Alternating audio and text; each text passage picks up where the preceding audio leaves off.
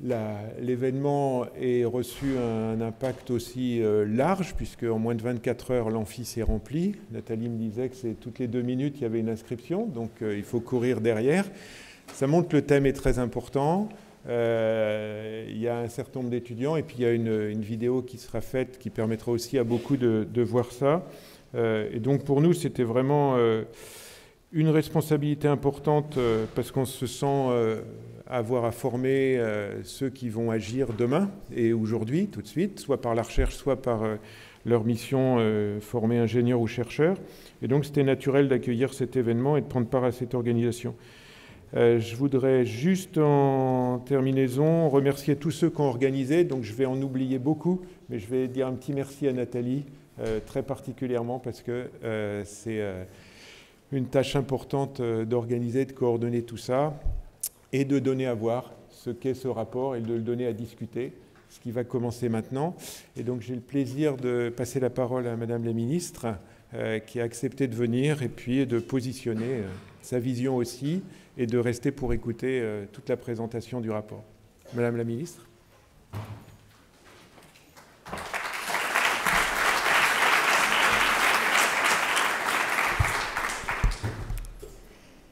Monsieur le directeur général d'AgroParisTech, mesdames et messieurs, vous avez choisi d'échanger une demi-journée sur le nouveau rapport du GIEC consacré aux terres. Un rapport du GIEC, c'est toujours un événement qui fait date. Celui-ci ne déroge pas à la règle. 107 experts de 52 pays et un constat implacable, nous épuisons les terres. Partout dans le monde, cette surexploitation menace notre sécurité alimentaire, elle détruit la biodiversité, elle contribue aux émissions de gaz à effet de serre, elle diminue la capacité des sols à stocker le carbone. Nous le savions, mais l'ampleur de la preuve scientifique fournie le 8 août dernier est sans appel et exige une réponse à la hauteur. Ce rapport, c'est d'abord celui des scientifiques, et c'est bien leur rôle d'objectiver les causes et les conséquences des dérèglements à venir, d'éveiller les consciences de la société civile et chez les décideurs publics sur l'état de la planète, et de faire des recommandations sur les solutions possibles.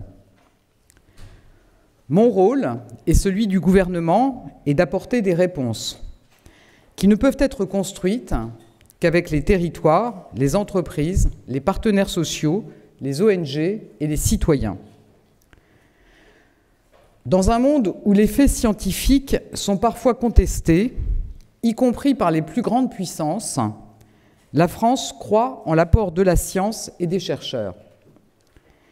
Et c'est pourquoi notre pays est pleinement impliqué dans ces travaux depuis le début en étant en grande partie à l'origine de l'IPBES, dont nous avons accueilli la plénière en mai dernier, en étant force de proposition, par exemple lors de la COP21 pour un rapport spécial du GIEC consacré aux océans et à la cryosphère, rapport qui sera publié dans les prochains jours. Cette implication s'illustre aussi dans notre contribution financière. La France est le premier contributeur au budget du GIEC. Nous poursuivrons cet effort pour soutenir la recherche. Je tiens à saluer en particulier Valérie Masson-Delmotte, Nathalie Denoblet du Coudray et Jean-François Souzana pour leur engagement dans ces travaux. Ce rapport met en évidence la, la multitude des pressions qui s'exercent sur les terres, les conséquences potentiellement dramatiques pour les populations, la biodiversité et le climat.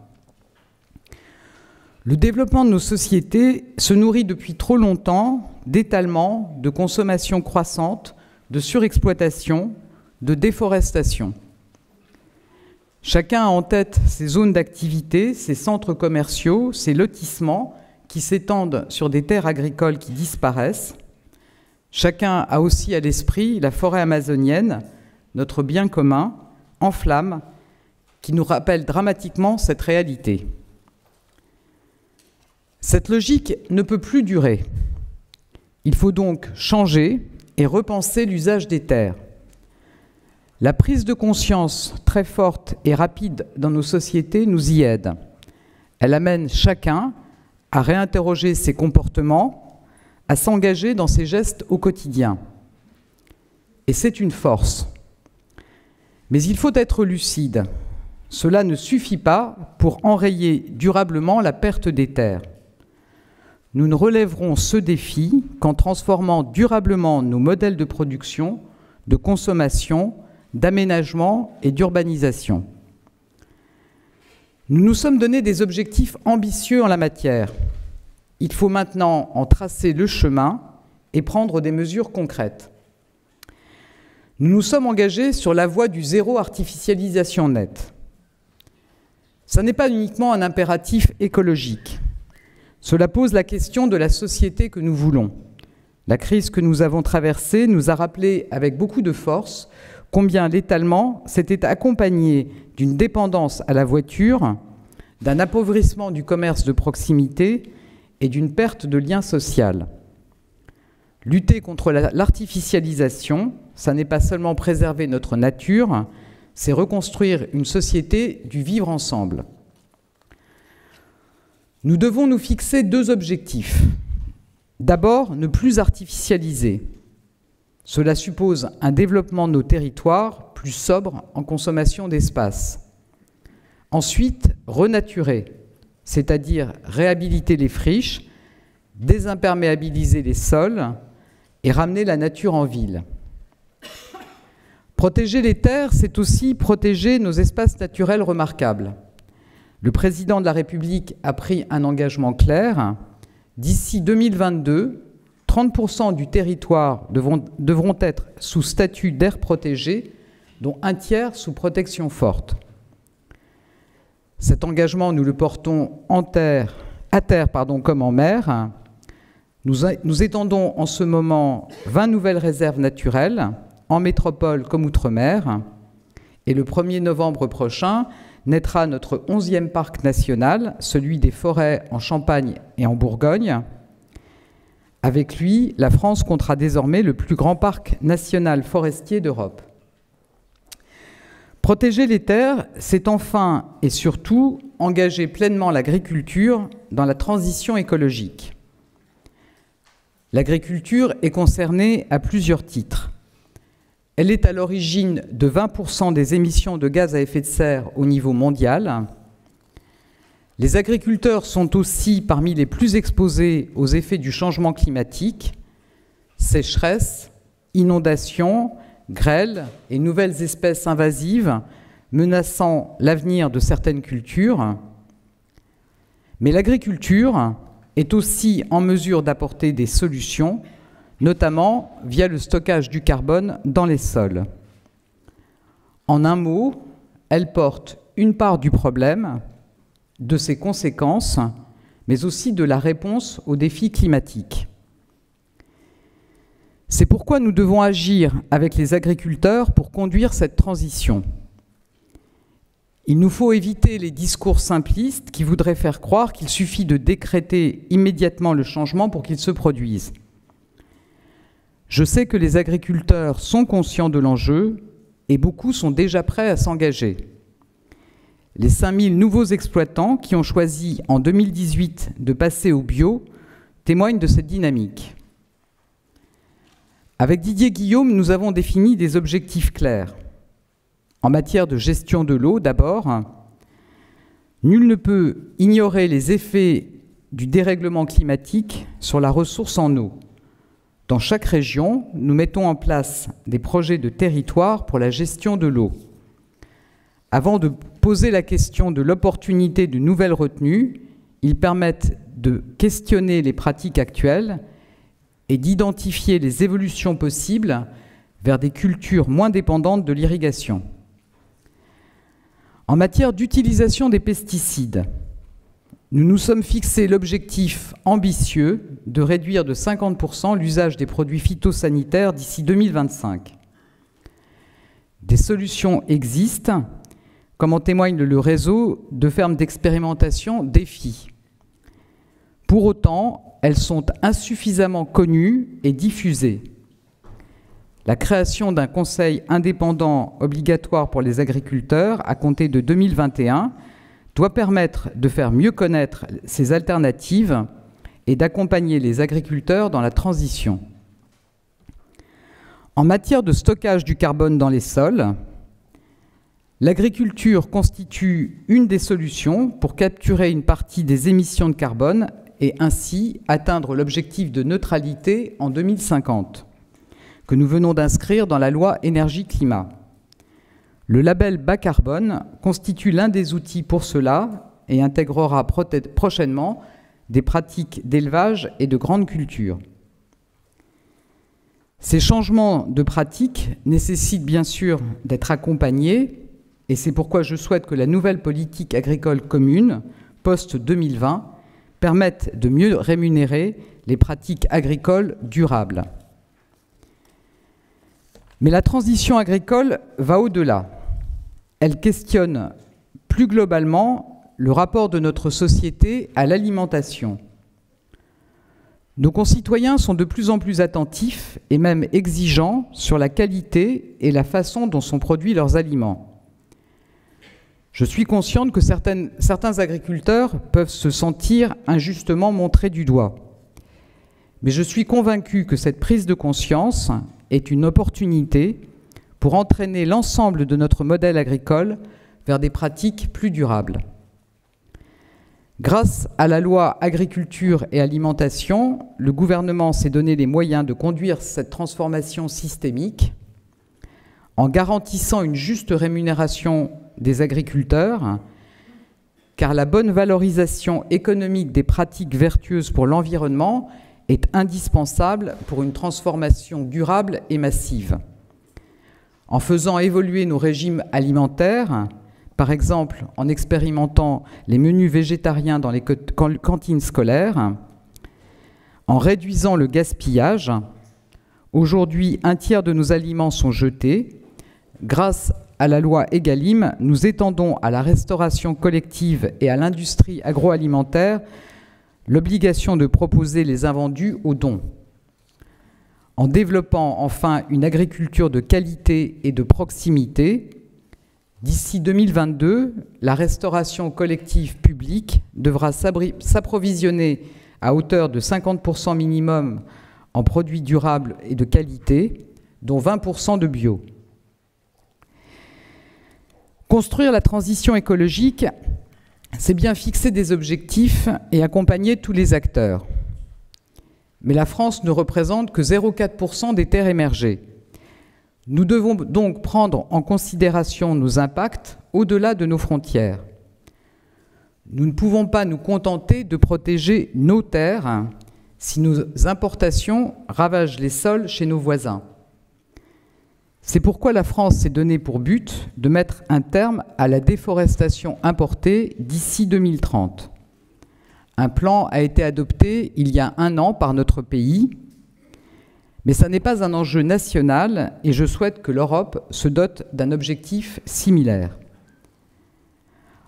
Enfin, nous n'y arriverons pas seuls. C'est la vocation de la France d'entraîner les autres États à la plus haute ambition environnementale.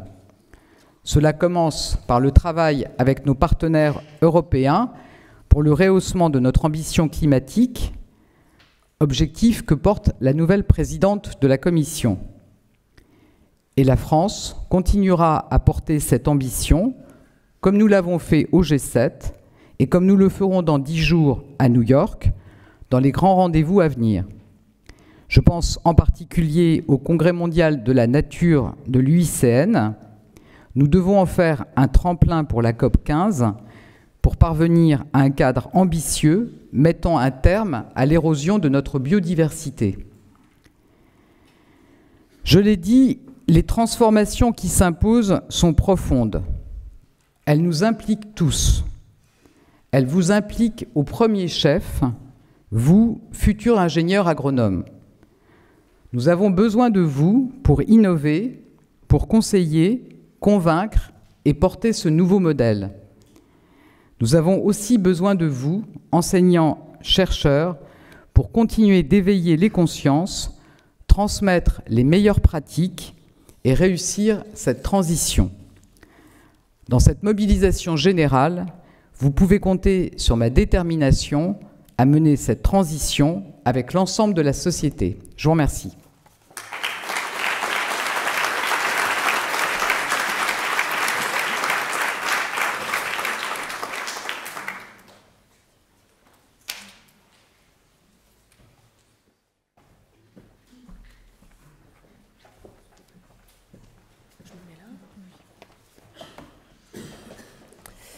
Bonjour à tous. Merci beaucoup, Madame la Ministre, d'avoir fait l'honneur euh, d'être venue à cette conférence. Et merci beaucoup euh, d'être venus si nombreux pour cette conférence qui est donc consacrée au changement climatique, à l'utilisation des terres et à la sécurité alimentaire. Alors, je vais d'abord faire une rapide présentation de la matinée. nous allons commencer par euh, une première séquence de présentation des principaux résultats du, du dernier rapport du GIEC sur le lien entre changement climatique et terres émergées. Ensuite, on, aura entre 11h et 11h30 une pause café. Puis à 11h30, on reprendra pour euh, une table ronde sur euh, la question de comment est-ce que les différents rapports du GIEC ou de l'IPBES sur la biodiversité euh, influencent-ils l'action politique et permettent de l'alimenter? Et ensuite, on passera à une série d'interventions d'acteurs de collectivités territoriales, de la société civile et d'entrepreneurs sur comment faire le lien entre sol, préservation des sols et lutte contre le changement climatique. Alors, donc, pour cette première séquence, je vais donc donner la parole aux trois scientifiques qui sont ici, donc qui sont tous les trois membres du GIEC. Je vais d'abord les présenter. Donc, nous avons avec nous Valérie Masson-Delmotte, qui est coprésidente du groupe 1 du GIEC. Euh, ce groupe est consacré aux bases scientifiques physiques du changement climatique. Et nous avons aussi deux auteurs du rapport donc, qui a été publié euh, début août sur euh, les liens entre terres émergées et changement climatique. Nathalie Denoblé du Coudray, qui est bioclimatologue au laboratoire des sciences du climat et de l'environnement et Jean-François Souzana, qui est vice-président, directeur recherche euh, en, charge de la politique internationale de l'INRA. Et ensuite, on aura une petite période de questions-réponses avec le public. Valérie Masson-Delmotte, vous avez la parole.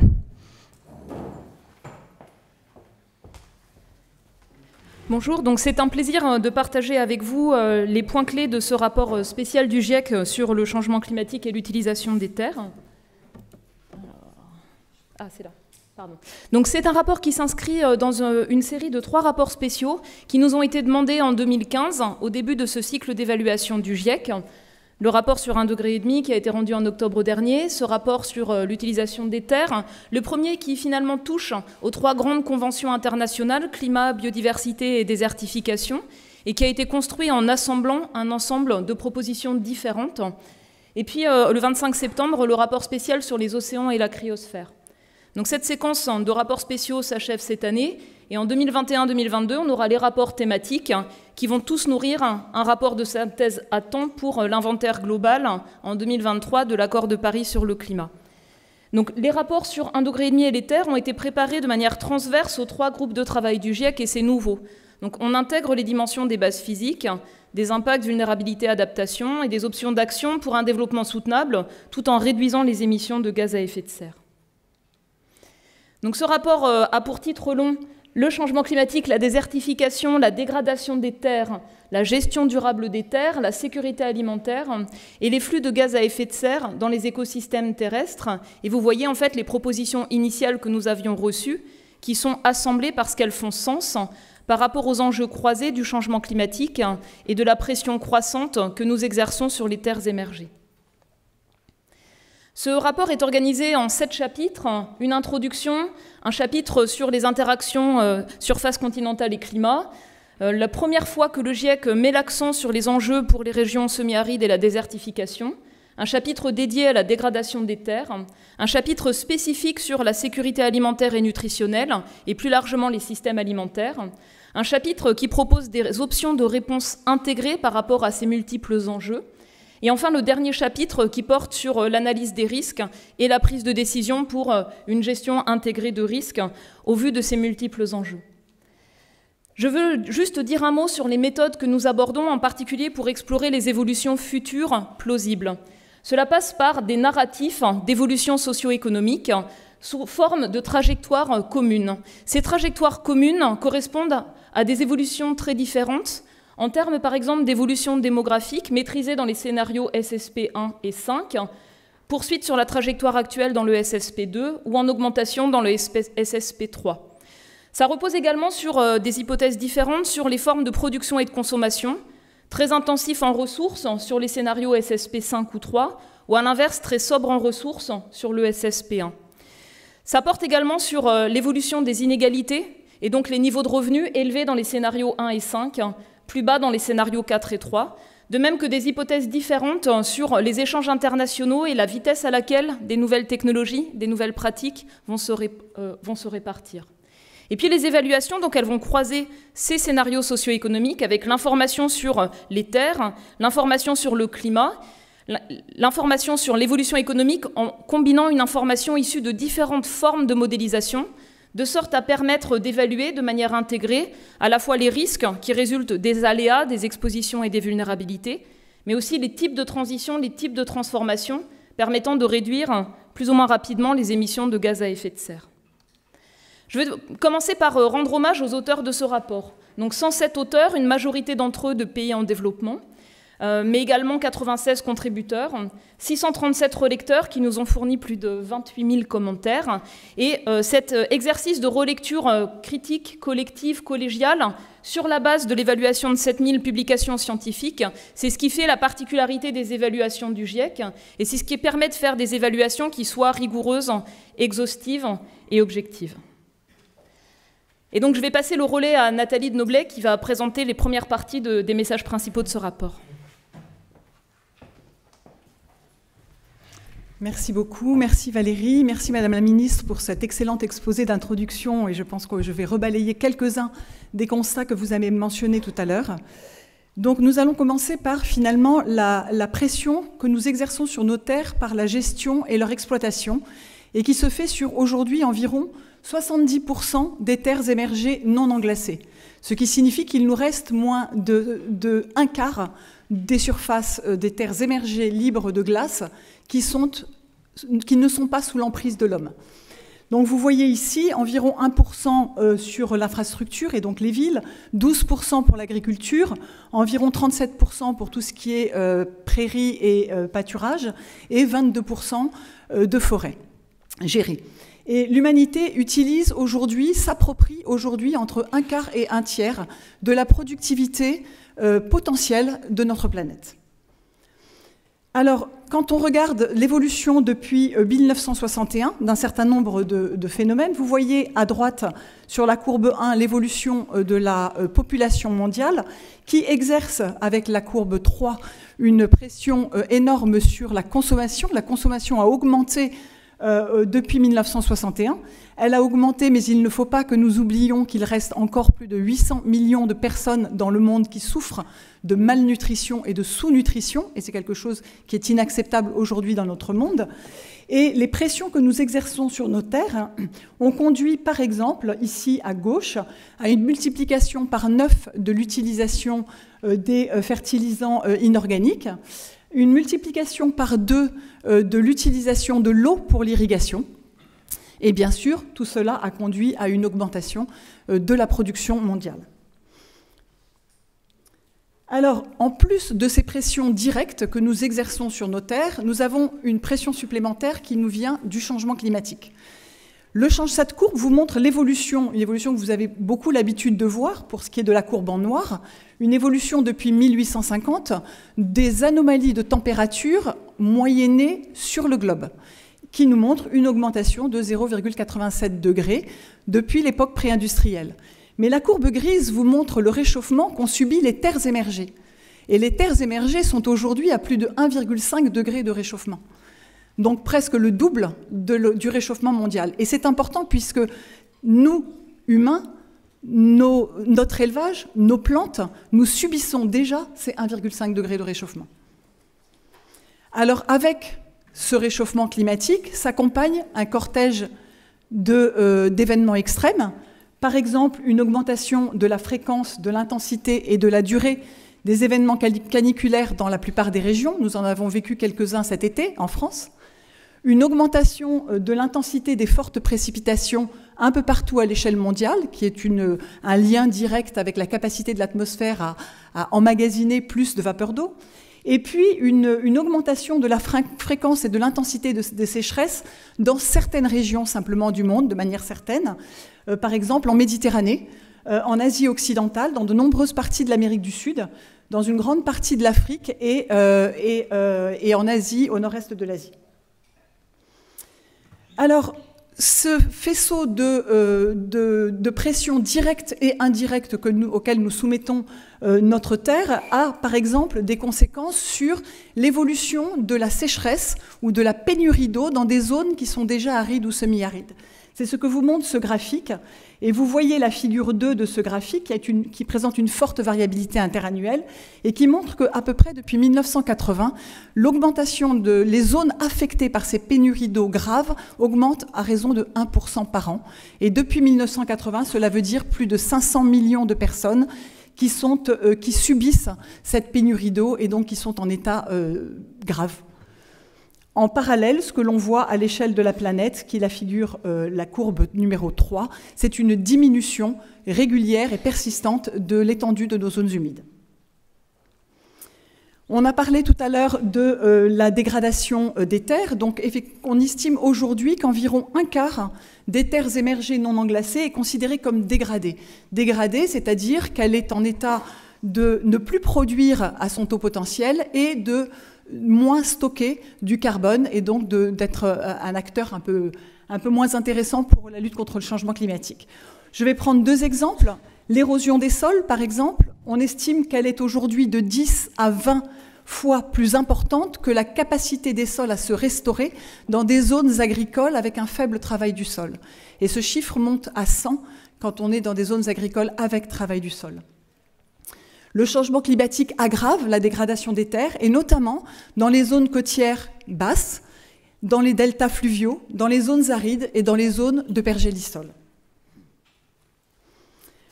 Pour la sécurité alimentaire, on le sait, la, sécurité alimentaire est déjà affectée euh, par le réchauffement climatique et peut-être encore plus par l'augmentation de la variabilité et l'augmentation des événements extrêmes qui entraînent une instabilité des rendements. Dans les régions tropicales, qui ont été probablement les régions les plus affectées jusque-là, on a déjà le rendement de plusieurs cultures qui ont diminué, alors que dans les hautes latitudes, le rendement de certaines cultures ont plutôt bénéficié du réchauffement climatique. Mais on sait que en Afrique, euh, dans les systèmes pastoraux en Afrique, par exemple, l'élevage a souffert euh, euh, du réchauffement et donc a entaché leur, productivité. Et puis on a aussi un certain nombre de ravageurs et de maladies qui ont commencé à répondre au changement climatique dans plusieurs zones cultivées et entraîné dans de nombreuses régions une augmentation des infestations.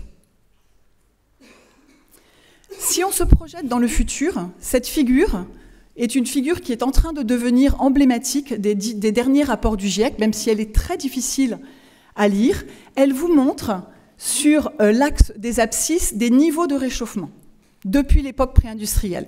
Et puis, vous voyez ici un certain nombre d'indicateurs de changement, de risques.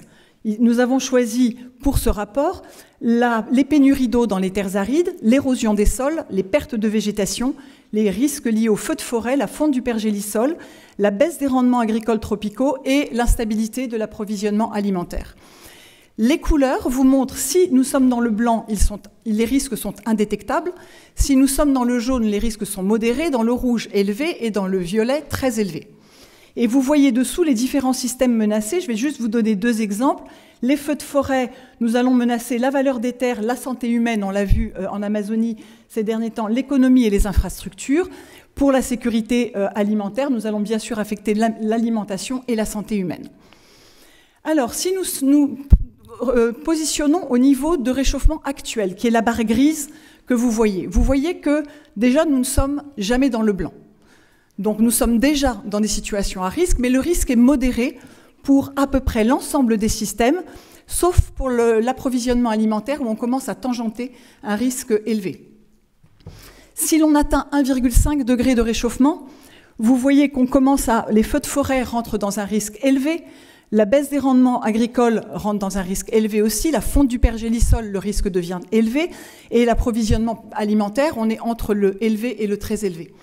Et si on atteint 3 degrés de réchauffement, vous voyez qu'on est dans des risques à peu près très élevés sur l'ensemble des systèmes que nous avons évalués.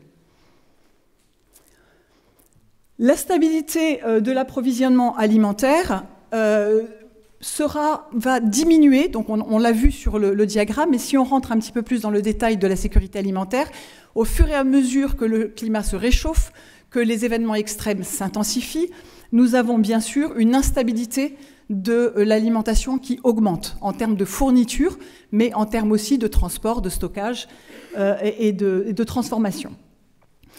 L'augmentation de concentration en CO2 de l'atmosphère risque en plus d'affecter et de réduire la qualité nutritionnelle des aliments. Le réchauffement accru a aussi des effets sur les migrations des populations. On le vit déjà aujourd'hui, mais on voit que les migrations peuvent être aussi bien à l'intérieur de nos pays, vers des zones plus productives ou vers les villes, que au-delà de nos frontières. Donc la dégradation des et ensuite la dégradation des sols qui va résulter à la fois de l'élévation du niveau des mers, de l'intensification des cyclones, va mettre en danger de plus en plus de vie et de moyens de subsistance dans les zones exposées aux cyclones et notamment dans les zones côtières. Alors là, je vous ai parlé des constats de, des pressions que nous exerçons sur nos terres et que le changement climatique exerce sur nos terres. Mais nos terres, elles contribuent aussi au changement climatique. Elles y contribuent de deux manières, par des émissions de gaz à effet de serre, et là elles contribuent au réchauffement global, puisqu'elles permettent d'augmenter ou de diminuer la teneur en CO2 de l'atmosphère et, d'autres gaz à effet de serre, mais elles jouent aussi un rôle clé au niveau du climat de nos échelles de vie, puisqu'elles affectent les échanges d'énergie, d'eau et d'aérosols entre la surface et l'atmosphère.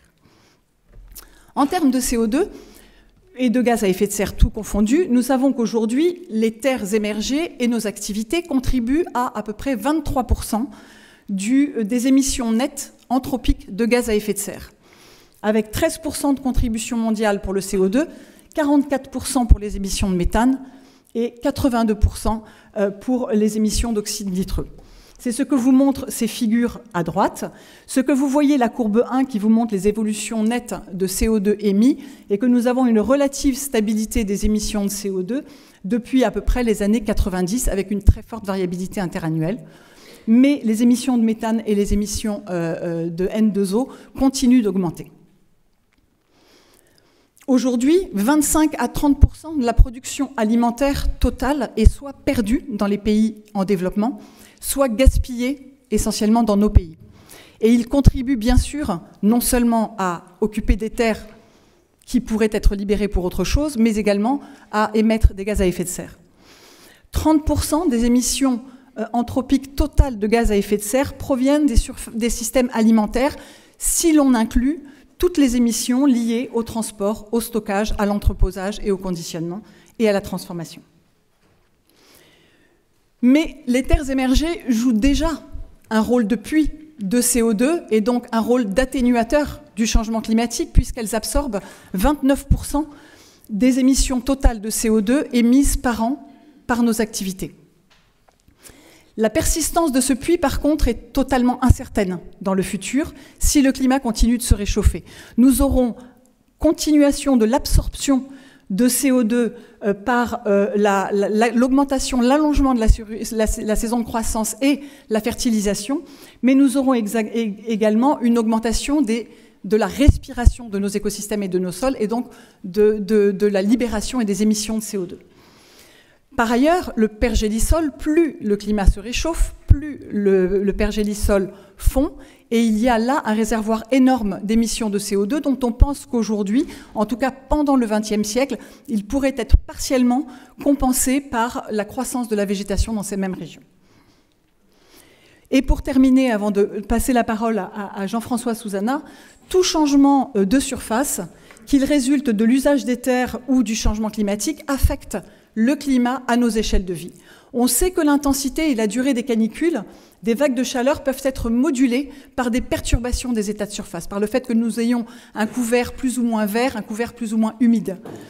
Là où le couvert forestier augmente, on augmente l'évapotranspiration et on rafraîchit euh, nos, nos, journées. Et on rafraîchit aussi, on limite l'amplitude de nos événements extrêmes de chaleur. Si l'on se projette dans le futur et que l'on pense aux régions boréales, dans les régions boréales où la limite forestière migrera vers le nord, où la saison de croissance va s'allonger, le réchauffement hivernal sera accru parce que l'albédo des surfaces va diminuer mais par contre, le réchauffement euh, estival pendant la saison de croissance sera diminué à nouveau grâce à l'évapotranspiration. Et dans les zones tropicales, on assistera à une interaction forte entre l'évolution du couvert végétal et l'augmentation ou la diminution des précipitations. Et Jean-François va maintenant vous parler des différentes solutions pour lutter.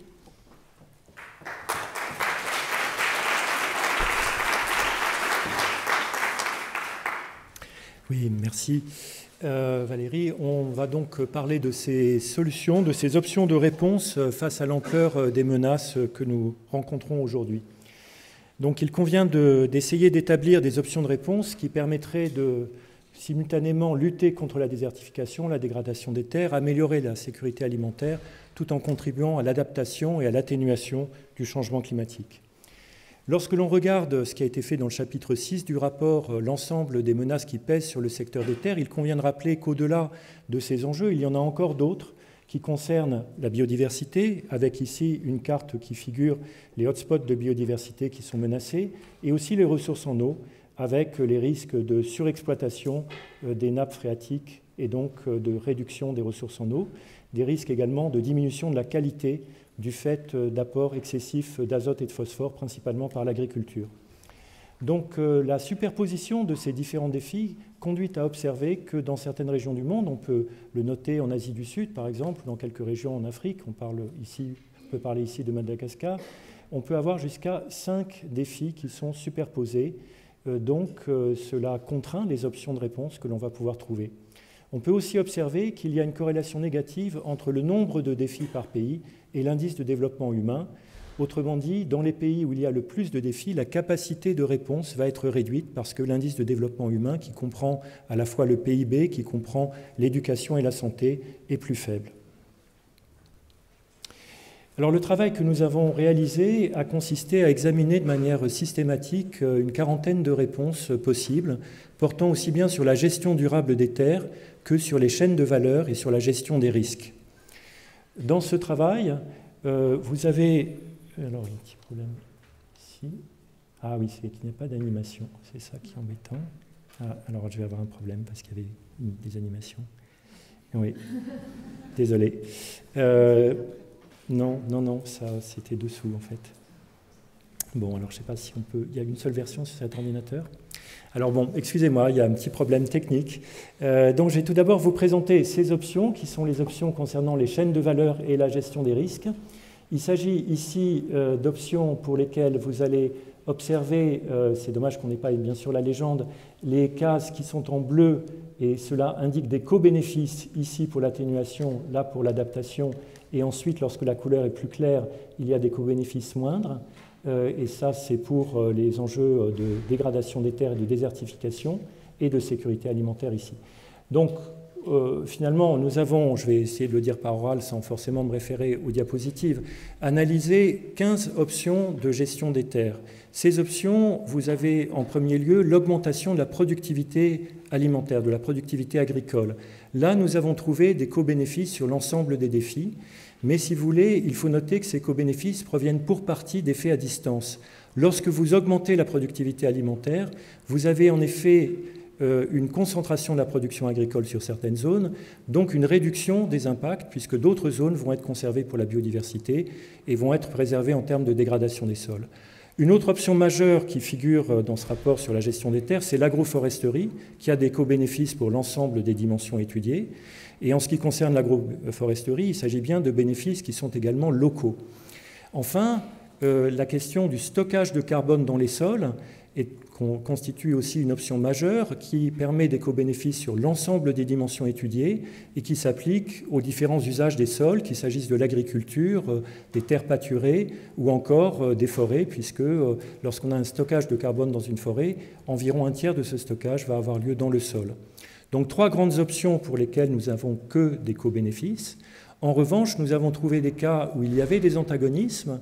Des antagonismes, par exemple, euh, en ce qui concerne euh, les effets d'une protection des tourbières et d'une protection des prairies, puisque c'est bénéfique pour les sols, la dégradation des terres, la désertification, euh, la biodiversité, mais en revanche, vous pouvez avoir des risques pour la sécurité alimentaire. Voilà, donc ça c'était pour les options concernant la gestion des terres. Ici, vous avez ces options sur les chaînes de valeur tout d'abord et ensuite la gestion des risques. Pour les chaînes de valeur, observons que la réduction des pertes post-récolte et la réduction euh, des gaspillages alimentaires qui interviennent principalement dans les pays de l'OCDE, hein, les gaspillages qui interviennent auprès des consommateurs ou des distributeurs, euh, cela a des effets qui sont nettement positifs pour l'atténuation et aussi pour d'autres enjeux concernant par exemple la dégradation des terres, la désertification ou la sécurité alimentaire. Euh, et enfin, une option euh, dont on peut parler parce qu'elle est importante localement, même si elle n'a pas des effets à très grande échelle, c'est les instruments de gestion des risques, par exemple d'assurance euh, pour les récoltes, qui peuvent avoir des effets régionaux intéressants. Alors, on voit ici finalement le potentiel de déploiement de ces réponses avec uniquement des co-bénéfices ou avec des antagonismes entre les défis. Ce potentiel de déploiement, il est important, par exemple, pour la gestion des incendies, pour la protection du feu. Euh, il est important également pour le stockage de carbone dans les sols. Pour les options agricoles, vous voyez un potentiel qui est plus limité, bien sûr, puisqu'il s'agit uniquement des superficies agricoles, ou encore d'autres options avec pratiquement que des co-bénéfices pour les forêts, et en particulier la réduction de la déforestation et de la dégradation des forêts. En revanche, on pourra y revenir, il y a quelques options, celles liées surtout au secteur de l'énergie, qui comprennent des antagonismes si elles sont déployées à grande échelle. Donc ce que l'on peut indiquer, c'est que le potentiel technique total d'atténuation en ce qui concerne les activités de culture, d'élevage et l'agroforesterie euh, varie entre 2,3 et 9,6 gigatonnes de CO2 euh, par an d'ici à 2050, donc un potentiel considérable. Pour l'adaptation, c'est pareil. On peut obtenir beaucoup en reverdissant les terres.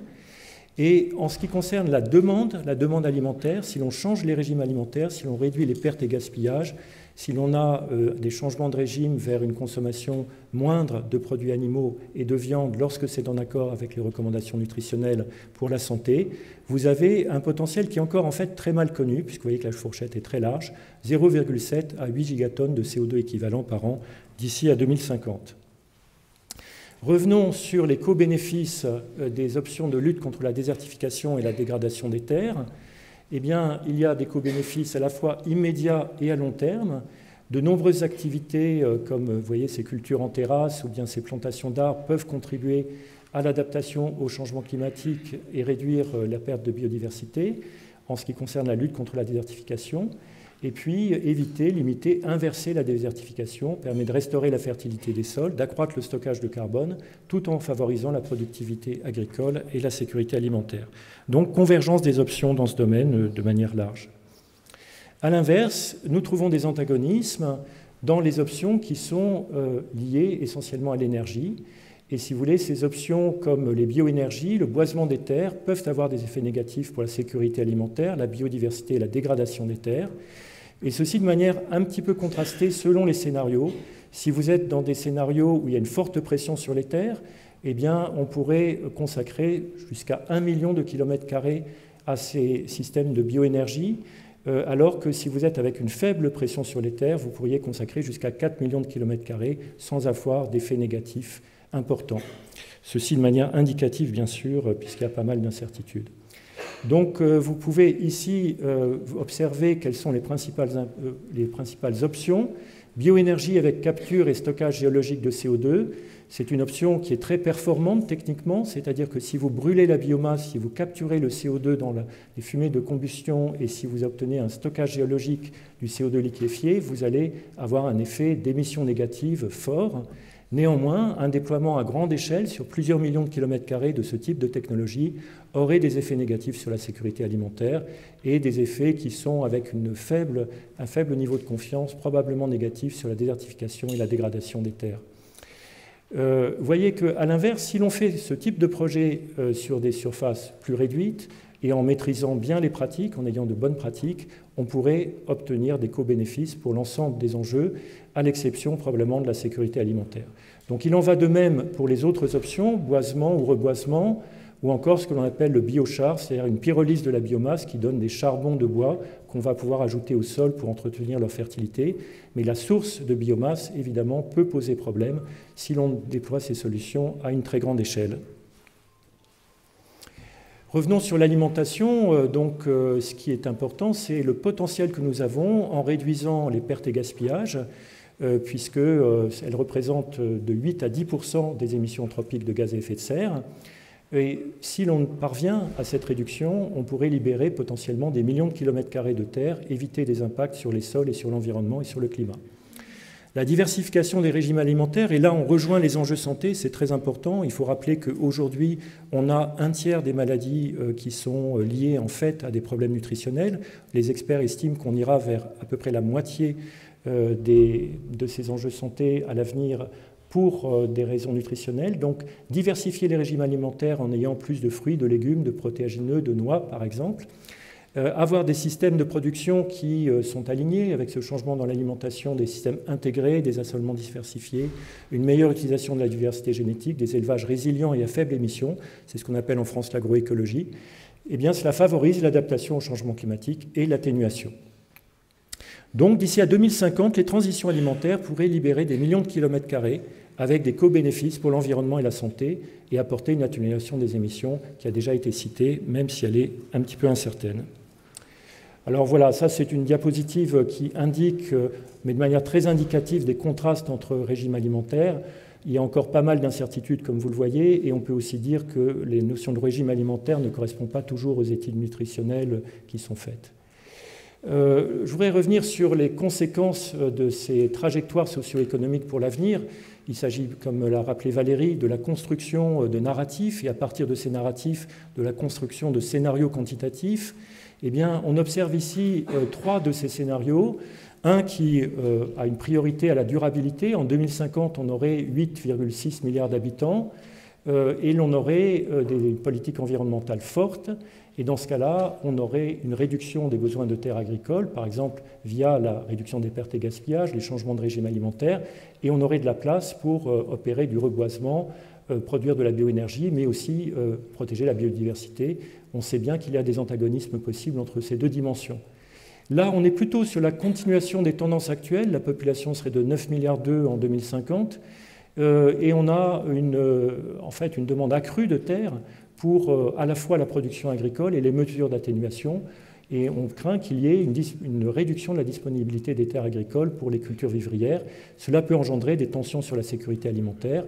Et dans ce scénario 5, qui est à population modérée, euh, également 8 milliards et demi en 2050, mais avec des modes de production qui consomment beaucoup de ressources, les tensions s'exacerbent sur les terres et on peut avoir des problèmes de sécurité alimentaire qui sont élevés. Voilà euh, ce que l'on peut dire. Avant euh, de parler en quelques mots des options de mise en œuvre, comment peut-on euh, trouver des conditions qui sont favorables à la mise en œuvre de ces options de réponse? Il faut tout d'abord rappeler la question de la précarité foncière. Nous avons aujourd'hui une précarité qui affecte en particulier les pays les plus pauvres, donc la capacité des personnes, des communautés, des organisations à apporter des changements. Si vous n'avez pas de manière stable un droit d'accès à la terre, vous n'avez aucune raison de l'améliorer. Et donc la non-reconnaissance de l'accès coutumier ou de la propriété foncière peut entraîner une vulnérabilité accrue et une capacité d'adaptation réduite au changement climatique. Donc développer des politiques foncières euh, qui euh, comprennent différents aspects, notamment la reconnaissance des droits, euh, la décentralisation, la cogestion, la réglementation de marchés locatifs, peut apporter de la sécurité et de la souplesse face au changement climatique. Ensuite, il faut euh, rappeler que nous avons dans le secteur des terres de nombreuses politiques sectorielles qui sont en fait assez fragmentées. Vous avez des politiques de l'eau, vous avez des politiques de la biodiversité, de l'agriculture et ainsi de suite. On constate qu'une combinaison de politiques, plutôt que des approches sectorielles, peut donner de meilleurs résultats pour relever les défis complexes.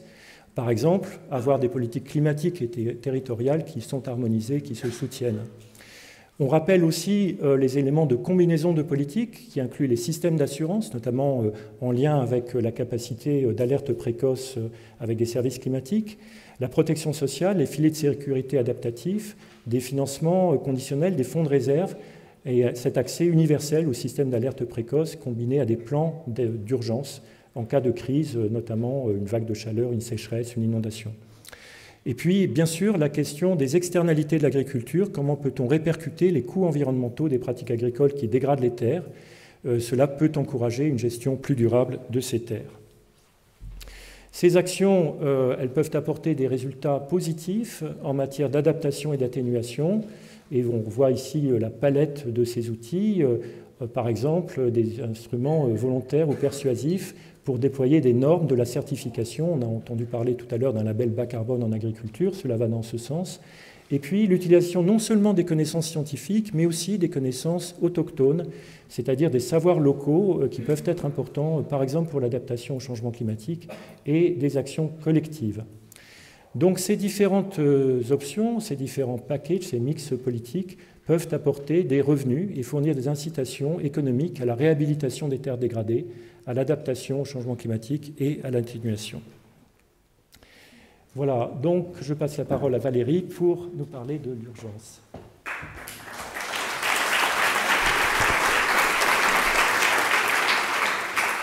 Donc je rappelle que si on veut contenir le réchauffement climatique largement en dessous de 2 degrés, l'enjeu c'est de faire baisser les émissions mondiales de CO2 en gros d'un quart d'ici à 2030 et d'atteindre la neutralité mondiale à horizon 2070. Pour le contenir autour de 1,5 degré, c'est deux moitiés à horizon 2030 et la neutralité carbone mondiale à horizon 2050. Qu'est-ce qu'impliquerait un retard par rapport à la mise en œuvre de mesures d'atténuation ou d'adaptation? C'est bien sûr d'abord un réchauffement plus important, un réchauffement plus important avec des impacts, et donc une action tardive, pas uniquement dans le secteur des terres, mais dans tous les secteurs, y compris pour l'énergie, entraînerait une réduction du potentiel d'action dans le secteur des terres. Par exemple, dans un climat qui se réchauffe, on peut perdre la capacité des stolls à contenir et stocker de la matière organique. Ça aurait donc euh, des enjeux également sur euh, les fonctions et services de nombreux écosystèmes et donc euh, des répercussions qui pourraient être potentiellement irréversibles. Donc ça réduit la marge d'action associée au secteur des terres. Par ailleurs, le report des réductions d'émissions de gaz à effet de serre dans tous les secteurs aura des répercussions économiques de plus en plus importantes pour de nombreux pays dans la plupart des régions du monde. A l'inverse, une action rapide, à la fois pour l'atténuation et l'adaptation, alignée sur une gestion durable des terres, et la mise en œuvre d'une forme de développement durable réduira les risques que représentent pour des millions de personnes les extrêmes climatiques, la désertification, la dégradation des terres, ainsi que l'insécurité alimentaire, tout en conservant les moyens de subsistance. Qu'est-ce qu'on gagne à agir rapidement? En ce qui concerne les mesures à court terme, on montre qu'elles peuvent générer des co-bénéfices du côté du secteur des terres, aussi bien sociaux qu'écologiques, économiques et en termes de développement. Et ces co-bénéfices peuvent contribuer à éradiquer la pauvreté et à une plus grande résilience des moyens de subsistance des personnes vulnérables, en particulier dans les pays en développement. On montre également que les investissements dans la restauration des terres peuvent se traduire par des bénéfices globaux. Et dans les zones arides, en particulier, le rapport avantage-coût peut se situer entre un facteur 3 à 6 de valeur économique estimée des services écosystémiques restaurés. Et enfin, pour terminer, de nombreuses technologies et pratiques de gestion durable des terres qui sont disponibles aujourd'hui sont rentables à 3 à 10 ans. Donc pour terminer sur ce tour d'horizon rapide de ce rapport, on montre que les terres sont des ressources critiques qui subissent des pressions croissantes et le changement climatique ajoute à ces pressions, empirant une situation tendue avec des enjeux majeurs pour la sécurité alimentaire. On montre également qu'il existe des solutions aujourd'hui pour améliorer l'état des terres, renforcer la sécurité alimentaire dans des systèmes résilients, produire également de l'énergie à partir de la biomasse, mais que cela demande une action concertée, rapide, ambitieuse et sur plusieurs fronts, en particulier agissant à la fois sur les systèmes de production et les choix d'alimentation. Et pour terminer, on a un potentiel d'action du côté d'une gestion durable des terres, mais le potentiel est limité en matière, par exemple, de stockage de carbone ou de puits de carbone. Donc ça fait partie des solutions, mais ça ne peut pas tout faire pour limiter les risques climatiques. Donc je termine en disant que ce rapport, c'est le climat dans nos paysages, c'est le climat dans nos exploitations agricoles, et c'est aussi le climat dans nos assiettes. Merci.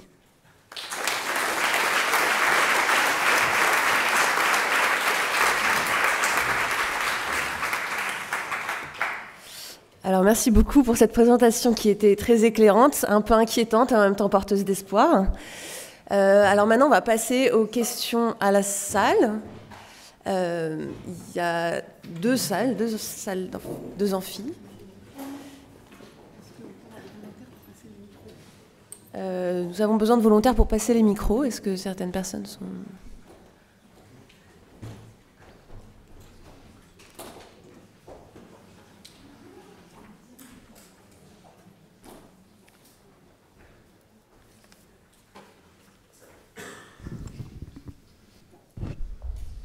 Je me permets une remarque euh, sur le contenu du rapport. Il me semble qu'il est relativement technique et qu'il aborde assez peu les aspects économiques. Je m'explique. Nous vivons dans le système capitaliste qui est basé sur la vente de nombreux biens et produits à un nombre croissant de personnes dans le but de faire des profits que le, système capitaliste est remarquable dans sa capacité d'évolution et de changement, mais il faudrait d'une certaine façon que le système capitaliste devienne plus frugal et plus sobre. Bien évidemment, toutes les entreprises vous disent qu'elles vendent du durable et que leur produit va sauver la planète. Malgré tout, il y a un problème, euh, il me semble, à ce niveau-là. Euh, Karl Marx disait... Euh, excusez-moi, il, faut limiter un peu les, questions. Une autre, un autre aspect que vous avez très peu évoqué, on parle toujours de l'agriculture qui est devenue euh, un objet de critique incessant. incessant. Mhm. on, aborde assez peu les déterminants économiques des choix des agriculteurs. Le prix des produits est en général agricole à la ferme Merci est beaucoup. en général pas. Je m'arrête dans une seconde et il faut prendre en compte que vu l'importance des charges fixes des agriculteurs, on doit obtenir un certain rendement et, et de ce fait utiliser des intrants. Donc s'il vous plaît, n'oubliez pas les déterminants économiques des comportements, que ce soit des consommateurs, des consommateurs, Merci beaucoup. Je suis désolée, il faut laisser la parole à d'autres personnes. entreprises. Merci. Merci beaucoup. Merci. Est-ce qu'il y a une autre question euh, Oui, au fond.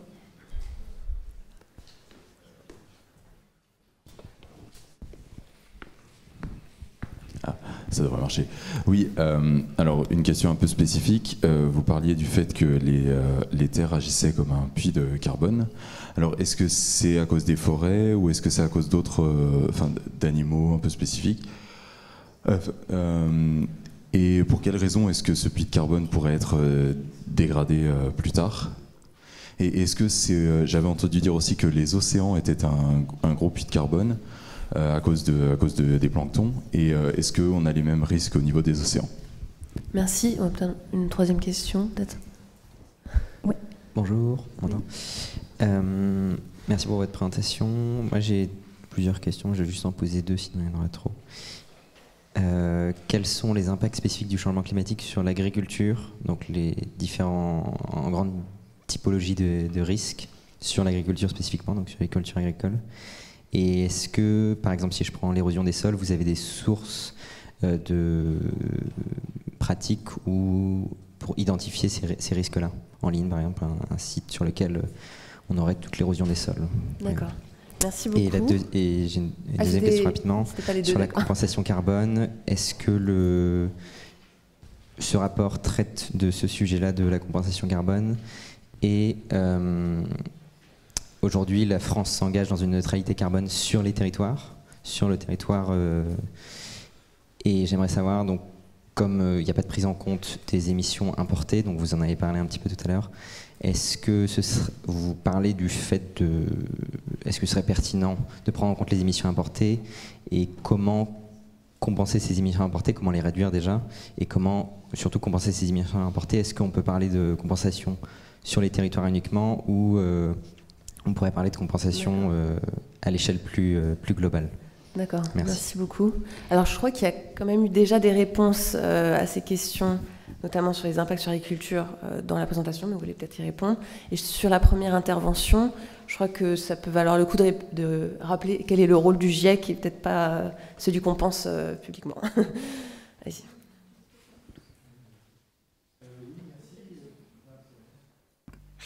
Euh, alors effectivement, dans, ce rapport, vous allez trouver euh, des chiffrages économiques. Euh, en particulier, vous avez le coût de chacune des options qui est donné avec, bien sûr, une évaluation de l'incertitude.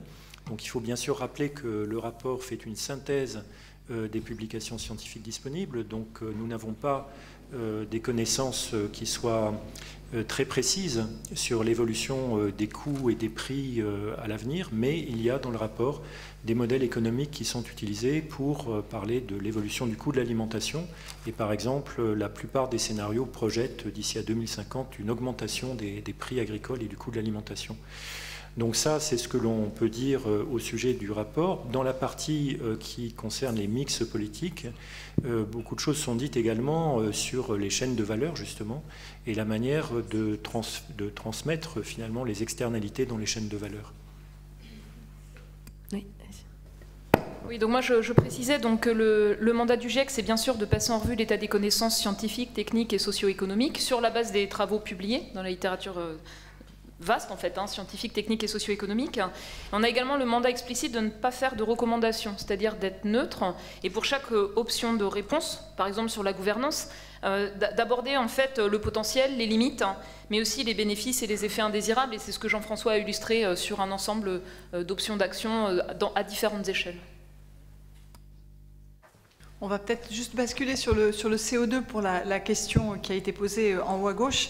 Euh, le, puits de CO2 des continents, c'est un système, c'est un cycle totalement naturel. Hein. Les plantes absorbent du CO2 par la photosynthèse et le potentiel d'absorption des plantes terrestres aujourd'hui n'est pas, pas euh, maximal. Donc il a encore cette capacité. Donc la seule chose, c'est qu'avec le réchauffement, avec les événements euh, extrêmes, le relargage de CO2 peut être plus important que cette capacité d'absorber. Donc c'est vraiment ça. Et les océans, oui. Valérie va vous en parler puisqu'il y a un rapport en cours sur les océans. Non, c'est juste pour dire qu'effectivement, les océans absorbent également environ un tiers des émissions mondiales de CO2 aujourd'hui. Et, qu'il euh, y a des questions également similaires pour comprendre comment le potentiel d'absorption de carbone évolue dans un climat qui change. Peut-être revenir sur la question de la typologie euh, des risques pour l'agriculture, euh, indiquer qu'il y a des risques directs pour la production, donc il s'agit euh, des impacts notamment de la variabilité climatique euh, sur les rendements agricoles, mais aussi euh, sur la productivité des animaux d'élevage. Il y a aussi des cas de, surmortalité de ces animaux. Vous avez des risques pour la santé végétale et la santé animale. Et puis vous avez des risques pour la qualité des produits. Et bien sûr, ces différentes catégories d'impact du changement climatique interagissent avec les ressources. Lorsque vous avez des sécheresses, lorsque vous avez une dégradation des terres, les options pour l'agriculture euh, sont réduites, euh, d'autant plus euh, qu'il y a, au regard de la variabilité climatique. Donc une typologie très rapide de ces différents risques et il faudrait avoir un petit peu plus de temps pour parler des options d'adaptation qui vont avec, enfin, qui permettent de répondre en notant qu'il y a des options d'adaptation qui impliquent en fait des changements assez profonds des systèmes agricoles et des pratiques. Et alors après, sur la question de la compensation carbone et la prise en compte des euh, émissions donc, liées aux importations, je pense que peut-être que vous voulez répondre dessus oui, je voulais juste dire un mot. Mm. Donc effectivement, la, notion de neutralité carbone, euh, elle implique l'idée qu'on soit capable d'éliminer une partie d'émissions résiduelles pour des secteurs difficiles à décarboner par des pratiques qui permettent euh, d'éliminer de manière durable du CO2 de l'atmosphère et, de le stocker. Il y a des options technologiques, il y a des options liées à l'utilisation des terres au renforcement euh, euh, euh, des services que rendent certains écosystèmes, ou des options qui présentent des bénéfices et parfois des risques indésirables, de boisement ou bien de production de l'énergie de la biomasse avec captage et stockage des émissions de CO2 associées. Donc c'est vraiment le sujet qu'a mentionné Jean-François et qui est un des points importants à l'interface entre le rapport sur un degré et demi et celui-ci. Ensuite, la question que vous aviez posée, elle portait plus sur les émissions importées, par exemple à l'échelle de la France. Et ça, je pense qu'on reviendra dessus sur la table ronde, parce que euh, ça fait partie des thématiques abordées plutôt par le Haut Conseil Climat. Voilà. Et euh, lors de la table ronde, on aura une représentante du ministère de la Transition écologique et solidaire qui, il me semble, est prête à répondre à ces questions. Alors, est-ce qu'il y a d'autres questions dans la salle? Oui, là-haut. Bonjour, j'ai une question sur le protoxyde d'azote, euh, qui a été présenté comme l'oxyde nitreux dans les graphiques. On voit que depuis les années 60, il a été euh, multiplié par deux, que le secteur euh, donc des terres, agriculture plus forêt, est responsable de 82% des émissions de protoxyde d'azote, et si on isole l'agriculture, c'est 78%. Euh, dans le même temps, depuis les années 60, on a plus 800% de recours aux engrais chimiques qui sont largement responsables de ces émissions de protoxyde d'azote. Donc c'est quelque chose qui, dans le constat, apparaît beaucoup. Par contre, dans la partie solution, on retrouve vraiment très peu de choses sur comment répondre à cela et ce qui a été étudié euh, en termes d'études scientifiques là-dessus. Euh, la question des légumineuses apparaît une seule fois dans plus de 1000 pages de rapports pour, qui a pourtant un cycle neutre aujourd'hui en termes d'émissions de protoxyde d'azote. Euh, le, GIEC a revu au mois de mai euh, ses facteurs d'émissions et a rehaussé les émissions des engrais chimiques. Du coup, c'est vraiment une question pour moi, si jamais on ne touche pas à cette réduction drastique des émissions de protoxyde d'azote, on l'a vu, il y aura un impact significatif sur le stockage du carbone notamment. Comment ça se fait que ça soit aussi peu apparent dans les solutions? Merci. Est-ce qu'il y a une autre euh, question? Oui, nous avons des questions. Ah pardon, il y, en a deux en même temps. Je sais... Une question sur les scénarios. Euh, j'ai l'impression que les scénarios qui sont envisagés dans le GIEC sont finalement des scénarios plus ou moins volontaires de, trajectoire. Euh, je voudrais savoir s'il y a suffisamment de travaux sur les, euh, possibilités d'effondrement économique et sociétal pour que ça soit pris en compte, ou bien si vous considérez que les scénarios existants prennent en compte ce type d'évolution de, nos sociétés. Et on a une troisième question là. Oui. Euh, vous, avez naturellement limité aux, aspects les plus agricoles, etc. Mais pour moi qui suis physicien de la matière, la terre, c'est le sol, c'est le sous-sol, ce sont des ressources. Euh, je donne deux ou trois exemples. Le premier, les bétons à haute performance permettent de réduire la consommation en CO2 euh, du carbonate de calcium par un facteur 4 ou 5. Si je prends les hydrocarbures ils sont une nécessité pour énormément d'industries chimiques. La construction de terre redevient la mode, donc je pense qu'il est important, c'est un autre rapport ou un autre chapitre, de considérer qu'effectivement, dans sol et sous-sol, dans surface, on va avoir des secteurs dans lesquels des économies considérables d'énergie vont être faites. Je suis personnellement très convaincu que l'avenir des bétons de performance, l'avenir de, et non pas dans le passé de la construction de terre, sont des ressources en diminution de CO2 très importantes. D'accord, merci. Je ne suis pas sûre qu'il y avait une question. Euh, euh, oui, il y a une question de euh, Merci. je voudrais poser deux petites questions. Une question, vous avez parlé d'agroforesterie, et je, regrette que la ministre soit, soit partie. Tous les plans nationaux forêt-bois partent sur l'effet bois-énergie. Et donc on va brûler nos forêts parce qu'on a fait une mauvaise interprétation du renouvellement euh, de l'énergie renouvelable des forêts. Donc c'est un discours qu'il faut essayer de changer. La deuxième petite question, c'est une question de nutritionniste. Je suis un ancien nutritionniste du CNRS. Il faut éviter de dire que l'homme est un herbivore. Hein, il, on, on peut réduire fortement notre consommation de viande, et ça, je suis formel là-dessus, mais il faut au moins, il faut s'adapter aux différents âges de la vie d'une part, et d'autre part, c'est 30 la, règle, ce serait 30% d'animal et 70% de végétal pour nous protéger. Merci. Je suis pas sûre que la recommandation était qu'on devienne tous herbivores, mais euh, enfin, il n'y a pas eu de recommandation d'ailleurs. Ça a été Je pense qu'on va passer aux réponses. Alors sur la question des oxydes nitreux, de l'oxyde nitreux.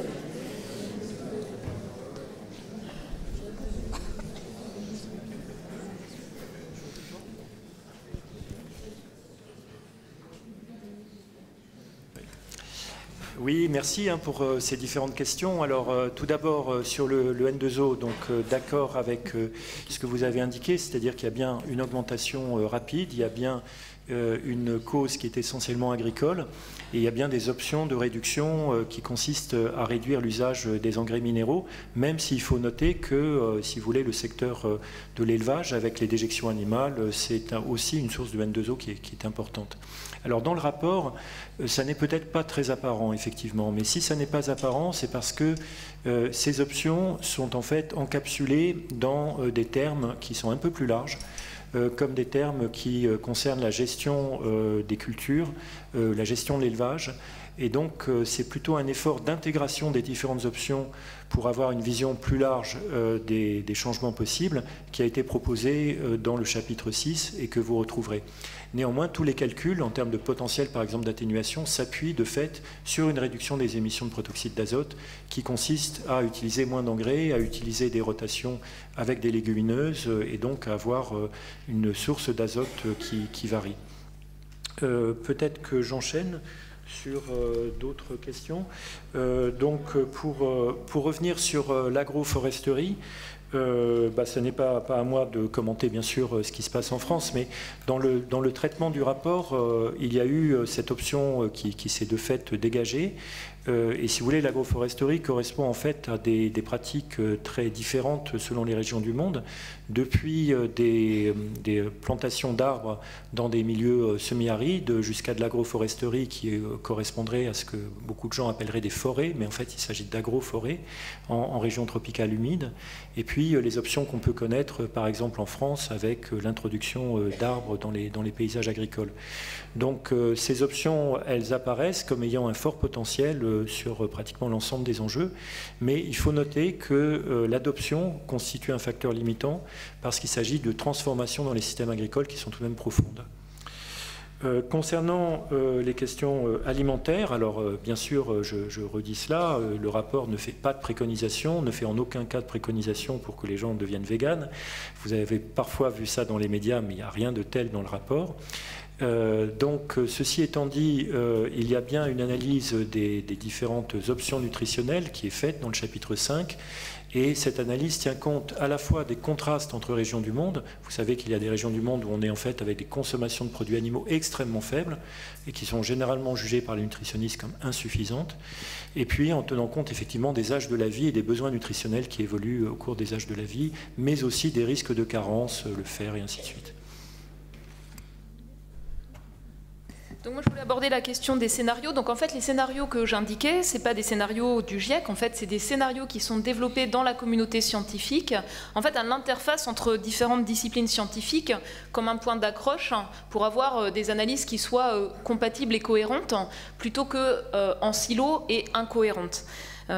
donc ce que je voulais mentionner, c'est qu'il y a une incertitude majeure qui porte sur le fait de rentrer les impacts du changement climatique dans les modèles socio-économiques.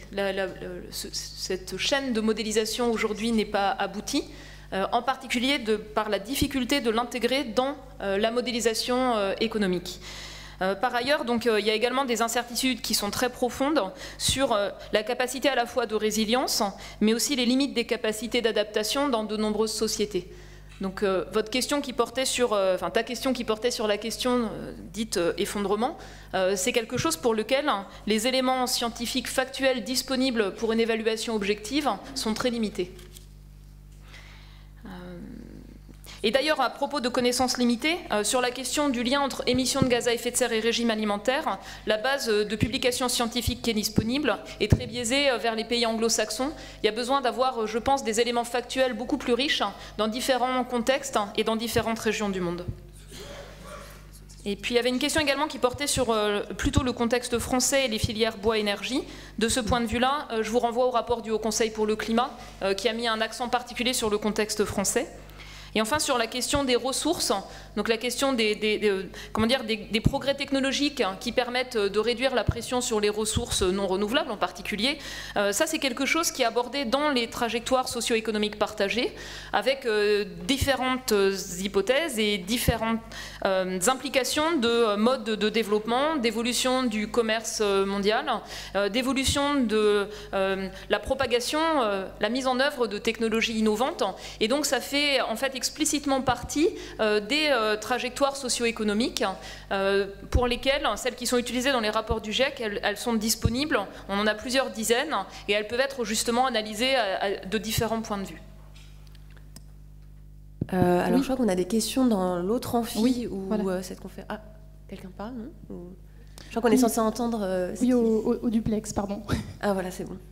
moi, j'avais une question un peu plus pratique, en fait. Euh, plusieurs fois au long de votre exposé, vous mentionnez entre parenthèses euh, confiance élevée, notamment pour les arguments développés pour la partie solution et quels sont les risques d'un retard de mise en place des actions d'atténuation. Euh, ma question, c'est puisque le GIEC a une volonté de synthèse des publications scientifiques, est-ce que cette mention de confiance élevée, elle signifie qu'on a un, accord assez global sur certaines publications, mais pas suffisamment pour pouvoir avoir une confiance totale? Ou alors que justement il existe peut-être des contradictions, ou euh, que, signifie cette, euh, cette mention, et ensuite donc, quel, quel, poids ça peut avoir ensuite dans le, débat ou la discussion qu'il peut y avoir suite à ce, à ce rapport? Merci. Qu'il y a une autre question dans le deuxième amphi?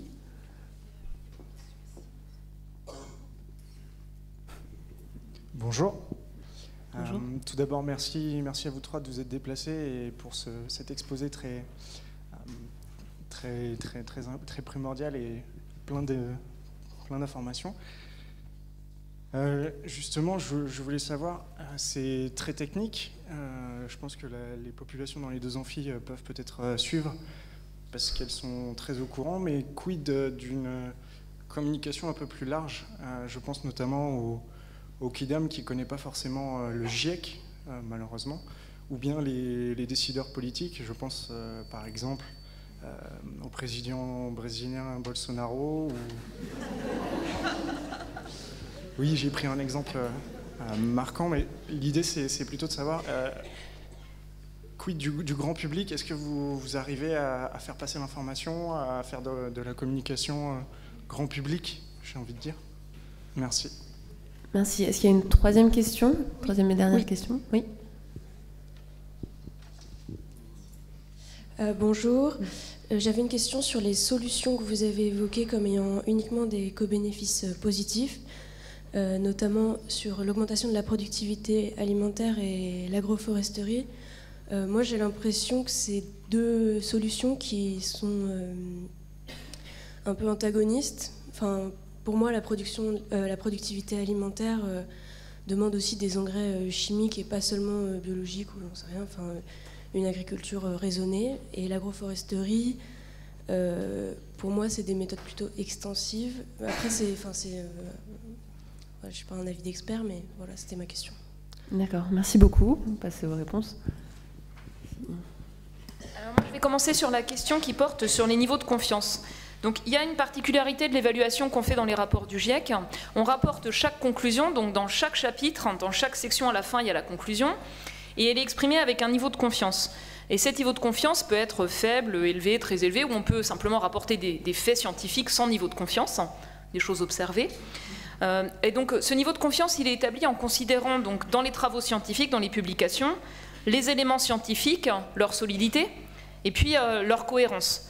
Euh, dans l'évaluation qui est faite au niveau mondial, on est dans des situations où, bien sûr, les informations dans la littérature scientifique elles ne sont pas, disponibles euh, de, la même manière dans toutes les régions du monde et en particulier dans les pays les plus pauvres. Donc ça fait partie euh, des éléments pour lesquels parfois on va avoir une confiance moyenne parce qu'on manque d'informations pour euh, certaines régions du monde dans la littérature scientifique, technique ou socio-économique. Donc quand, on fait quand les auteurs font ce travail d'évaluation de l'état des connaissances, ils le rapportent de cette manière, disons, calibrée, ils vont donc euh, de cette manière-là évaluer ce qui est robuste, qui résiste à l'examen critique finalement, qui est solide, qui est bien établi. Ils vont également identifier ce qui est émergent et qui peut être potentiellement très important. Mais ils vont également identifier les verrous des connaissances et euh, quelque part en creux euh, les voies de recherche à venir. Donc ça fait partie également de, cette évaluation. Et la question qu'on a quand on rédige la synthèse, le résumé pour les décideurs, c'est est-ce qu'on met en avant là où on a une confiance très forte? Est-ce qu'on met en avant là où une, une confiance plus faible? Mais sur des sujets qui sont dans certaines régions particulièrement vulnérables euh, ou dans des, sur des thématiques potentiellement très importantes en matière de prise de décision. Et donc ça fait vraiment partie du choix des équipes d'auteurs euh, de ce qu'ils veulent euh, transmettre au niveau le plus élevé. Alors ça rend nos rapports illisibles, j'en suis désolée, euh, ça rend nos rapports illisibles parce que, vous l'avez dit, ils sont très techniques. Pour être scientifiquement juste et rigoureux, on a besoin d'un vocabulaire précis. Le résumé pour décideurs, il est bourré de notes de bas de page euh, qui ont été euh, rajoutées dans la session d'approbation, justement pour être précis sur les différents termes utilisés. Et donc, on a besoin de relais. On a besoin d'autres acteurs qui s'approprient ces, ces, évaluations techniques et qui les traduisent, qui les digèrent et qui les expriment de manière claire pour différentes audiences. Le rapport sur un degré et demi, il y a eu une adaptation pour les enseignants par l'Office pour l'éducation au climat, matériel pédagogique utilisable en classe, au, lycée typiquement. Il y a eu également une adaptation pour les décideurs urbains et en cours il y a une adaptation pour le secteur de la finance. Et c'est écrit par des acteurs de ces mondes-là qui utilisent leurs mots, leurs repères et qui le, traduisent de la manière la plus claire possible.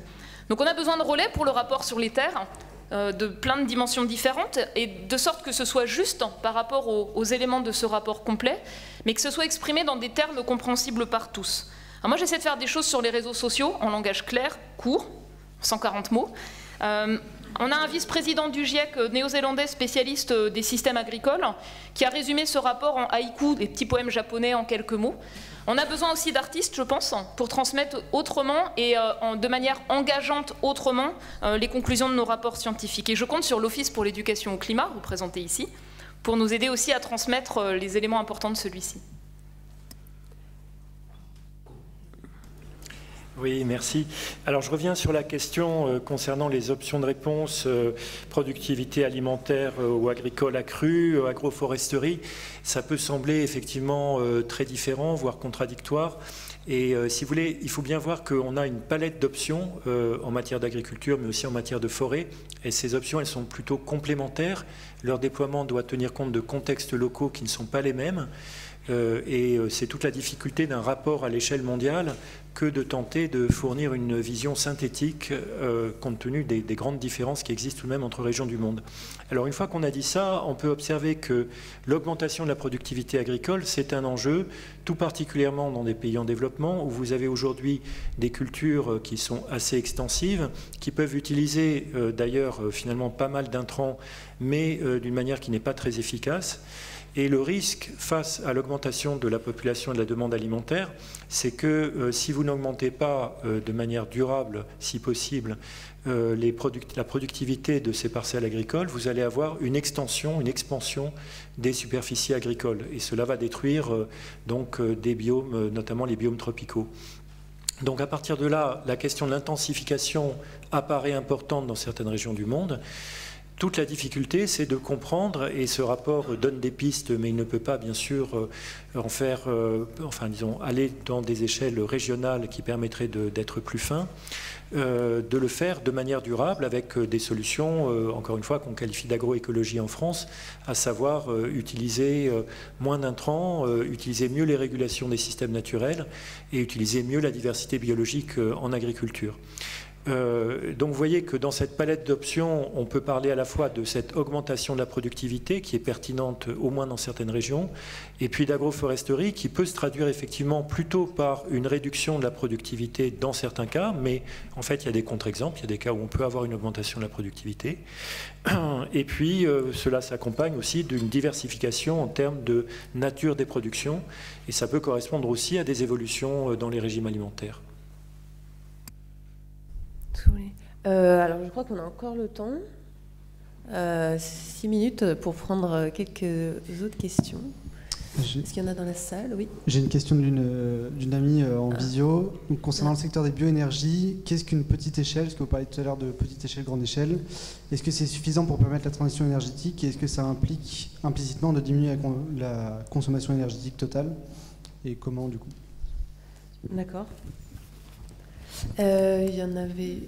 Il y en a plusieurs. Nous avons euh, Amphi Rissler aussi quelques questions. Ah d'accord. Bon, Prenons-en dans, euh, une question dans l'autre amphi. Allez-y.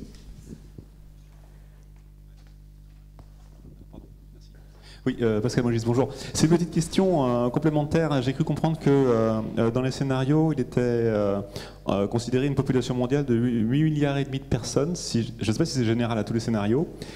Mais euh, néanmoins, les scénarios démographiques euh, sont. Enfin, là, on n'est pas dans la fourchette euh, haute, quoi. Même moyenne, c'est même pas sûr. On parle de 10 milliards, parfois plus. Alors, quel a été le choix, la raison éditoriale pour ces scénarios? Et quel serait l'impact en fait de la démographie et des scénarios possibles de démographie sur vos préconisations ou vos conclusions? Merci. Et on a une autre question. Je sais pas, quelqu'un a déjà un micro? Oui, monsieur. Ah oui, bonjour. Euh, vous avez beaucoup parlé de l'agriculture et euh, je me demandais pourquoi vous ne parliez pas de la pêche et de la surpêche, et notamment de la chasse aussi. Euh, est-ce que c'est pas un sujet ou est-ce que vous traitez ça dans un autre rapport? Voilà, une petite question. D'accord, merci beaucoup. Alors il y a quelqu'un là-haut qui a une, autre question. Oui, euh, enfin j'ai essayé de parler parce que je suis peut-être victime du changement climatique aussi. Je voulais savoir, à l'heure actuelle, enfin on connaît en France, depuis déjà pas mal de temps, par exemple, un problème qui n'est pas forcément lié au changement climatique, mais qui peut, je pense, être comment dire, connaître une évolution de plus en plus importante, c'est le phénomène des algues vertes en Bretagne. Euh, indépendamment de ça, enfin moi j'ai été euh, aux Antilles l'année dernière et j'ai vu aussi qu'il y avait un, nouveau phénomène qui, est en train de se mettre en place, qui est le phénomène, comment dire, d'invasion entre guillemets au niveau, au niveau des sargasses. Euh, est-ce que ce deuxième phénomène, il est réellement lié au changement climatique Et d'autre part, je voulais avoir aussi comment dire, une estimation de votre part. Imaginons que euh, la hausse des températures se stabilise. Combien de temps se passerait en termes de décennies avant qu'on puisse envisager un retour à peu près à la normale au niveau de la planète D'accord. Parce que ça, on n'en parle jamais, ça. Merci. Je crois que la question sur la pêche et la surpêche, pas forcément... Euh, bon, Valérie Masson-Desmottes pour répondre quand même, mais euh, allez-y, si vous voulez.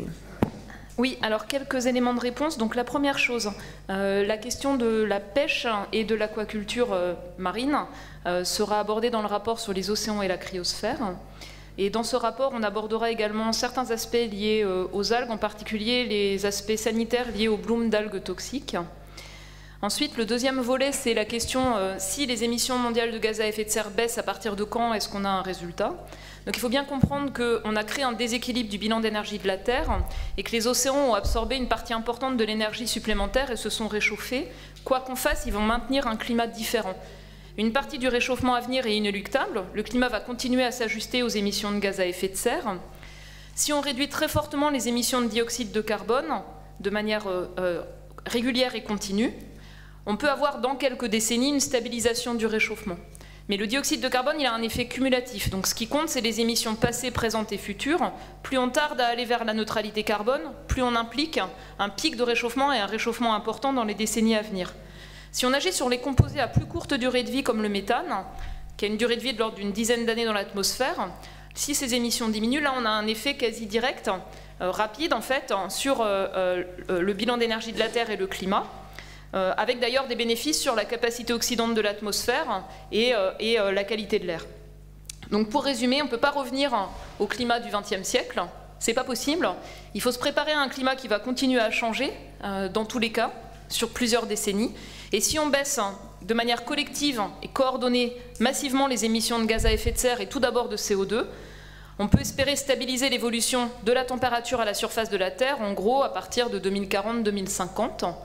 Mais par exemple, le niveau des mers, lui, continuera à monter parce que les glaciers mettent du temps à réagir et que l'océan va continuer à se réchauffer en profondeur.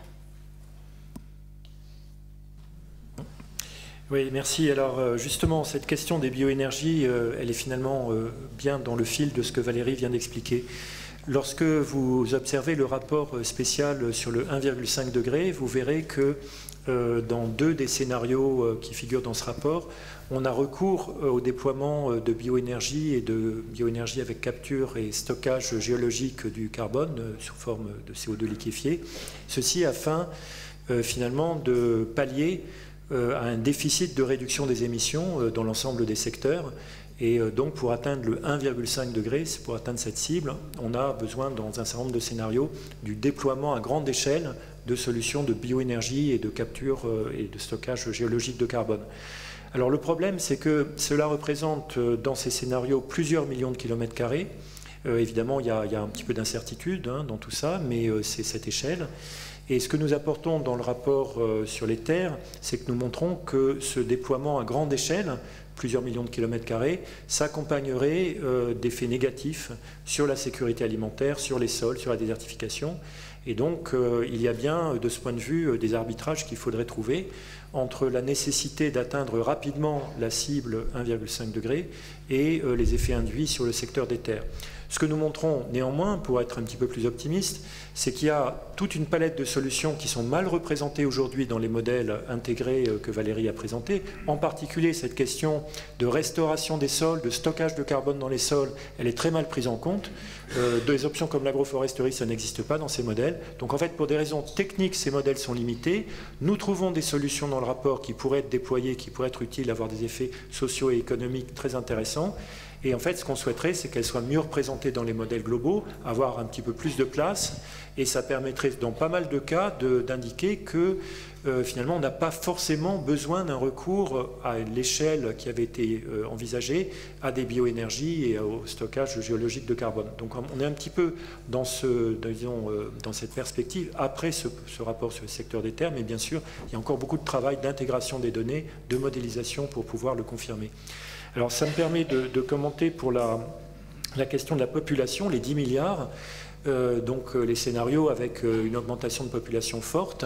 Eh bien ces scénarios, de fait, ils font partie de la palette des SSP, hein, qui, ont, été présentés par Valérie.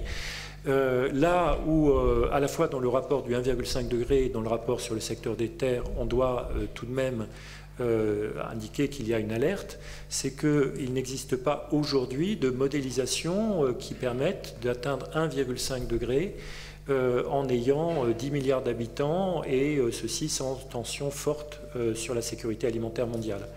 Euh, donc en réalité, euh, dans les familles de modèles qui existent, dans les familles de scénarisation qui existent, il n'y a pas de solution qui apparaissent comme euh, réellement satisfaisante à ces niveaux de population, du moins dans un trend d'évolution avec consommation de ressources correspondant aux trends que l'on a, aux tendances que l'on a actuellement. Euh, alors, je, saute hein, à un sujet euh, différent. Euh, il s'agit des algues vertes. C'est évidemment un sujet qui est important sur les ressources en eau, qui est intimement lié aux émissions du secteur des terres, c'est-à-dire que ces problèmes d'eutrophisation des masses d'eau, ils sont très largement liés en fait aux apports de phosphore et d'azote qui sont apportés à partir des terres. Euh, donc ça, c'est une dimension euh, qui est à l'interface hein, avec le rapport euh, dont Valérie vous parlera, et qui n'a pas été, je pense, pleinement développée dans ce rapport-ci, même si on a bien, dans plusieurs chapitres, une attention portée aux excès de nutriments relargués par l'agriculture.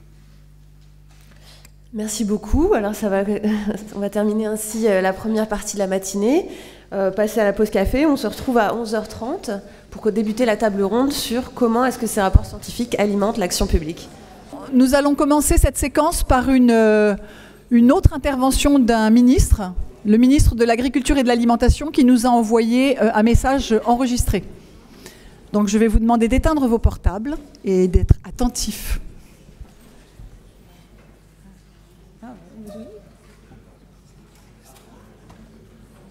Mesdames et messieurs, je suis vraiment navré de ne pouvoir être parmi vous aujourd'hui et de vous adresser ce message par vidéo. Je suis actuellement aux Assises de la mer à Granville. Ces assises sont très importantes également pour le développement durable et je tenais absolument à y être, je ne pouvais m'y soustraire. J'aurais aimé être avec vous, tellement le dernier rapport euh, du GIEC remis le 8 août, présenté aujourd'hui sur le climat et sur les terres, est absolument essentiel pour la planète, mais il est évidemment essentiel pour l'agriculture, pour l'agroforesterie, pour la transition euh, agroécologique. Je tiens à remercier tous les organisateurs de cette journée. J'en profite pour saluer naturellement et les féliciter les auteurs de ce rapport. Vous avez fait un travail colossal qu'il faut souligner. Je pense en particulier aux auteurs français, Valérie Masson-Delmotte, Jean-François Soussana et Nathalie de Noblet-Ducoudray. Merci à vous. Votre travail est essentiel et montre que la recherche française, notamment sur ces sujets, est à la pointe. Comme ministre de l'Agriculture et de l'Alimentation, je souhaite que l'agriculture, l'élevage, l'agroalimentaire, les forêts françaises contribuent à relever le défi climatique d'aujourd'hui et de demain. Les conclusions de ce rapport sont sans appel et montrent à quel point ces secteurs sont au centre des enjeux de développement durable. Il s'agit de lutter contre le changement climatique, d'assurer la sécurité alimentaire, mais aussi de stopper l'érosion de la biodiversité. Votre rapport, spécialement dédié aux terres, met aussi en avant les solutions que les sols peuvent apporter, et elles sont nombreuses. Même si l'agriculture et les forêts émettent des gaz à effet de serre, de l'ordre de 20-23% des émissions globales anthropiques, même si le système alimentaire est aussi responsable de 20 à 37% des émissions globales, en raison de la consommation d'énergie, des industries, du transport, il faut aussi rappeler que la réponse naturelle des terres au changement induit par l'homme permet d'absorber l'équivalent de presque un tiers des émissions de CO2 globales. La sécurité alimentaire mondiale risque d'être de plus en plus affectée par le changement climatique, avec des réductions de rendement, des prix accrus, des risques de rupture des chaînes d'approvisionnement, y compris en France. La transition agroécologique est donc une nécessité et elle est irréversible. C'est dans cette direction que j'inscris mon action au ministère de l'Agriculture et de l'Alimentation. Tout ceci a un rôle important à jouer. Mais contrairement à ce que j'ai pu lire dans certains médias ou entendre, le rapport ne préconise pas de devenir végan. Il souligne les mérites d'un régime alimentaire équilibré, riche en produits végétaux, mais également avec un apport de protéines animales issues d'élevage résilient, durable et à faibles émissions. On sait très bien aujourd'hui que l'on mange moins de viande que hier. Il faut en manger moins, mais en manger mieux. Il faut aussi une gestion durable des terres. L'agroécologie, l'agroforesterie, l'agriculture biologique, évidemment, sont souvent citées dans, le rapport comme des solutions. Elles en sont. Comme ministre, je soutiens particulièrement la transition agroécologique. Il faut une bioéconomie plus résiliente. Il faut travailler activement à la reconquête des sols. Il faut lutter contre l'artificialisation de ces sols et privilégier leur fertilité pour la production végétale. Ce rapport conforte donc nos choix tournés vers l'avenir, mais aussi vers le présent, car notre action à tous est indispensable et elle doit déjà commencer. Tout retard dans la réduction des émissions pourrait entraîner la dégradation de l'écosystème. Nous ne le voulons pas. Ce rapport est là pour nous rappeler que notre inaction conduirait à un bouleversement des équilibres planétaires. Et ce n'est pas ce que nous voulons, ce n'est pas ce que veut le gouvernement français, ce n'est pas ce que veulent nos concitoyens. Les impacts du changement climatique sont en effet déjà observés dans l'agriculture, évidemment, et dans les forêts françaises. La sécheresse qui sévit en ce moment même en France nous le rappelle chaque jour. Les épisodes de chaleur extrême de cet été ont eu des impacts énormes, même s'ils ne sont pas encore mesurés, sur les cultures, y compris la viticulture, et évidemment sur la forêt. Au niveau national, nous proposons des réponses et des solutions dans le cadre de la stratégie nationale bas carbone et également dans la feuille de route qui, déclinera le nouveau plan national d'adaptation au changement climatique. Au niveau européen et international, je suis engagé dans la négociation d'une nouvelle politique agricole commune ambitieuse face à ces enjeux. Évidemment, la France soutient aussi la transition agroécologique, l'agroécologie à l'international, dans la nouvelle PAC, comme dans le travail que nous devons conduire à la FAO pour l'alimentation de nos concitoyens sur la planète. Nous serons bientôt 9 à 10 milliards, et ces 9 à 10 milliards doivent pouvoir manger à leur faim et surtout des produits de qualité. Mais également à travers l'initiative 4 pour 1000. C'est la France qui l'a incité. Ça a été repris dans les conclusions de la COP 21 des accords de Paris sur le climat. L'initiative 4 pour 1000 pour les sols est aussi une réponse que nous devons apporter. Nos sols captent du carbone. Nos sols sont des véritables puits à carbone si nous savons faire les rotations de culture qu'il faut et les couverts végétaux. Tout ceci se traduit par une plus grande implication des acteurs économiques et territoriaux. Et je me réjouis de l'engagement des professionnels agricoles et forestiers, bien sûr, qui montrent leur implication, leur volonté d'agir pour mettre en œuvre au quotidien des solutions via l'agroécologie ou la gestion durable des forêts. Agir sur le secteur des terres seul est insuffisant. Ce n'est qu'en construisant, construisant des solutions durables, ensemble, que nous pourrons limiter les émissions de gaz à effet de serre. Et je me réjouis que la session d'aujourd'hui puisse amener un maximum d'acteurs à contribuer à l'ambition de la France pour le climat. Je vous renouvelle mon engagement et mon soutien plein et entier dans vos démarches et je vous souhaite de fructueux, travaux. Les travaux que vous allez faire aujourd'hui sont essentiels pour l'avenir de la planète, pour le climat, pour nos enfants, pour nos petits-enfants. Pensons à l'avenir, pensons à l'homme, c'est l'homme qui doit être au cœur d'un projet de société.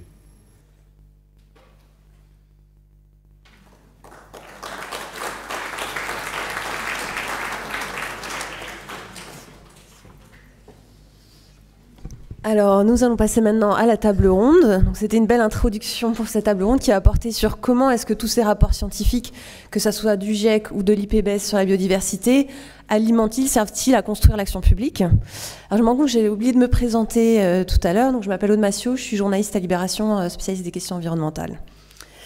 Alors, que ce soit le rapport sur un monde à 1,5 degré, sur les sols et le changement climatique, et bientôt un autre rapport sur la cryosphère et les océans par le GIEC, un rapport du Conseil sur le climat en France, euh, un rapport sur les fondements de la biodiversité par l'IBES. En un an, toutes ces publications ont rythmé le temps médiatique et ont ému l'opinion publique. Mais comment est-ce qu'ils influencent la décision politique? Justement, cette table ronde abordera ce sujet qui est crucial, qui est le lien entre les scientifiques et le politique dans nos démocraties. Donc pour discuter de cela, nous avons avec, vous, avec nous donc, Valérie Masson-Delmotte, que j'ai déjà présentée, mais donc pour les personnes qui nous rejoignent, elle est euh, coprésidente du groupe 1 du GIEC et aussi membre du Haut Conseil sur le climat. Paul Ledley, qui est professeur à l'Université Paris-Sud et un des auteurs du rapport de l'IPBES sur la biodiversité. Aude Charrier, qui est chef du bureau politique de l'atténuation et du climat au ministère de la Transition écologique et solidaire. Et Erwig Ranner, qui travaille à la Direction générale de l'agriculture pour la Commission européenne et aussi négociateur pour l'Union européenne dans les conférences onusiennes sur le climat. Mais tout d'abord, pour commencer, abordons un sujet qui prend de plus en plus de place dans le débat public et qui verra d'importants rendez-vous diplomatiques internationaux l'an prochain, les liens entre dérèglement du climat et biodiversité. Que ce soit l'augmentation de l'intensité et parfois la fréquence des événements extrêmes, cyclones, incendies, inondations, sécheresses, la montée du niveau des océans, leur réchauffement des océans et l'acidification, tous ces bouleversements qui affectent notre planète, principalement sous le coup des émissions de gaz à effet de serre produites par les humains, ont déjà et continueront d'avoir des effets considérables sur la biodiversité, ébranlant des écosystèmes, provoquant la disparition de certaines espèces et permettant à d'autres invasives de prospérer. De plus, tous ces phénomènes ont déjà et auront des impacts considérables sur les activités humaines, que ce soit dans l'agriculture, l'aquaculture, l'industrie de la pêche, du bois, des remèdes naturels, pour ne citer que.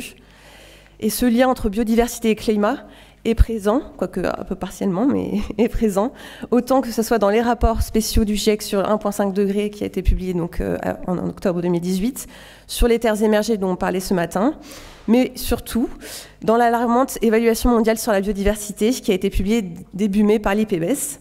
Alors l'IPBES, pour ceux qui ne connaîtraient pas cette organisation, c'est la plateforme intergouvernementale sur la biodiversité et les services écosystémiques en gros l'équivalent du GIEC pour la biodiversité, on peut dire. Donc Paul Ledley, vous êtes professeur à l'Université Paris-Sud et vous avez participé à l'écriture de ce rapport. Quels sont les principaux liens établis entre dérèglement climatique et évolution de la biodiversité?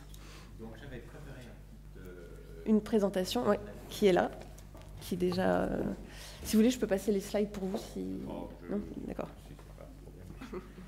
Donc merci pour cette euh, introduction. Euh, donc le IBES, comme c'était dit, euh, c'est une plateforme euh, sur la biodiversité et services écosystémiques qui est l'équivalent euh, de, du GIEC. Et il fonctionne d'à peu près de la même manière, c'est-à-dire qu'on regroupe les scientifiques du monde entier et à la fin de la rédaction de rapport, il y a un débat entre des pays et des scientifiques pour avoir un rapport pour décideurs qui est adopté par le gouvernement. Et ce qui est extrêmement important, c'est qu'il y a une, reconnaissance des gouvernements de ce qui est écrit dans nos documents. Ils ont même une participation dans la rédaction de, ce document, qui fait en sorte que c'est un document qui est différent d'une évaluation qui est faite hors de cette interface science politique. Donc, euh, je voulais parler des liens entre le changement climatique et biodiversité. Peut-être la seule chose que vous avez retenue euh, de le rapport de d'IBES qui est sorti en mai, c'est qu'il y a un, million d'espèces qui sont menacées de, l'extinction. Mais il y a beaucoup d'autres choses dans euh, ce rapport, euh, y compris les choses sur l'interaction biodiversité-climat. Et je vais insister sur trois messages extrêmement simples. Donc, la première chose est que le climat a un très fort impact sur la biodiversité. On voit déjà que les espèces sont en train de bouger, c'est-à-dire d'essayer de rester dans un climat qui est favorable. donc de monter vers les pôles ou plus haut en altitude quand le climat réchauffe. Et tous nos modèles suggèrent que ça va continuer dans, dans, le futur. Et pour des réchauffements climatiques très élevés, ça peut avoir des effets extrêmement néfastes euh, sur la biodiversité, avec un rétrécissement de la grande majorité des aires de répartition des espèces, par exemple, ou sur un taux d'extinction très élevé euh, des, espèces. Euh, j'ai choisi juste un seul exemple de, ça. Donc, c'est une synthèse qu'on a mis en avant dans notre rapport, une synthèse de toutes les estimations de l'impact du changement climatique sur le, taux d'extinction. Et on voit d'abord que cette relation n'est pas linéaire, donc un réchauffement on augmente de façon exponentielle le risque d'extinction et que ce de, euh, risque d'extinction est relativement élevé, donc pour un réchauffement climatique de autour de 3-4 degrés et de l'ordre de 10%, 10 des espèces de notre planète qui sont à risque d'extinction à cause du changement climatique. Donc le message qu'on a mis en avant par rapport à tout ça est que si on veut atteindre des objectifs de préservation des biodiversités, il est absolument essentiel de effectivement rester avec les cibles fixées dans l'accord de Paris, entre 1,5 et 2 degrés. C'est absolument essentiel. Donc, euh, est-ce qu'il y a euh, des choses qui vont de pair quand on regarde la protection des biodiversités et l'atténuation et l'adaptation au changement climatique C'était déjà évoqué et je vais insister sur les synergies très fortes entre la protection des biodiversités et le changement climatique. Donc, première chose qui était déjà mise en avant, c'est la déforestation. Il faut arrêter les déforestations pour préserver, préserver, préserver la biodiversité. Et si on le fait, on peut aussi diminuer très fortement des émissions de gaz à effet de serre. La réforestation et l'afforestation et, et, même la bioénergie à, faible dose peuvent être des solutions basées sur la nature qui peuvent à la fois soit être pas néfastes pour la biodiversité directement, soit être directement bénéfiques pour la biodiversité, comme la réforestation dans certains cas. Comme dans le rapport de, GIEC, on insiste beaucoup sur l'importance de la modification de notre mode de vie et notre fonctionnement de société, et peut-être encore plus, ce qui est peut-être le plus extraordinaire dans le rapport de l'IBES, c'est que le, rapport de l'IBES dit que si on veut atteindre nos objectifs pour la biodiversité et pour les services écosystémiques, une transformation assez profonde de notre société et notre économie est essentielle et c'était adopté et signé par tous les pays qui sont partis de, l'IPES. Donc ça, c'était déjà dit. Il faut qu'on modifie notre façon de gérer des terres de façon durable et on insiste beaucoup sur la modification du régime alimentaire et surtout les apports modestes de, euh, de l'animal dedans, qui a des effets extrêmement bénéfiques pour la biodiversité parce qu'on utilise beaucoup moins de terres pour la production agricole, et aussi parce que ça diminue très fortement des, émissions de gaz à effet de serre. Et en plus, en préservant, j'ai pris juste un exemple, en préservant la diversité, donc la diversité par exemple dans euh, les systèmes agricoles, on peut le rendre plus résistant et plus, résilient au, au, changement climatique. Mais, et c'était déjà dit, il faut faire attention, je pense que le mot biodiversité était prononcé parfois, mais souvent euh, euh, plutôt euh, l'importance de dégradation des terres et d'autres dans le rapport de, GIEC qui vient de sortir, on a insisté très fortement sur les effets potentiellement néfastes des stratégies d'atténuation et d'adaptation au changement climatique. Donc, la bioénergie est par exemple potentiellement euh, très néfaste pour la biodiversité si elle est déployée de manière massive à l'échelle planétaire. Euh, et comme c'était déjà dit, ça peut poser un problème non seulement pour la biodiversité, mais aussi pour la sécurité euh, alimentaire. nous mettons en garde aussi autour de la réforestation et l'afforestation, qui est le, plante, on va planter des forêts où il n'y a pas eu de forêt récemment. Donc, la reforestation, s'il est fait avec les espèces euh, euh, locales, ça peut être extrêmement intéressant. Et il y a des grands projets, par exemple au Brésil, on espère qu'ils sont toujours en cours, de replanter des forêts euh, atlantiques avec des espèces indigènes à très grande échelle. Par contre, dans d'autres pays, euh, il y a des reforestations avec des espèces qui sont introduites et ils ont déjà des impacts très néfastes à la fois sur le fonctionnement des écosystèmes et surtout horribles sur la biodiversité. Donc il faut que la réforestation soit faite intelligemment et la afforestation, c'est-à-dire de planter des arbres où il n'y a pas eu d'arbres récemment, c'est encore plus importante d'abord de ne pas faire à trop grande échelle et surtout d'être très prudent par rapport à ce qu'on va faire en termes d'impact sur les écosystèmes qui sont déjà en place. Et finalement, on voit que ça passe seulement les impacts sur la biodiversité, mais aussi sur les services écosystémiques. Et surtout, on voit sur certains euh, peuples indigènes, on a déjà des effets néfastes des programmes d'atténuation sur euh, ces, populations. Donc, il faut être extrêmement prudent par rapport à certaines mesures. Je donne juste un exemple ici.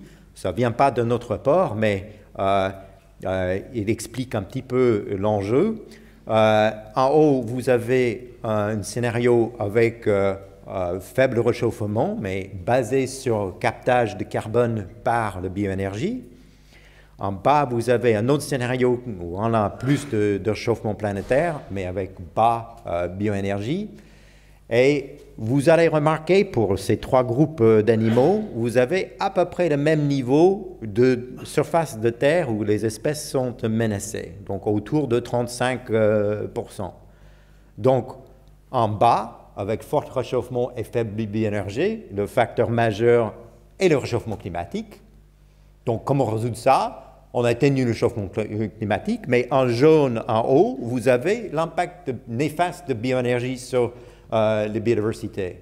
Donc, dans ce cas-là, vous avez atténué effectivement l'impact du changement climatique pour la biodiversité, mais le résultat est le même. Donc, quel est l'intérêt d'atténuer le changement climatique si on détruit au moins une partie de ce qui est intéressant sur nos terres, la biodiversité, par les bioénergies pour faire cette, cette atténuation? Euh, Personnellement, euh, j'ai collaboré avec euh, des chercheurs au, laboratoire de CIRED euh, sur leur développement des scénarios. Et, en balayant beaucoup, beaucoup de scénarios, ce qu'ils ont trouvé est que c'est surtout par le changement de régime alimentaire et par la réforestation qu'on peut avoir des effets à la fois positifs sur la sécurité alimentaire et sur la biodiversité, et le voie de très euh, grand déploiement de, bioénergie est parmi les, solutions les plus compliquées, les plus difficiles, euh, à la fois pour la sécurité alimentaire et pour, euh, le, pour la biodiversité. Et donc, avec ça, moi-même et l'IBES vous remercie.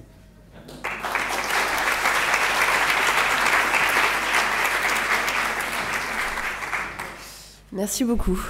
Alors, sur un autre volet, le volet, plus spécifiquement du climat, le rapport 1.5 euh, du GIEC, dont on a beaucoup entendu parler, donc qui a été publié en octobre 2018, a démontré les différences importantes entre un monde avec 1,5 degré de réchauffement par rapport à l'ère pré-industrielle et un monde à 2 degrés.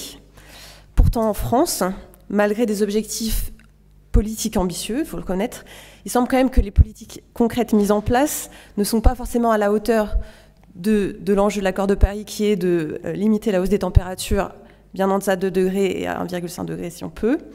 Alors Valérie Masson-Dalmotte, donc en plus d'être coprésidente du groupe 1 du GIEC, vous êtes mandue au Conseil sur le climat créé par Emmanuel Macron en début d'année. Et dans votre premier rapport publié euh, euh, au gouvernement, mais qui est aussi accessible au public fin juin, vous dressez un constat sans appel. Je cite le rythme de la transformation nécessaire pour respecter l'accord de Paris est actuellement insuffisant car les politiques de transition, d'efficacité et de sobriété énergétique ne sont pas au cœur de l'action publique.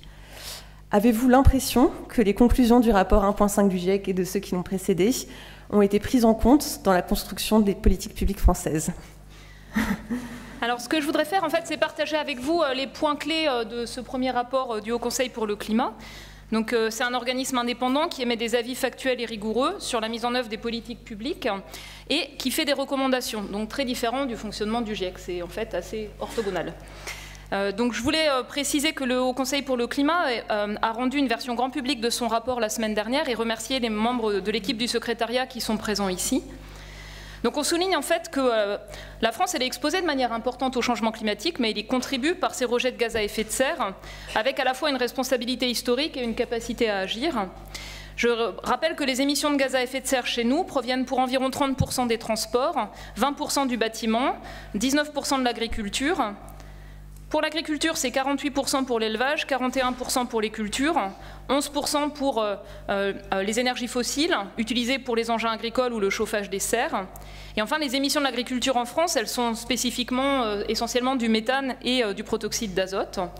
Et puis ensuite, on a le, le, poids de l'industrie et de la transformation d'énergie. Et enfin, nos terres et forêts, elles absorbent chaque année environ 7% de ces émissions. Il faut y ajouter les transports internationaux, aériens et maritimes, 5% de plus. Et si on veut calculer l'empreinte d'un Français, c'est 6,6 euh, tonnes par rapport à nos émissions sur le territoire national. Mais elles augmentent très fortement quand on prend en compte l'effet du commerce mondial, l'effet net importation moins exportation, puisque ça monte à 11 tonnes par an. Donc le, rapport du Haut Conseil pour le climat, souligne que l'objectif de neutralité carbone en 2050 de la France, il est ambitieux, cohérent avec l'accord de Paris sur le climat et le rapport du GIEC sur un degré et demi, mais il ne couvre pas complètement la responsabilité de la France, en particulier sur le transport international ou les émissions importées, et donc peut être renforcé. Par ailleurs, euh, on observe que les objectifs de baisse des émissions n'ont pas été atteints, vous l'avez souligné, et ne sont pas suffisamment au cœur des politiques publiques. Par exemple, le premier budget carbone 2015-2018 a été dépassé de 62 millions de tonnes de CO2 équivalent, soit 3,5%. Et la baisse réelle des émissions, de l'ordre de 1,1% par an, elle a été quasiment deux fois plus faible que l'objectif qui était fixé. Et on a besoin que ce rythme triple d'ici 2025 pour respecter les engagements de la neutralité carbone. Par exemple, les émissions des transports n'ont pas bougé depuis 10 ans, celles du bâtiment ont baissé trois fois moins vite que l'objectif, et celles de l'agriculture qui n'avaient pas d'objectif de baisse ont stagné. Donc le Haut Conseil pour le climat recommande de mettre en place des outils pour soutenir des réformes en profondeur, et préparer en fait l'ensemble de l'économie et de la société à la neutralité carbone. Par exemple, mieux évaluer la compatibilité des lois et des investissements publics avec les budgets carbone et la trajectoire vers la neutralité. Le renforcement du dispositif d'évaluation des politiques publiques, avec par exemple une révision en profondeur de la fiscalité carbone pour intégrer le prix du carbone dans l'activité économique d'une manière plus efficace, plus juste et plus transparente. Bien identifier et mettre en place des changements structurels tout en veillant à des transitions justes et équitables. Et puis bien sûr, il y a la question de la coordination de l'effort euh, de l'échelle locale à l'échelle internationale. Donc euh, on a identifié un certain nombre de conditions nécessaires pour agir en cohérence avec les ambitions, c'est le titre de ce premier rapport. Et je voudrais mettre l'accent sur euh, les actions dans le secteur des terres. Donc on souligne que les émissions des secteurs non énergétiques doivent fortement diminuer, en particulier les émissions de méthane et de protoxyde d'azote. Dans la stratégie nationale bas carbone, euh, elle anticipe une diminution des émissions du secteur de l'agriculture d'environ 1,4% par an d'ici à 2025. Ça demande aussi euh, de développer et maintenir les puits de carbone en net, terrestres et côtiers, pour préserver et augmenter le stockage de carbone dans la matière organique des sols par la gestion forestière et l'utilisation de produits biosourcés, et puis, euh, on souligne que euh, l'atteinte d'un objectif de neutralité carbone, implique une forte dépendance aux puits de carbone, à la biomasse et à la bioéconomie, avec des risques associés dans un climat qui change. Donc sur la période 2015-2018, le puits net de carbone, lié à l'utilisation des terres et aux forêts, il a diminué en fait de 2% par an en moyenne, principalement du fait des forêts, alors que la première trajectoire de la stratégie nationale bas carbone anticipait un accroissement. Donc ça soulève des questions de structures d'accompagnement en place ou à mettre en place pour un accroissement du puits forestier ou une absorption plus importante du carbone par les sols. On souligne que le dispositif actuel pour le secteur agricole et les terres, est largement insuffisant au regard notamment de la valeur d'action pour le climat. Donc il y a le potentiel de le compléter, de le renforcer, par exemple dans le cadre de la politique agricole commune, afin d'induire des changements de pratiques agricoles plus substantiels. Et on en a parlé tout à l'heure, la fixation biologique d'azote par les légumineuses, en substitution des engrais azotés, L'investissement dans la gestion des effluents d'élevage, la mobilisation des leviers de l'alimentation animale, de la génétique, de la conduite de troupeaux pour réduire les émissions de méthane entérique des ruminants. Et puis il y a le potentiel d'action sur la demande alimentaire en s'appuyant sur les synergies entre les recommandations nutritionnelles et une alimentation bas carbone. Et puis je termine par les puits de carbone. On a besoin de mieux mobiliser les puits de carbone des sols agricoles en lien avec l'objectif 4 pour 1000, de mener une concertation pour résoudre les contradictions actuelles entre les objectifs économiques du plan forêt-bois et l'augmentation du puits de carbone forestier nécessaire pour la neutralité carbone, tout en adaptant les forêts et on a souligné le, fait de prêter attention à une simplification administrative sous l'angle de la préservation des puits de carbone. Et puis il y a des enjeux à mieux étudier la compatibilité entre euh, les objectifs de stockage de carbone dans la matière organique des sols agricoles et l'utilisation de la biomasse pour le biogaz, de développer un plan crédible permettant de stopper l'artificialisation nette des sols agricoles, le retournement des prairies et la destruction des zones humides, qui constituent en plus de réservoirs de biodiversité importants, d'importants puits de carbone. Voilà, donc ça c'est le, premier point que le Haut Conseil pour le climat a fait euh, sur ces enjeux-là. Et vous voyez qu'il y a un potentiel d'action important et qui demande une action structurante. Merci beaucoup. Euh, je crois que la transition est toute trouvée.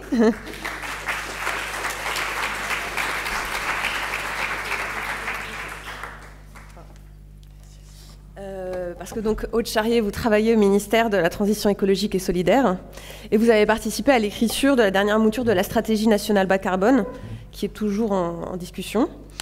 Donc, est-ce que vous nous en présenter les points euh, principaux, et peut-être aussi nous expliquer comment les différents rapports scientifiques du GIEC, de l'IBES, euh, etc., ont pu alimenter ce travail politique? Merci beaucoup, bonjour à tous.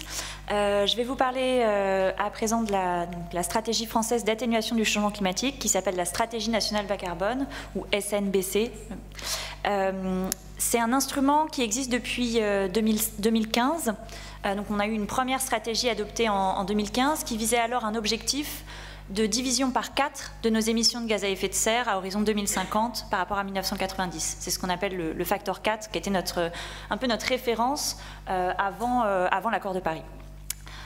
Euh,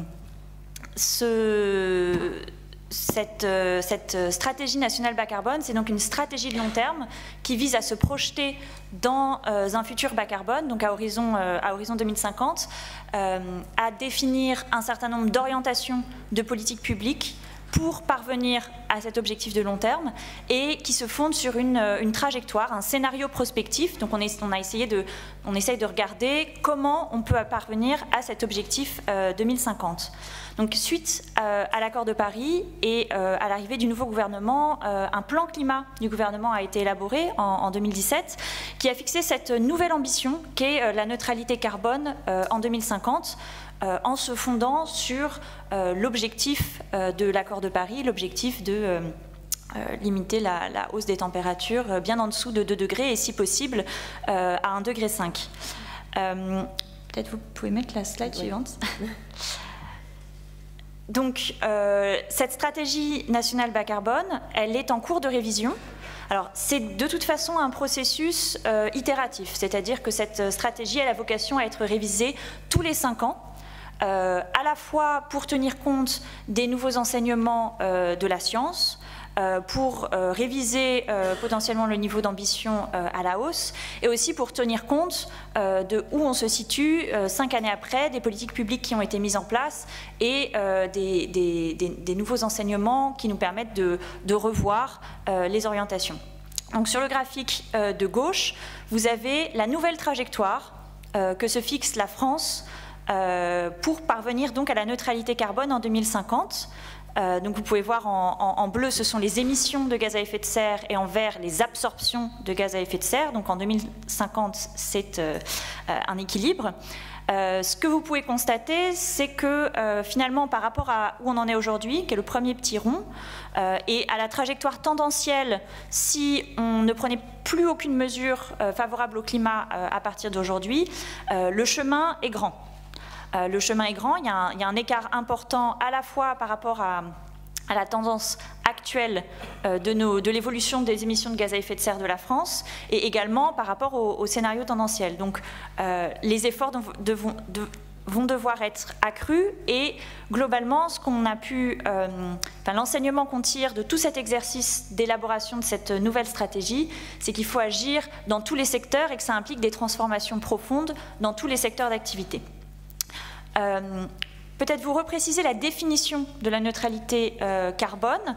Euh, donc l'objectif que s'est fixé la France, comme l'a bien dit Valérie Masson-Delmotte, c'est un objectif sur ses émissions territoriales, c'est-à-dire les, gaz à effet de serre émis sur le territoire de la France. Et donc en effet, ça ne tient pas compte de l'ensemble de la responsabilité de la France, et notamment des émissions qui sont importées par la consommation de biens par les Français. C'est un équilibre entre les émissions de gaz à effet de serre, donc on ne parle pas uniquement de CO2 mais de tous les gaz à effet de serre, euh, sur le territoire national et les absorptions de, carbone, à la fois par euh, les écosystèmes qu'on peut qualifier de gérés par l'homme, comme la forêt, les prairies, les différents types de sols, euh, et également peuvent y être ajoutés des procédés industriels de capture et de stockage ou de réutilisation du carbone. Peut-être pour vous expliquer un peu comment cette stratégie euh, elle est élaborée, l'objectif c'est que ce ne soit pas la stratégie euh, juste du gouvernement, encore moins la stratégie du seul ministère de l'Environnement et encore moins de la seule Direction générale de l'énergie et du climat à laquelle euh, j'appartiens, mais que ça soit une stratégie qui soit partagée le plus possible avec l'ensemble des parties prenantes et l'ensemble des acteurs du changement, puisque vous le savez bien, cette cette lutte contre le changement climatique, ce n'est pas euh, quelque chose qui va être résolu uniquement par l'action de l'État, mais c'est par une action collective à tous les niveaux, euh, également des collectivités, des entreprises, des citoyens, bref, de tous les acteurs. Donc cette, stratégie, elle a été développée, élaborée en, discussion avec un certain nombre de parties prenantes et en associant évidemment tous les ministères concernés, et il y en a beaucoup, dans le but euh, d'abord d'élaborer un petit peu une, image d'une France euh, neutre en carbone en 2050 et de voir ce que ça implique et euh, d'élaborer le scénario qui permette d'y parvenir. Donc cet objectif, ce scénario et les orientations globalement de politique publique, elles ont été beaucoup discutées avec un ensemble de parties prenantes. Euh, qui euh, représente à la fois euh, les collectivités territoriales, les élus, les, différents secteurs d'activité, fédérations professionnelles, des syndicats et évidemment des organisations gouvernementales environnementales, y compris des ONG pas forcément uniquement focalisées climat, mais aussi sur d'autres enjeux comme la biodiversité. On espère que c'est le, gage à la fois d'une vision partagée de là où on peut arriver et comment on peut y arriver, et aussi euh, d'une appropriation, alors c'est quelque chose qui doit se faire évidemment petit à petit, euh, des enjeux et des, orientations pour qu'elles soient ensuite traduites très concrètement dans les différentes euh, politiques publiques et dans les actions des différents acteurs, sachant que, évidemment, c'est aussi chaque ministère et chaque acteur qui doit ensuite décliner les orientations de cette stratégie. Euh, alors, à horizon 2050, euh, je reviens du coup sur un sujet qui a été un peu euh, évoqué dans, des questions. pour parvenir à la neutralité carbone, quelques enseignements de, de, cet exercice, de ce scénario, c'est qu'on doit décarboner totalement l'énergie qu'on produit et qu'on consomme en France. C'est un, un, prérequis, on ne sait pas faire autrement. Et d'ailleurs, le scénario qu'on a élaboré, c'est un scénario pour parvenir à la neutralité carbone. Ce n'est pas le scénario euh, unique, c'est un scénario de référence. D'autres scénarios ont pu être élaborés en parallèle par des ONG, par des acteurs professionnels, mais globalement, le constat est toujours le même. On doit décarboner l'intégralité de l'énergie qu'on produit et qu'on consomme en France. Et concrètement, parce qu'on n'a pas non plus des sources d'énergie inépuisables, et, c'est là que je, reviens sur une question qui avait été posée, ça implique en parallèle de réduire drastiquement la consommation d'énergie. Donc euh, globalement, à peu près diviser par deux la consommation d'énergie en France en 2050 par rapport à aujourd'hui. Donc c'est euh, évidemment un, défi euh, important, mais ça va vraiment de pair et on ne peut pas faire l'un sans l'autre. Pour les émissions qu'on appelle non énergétiques, c'est-à-dire non liées à la combustion d'énergie, comme les émissions de l'agriculture et des procédés industriels. L'enjeu, c'est de les réduire au maximum, mais évidemment, on sait très bien qu'il euh, y a euh, des émissions qui sont incompressibles, en particulier dans, le secteur agricole. et donc, l'importance dorénavant de prendre en compte et d'essayer d'augmenter nos capacités à absorber du carbone en parallèle pour parvenir à cet équilibre. donc le puits de carbone euh, français à horizon 2050, ce qu'on imagine, c'est évidemment une partie importante liée euh, à, la, forêt, à la gestion forestière. Alors au secteur de la forêt au sens large, c'est-à-dire que euh, c'est à la fois les arbres sur pied, mais aussi le fait qu'on utilise des matériaux biosourcés issus de la forêt, en particulier du bois, dans des usages à, longue durée de vie, qui va continuer à garder en fait ce carbone. c'est inverser la tendance sur euh, le stockage de carbone dans les sols de façon générale, puisque aujourd'hui, euh, à cause des, changements d'affectation des sols qui sont, observés, donc euh, imperméabilisation des sols, retournement de prairies, les pratiques agricoles euh, qui ne sont pas toujours euh, en, capacité d'avoir un, bilan de stockage qui soit, euh, positif. donc il faut globalement changer cette dynamique pour parvenir in fine à, des sols qui stockent plus de carbone, donc des, des sols qui absorbent en termes, de, en termes de flux, donc additionnés aux puits forestiers. Et malheureusement, même en essayant de mobiliser ces leviers au maximum de ce qu'on a estimé raisonnable à horizon 2050, on doit encore euh, utiliser un petit peu Enfin, on a imaginé devoir utiliser un petit peu de, capture et de stockage du carbone, donc par des moyens, euh, on va dire, euh, artificiels, des procédés industriels. Alors, l'objectif dans le scénario, c'était d'arriver à, quelque chose qui, soit... qui, qui repose pas complètement sur ces nouvelles technologies qui sont encore très très peu développées, encore un peu au, au stade pilote. Donc c'était un des enjeux du scénario, c'est qu'il soit crédible euh, et que euh, on ne mette pas euh, toute notre énergie sur des solutions techniques dont on ne sait pas encore si elles, existent, elles existeront vraiment, si elles pourront être déployées à grande échelle. J'en viens très brièvement, parce que je crois que je parle beaucoup, sur deux enjeux. il y a juste la slide d'après, du coup, ça vous montre l'évolution du, du puits de carbone du secteur des terres et de la forêt. Euh, donc entre 90 et 2017. Alors ici, il n'y a pas les émissions de l'agriculture au sens euh, émissions de méthane de l'élevage et, de protoxyde d'azote euh, de l'agriculture. Par contre, on voit les émissions associées à l'absorption et au déstockage de carbone dans les sols, y compris agricoles. Et surtout, ce qu'on peut, qu'on peut voir, c'est les émissions associées au changement d'affectation des sols. Et ça, c'est un, énorme, un énorme enjeu actuellement. et ce qui est en vert, ben, c'est le, le forestier. Alors le puits forestier, bon, il y a déjà des enjeux de, comptabilisation et d'être en capacité effectivement de, bien savoir euh, calculer quel est le, puits forestier année après année, et c'est un, enjeu méthodologique fort.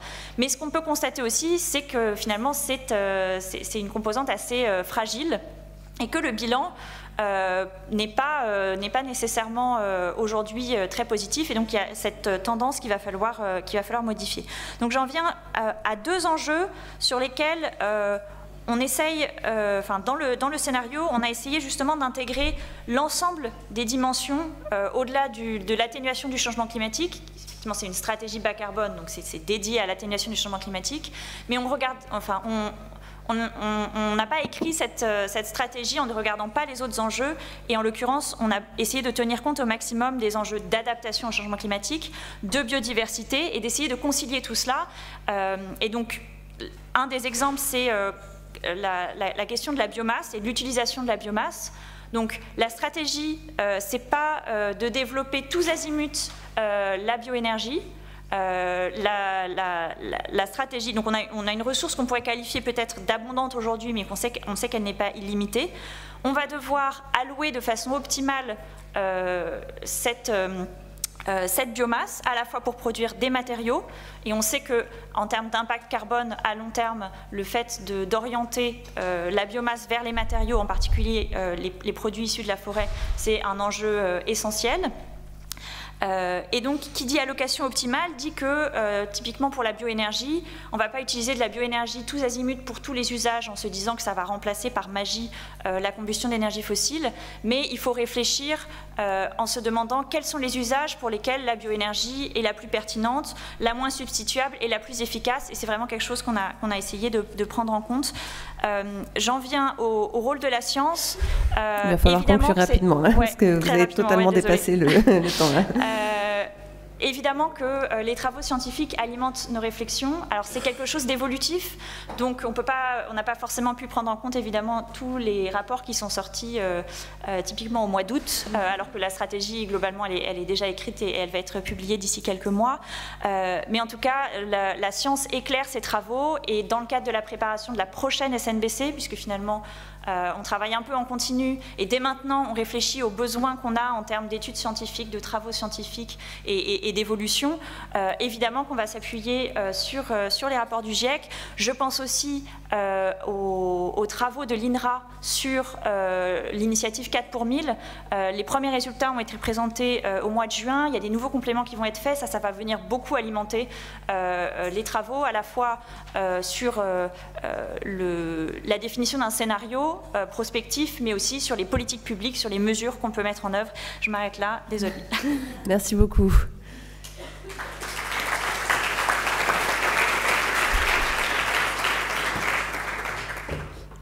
Alors donc, euh, je vais passer la parole à Eric Warner. S'il vous plaît, respectez le temps imparti de 5 minutes.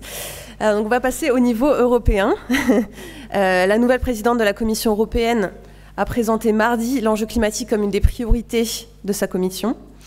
Pourtant, les États membres euh, n'ont pas réussi à se mettre d'accord pour rehausser les objectifs de réduction des gaz à effet de serre pour 2030, ni à se mettre d'accord pour se fixer comme ambition la neutralité carbone pour 2050. Donc ça veut dire que l'Union européenne en fait arrivera sans nouveaux engagements au sommet spécial sur l'action climatique de l'ONU qui est prévu euh, le 23 septembre à New York. Euh, Eric vous travaillez donc euh, au sein de la Direction générale agriculture de la Commission européenne et vous êtes aussi négociateur pour l'UE dans les négociations onusiennes sur le climat. Est-ce que vous pouvez nous dire où en est l'Europe de ses objectifs climatiques, notamment liés à l'agriculture, vu que c'est votre spécialité? Merci. Donc, comme j'ai pas beaucoup de temps, ça me donne euh, l'occasion d'être bref. Et excusez mon accent, je ne suis pas français, mais je vais faire mon mieux. Euh, donc, tout d'abord, euh, l'Union européenne euh, félicite les conclusions du rapport du GIEC, de tous les rapports du GIEC et aussi de l'IPBES, parce que c'est un peu la base de notre travail pour développer des, des, actions politiques ensemble avec les États membres et le Parlement européen pour les citoyens.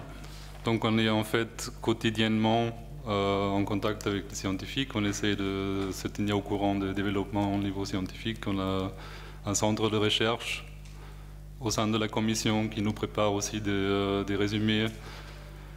Donc euh, on pense que c'est un très très bon résumé là qu'on a sur des années de recherche qui va être utilisé aussi dans notre action extérieure avec d'autres pays. Ça peut nous aider dans les négociations. Euh, on peut dire que le public, comme on a déjà entendu, veut qu'on fasse quelque chose. Euh, c'est pas seulement par les actions de Greta Thunberg, mais euh, en général, on a l'impression que dans le public, il y a le souhait que la politique adresse ce problème. Donc, euh, on va essayer de faire ça. dans la PAC actuelle, il y a déjà des mesures qui vont être élargies dans le projet de la future PAC. Il y a une proposition pour une nouvelle euh, politique agricole commune qui est sur la table, qui est discutée au Parlement et euh, au Conseil. Elle va un peu dans la direction des recommandations du rapport du GIEC. Elle ne couvre pas 100%, mais euh, on a des actions qui sont énumérées et qui ont déjà été citées par les collègues ici, comme la protection des prairies, des tourbières, des zones humides, la culture des cultures de couverture, l'interdiction de brûler, efficacité des engrais, gestion du travail du sol, rotation de culture, culture euh, couverture, j'ai déjà mentionné, caractéristiques du paysage, donc euh, les haies et les, euh, petits ou boisés, boisés qui sont entre les champs. donc on a essayé de mettre ça dans notre proposition déjà parce qu'on savait déjà qu'il fallait faire plus. Il y a aussi plus d'argent qui est dédié aux actions climatiques et environnementales. Maintenant, ce n'est pas que la Commission qui fait ça, ça dépend aussi des États membres euh, qui ont reçu beaucoup de liberté et des euh, libertés de choix pour mettre euh, sur place leur plan stratégique de l'agriculture, qui sont en ce moment formulés et qui vont être analysés par la Commission. Et en même temps, vous allez avoir un débat au Parlement européen et aussi au Conseil. Donc cette politique n'est pas encore en place, mais on espère qu'elle va être en place bientôt, puisqu'on a une nouvelle commission bientôt, euh, comme la présidente a déjà été élue, et le Parlement européen a déjà repris ses travaux. Euh, on a aussi des idées pour euh, ce qu'on appelle carbon farming. Je ne sais pas comment on, traduit ça en français, parce que l'agriculture de carbone, c'est pas la même chose. Mais en fait, c'est pour inciter les, paysans de, suivre des, pratiques qui vont enrichir les sols en carbone et trouver un moyen de les dédommager des éventuelles pertes qu'ils peuvent encourir. Parce qu'en fait, c'est ça, à la base, les subsides européens, même si dans le public, c'est toujours ancré qu'on paye pour une production, qu'on paye pour des exportations. Mais en fait, non, il y a, y a eu un grand changement là-dedans. Donc, euh, principalement, quand on parle des, paiements pour euh, l'environnement et le climat, c'est là pour aider les agriculteurs de faire euh, en sorte que tout le monde en profite qu'on fasse quelque chose pour euh, stocker des émissions ou pour réduire des émissions. Et pareillement pour la biodiversité, où là aussi on a encore des choses à faire. Et on espère avec les nouvelles mesures que ça va aller mieux. Parce que d'un côté, comme on a entendu, l'agriculture, elle est un peu victime de changement climatique, mais en même temps, elle cause aussi des émissions. Et par exemple des agriculteurs qui ont des, euh, des oliviers dans le sud de l'Europe qui ont plus de problèmes avec la xylella ou d'autres maladies. On a d'autres agriculteurs dans le nord de l'Europe qui n'ont jamais connu des sécheresses euh, aussi prononcées. En Belgique, moi j'habite en Belgique, mais normalement on pense qu'en Belgique il pleut beaucoup. Euh, mais euh, c'est vrai, on a eu euh, deux, ans, deux ans à peu près là où il pleuvait vraiment pas beaucoup et il y avait des agriculteurs qui avaient des problèmes. Donc on est conscient de tout ça et on pense aussi qu'il faut impliquer les autres politiques de l'Union européenne qu'on a aussi. Je crois que la présidente était très claire de vouloir travailler en équipe avec tous les autres commissaires. Ça va donner des bons résultats. Parce qu'à la fin, on peut si on se focalise seulement sur les puits de carbone, on ne va pas résoudre le problème principal, parce que si on a un vase ou une baignoire qui se remplit avec de l'eau, on ne va pas prendre un marteau pour agrandir le siphon, on va aussi essayer de couper euh, l'afflux de l'eau pour euh, résoudre le problème. Pour la recherche, et je peux terminer avec ça, euh, on a plein de programmes de recherche et euh, il y a des programmes qui vont s'inspirer aussi euh, des résultats du rapport parce qu'on a découvert qu'on doit savoir beaucoup plus sur le comment stocker plus de carbone dans le sol, comment le mesurer, comment mieux utiliser les données de satellite pour une gestion de nutriments, juste pour donner des exemples. Voilà, je crois que je peux terminer. D'accord. Merci beaucoup, la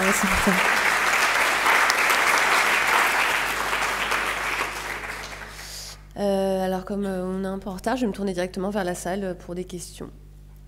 Je ne sais pas qui euh, peut. On a déjà monsieur là.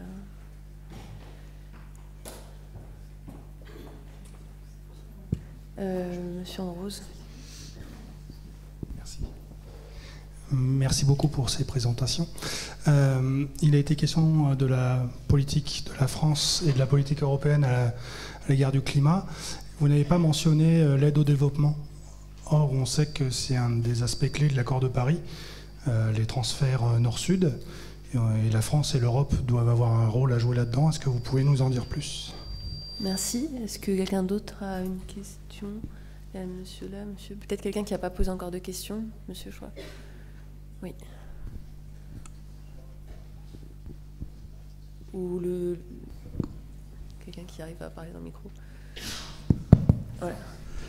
Euh, je voudrais savoir s'il y a une relation euh, chiffrée euh, entre la croissance économique au niveau mondial et la contribution au réchauffement climatique et à la baisse de la biodiversité. Est-ce qu'on a des données chiffrées sur ces contributions de la croissance?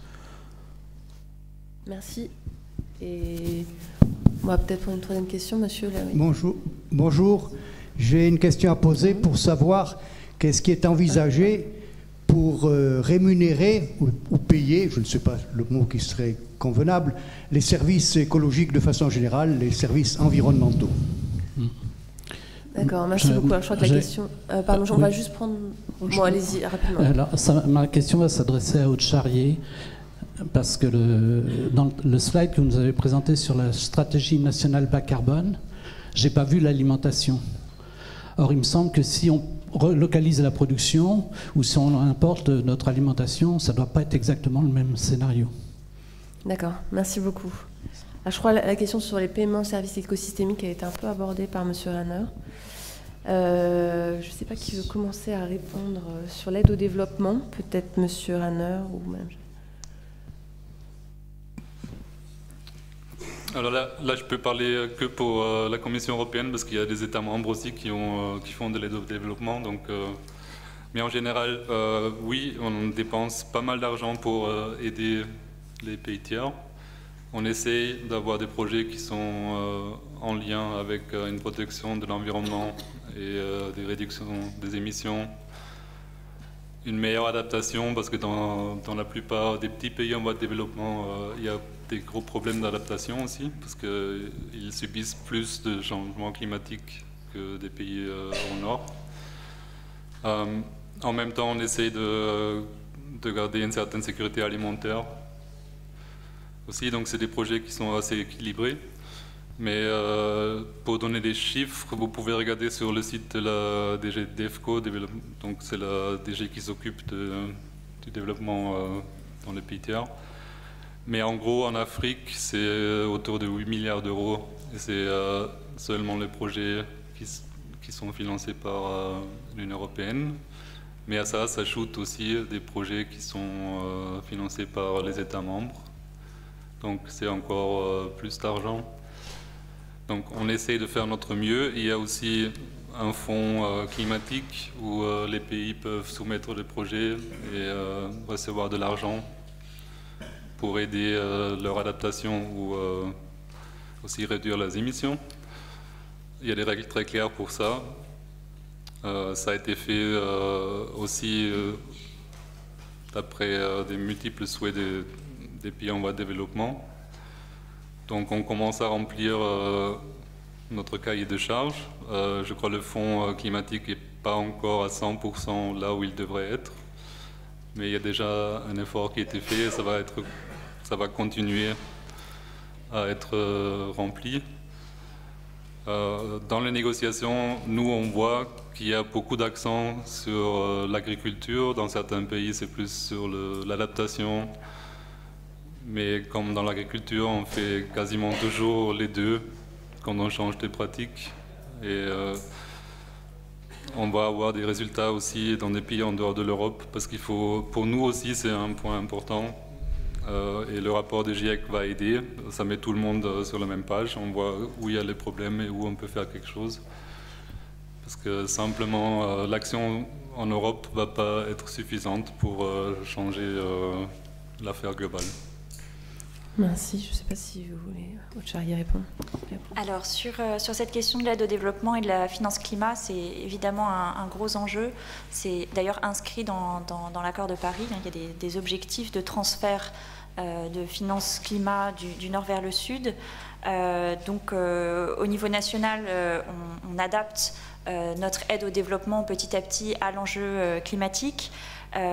notamment à travers les stratégies de financement de l'Agence française pour le développement, l'AFD, qui est une des premières agences de développement qui a adopté une stratégie pour que tous ces financements soient compatibles avec un engagement, enfin avec une, une vision euh, euh, de degrés.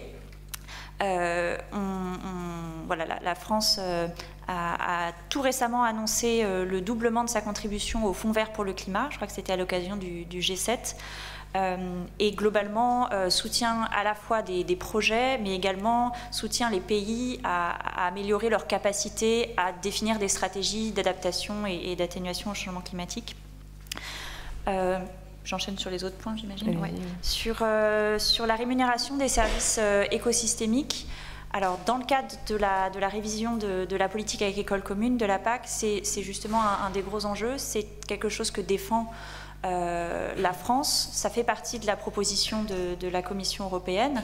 Euh, et euh, c'est voilà, défendu avec vigueur par la France le fait d'avoir la possibilité de, de, pouvoir rémunérer mieux les services écosystémiques rendus par les agriculteurs. Euh, et de façon plus générale, euh, par exemple, on, peut aussi se poser la question dans le cadre des, écosystèmes forestiers, euh, est-ce que ou comment on pourrait s'intéresser au service qui est rendu par le, captage du carbone par les, par les forêts. Donc, pour l'instant, on n'a pas d'instrument qui existe à ce sujet, mais le, dans le cadre de la loi énergie-climat qui, qui vient d'être adoptée, euh, il y a un, article de la loi qui demande au gouvernement de rendre un rapport de façon générale sur euh, euh, la, façon dont on peut valoriser le carbone qui est stocké dans les forêts et augmenter ce, stock de carbone. Donc ça va amener aussi à des réflexions au niveau national sur le sujet.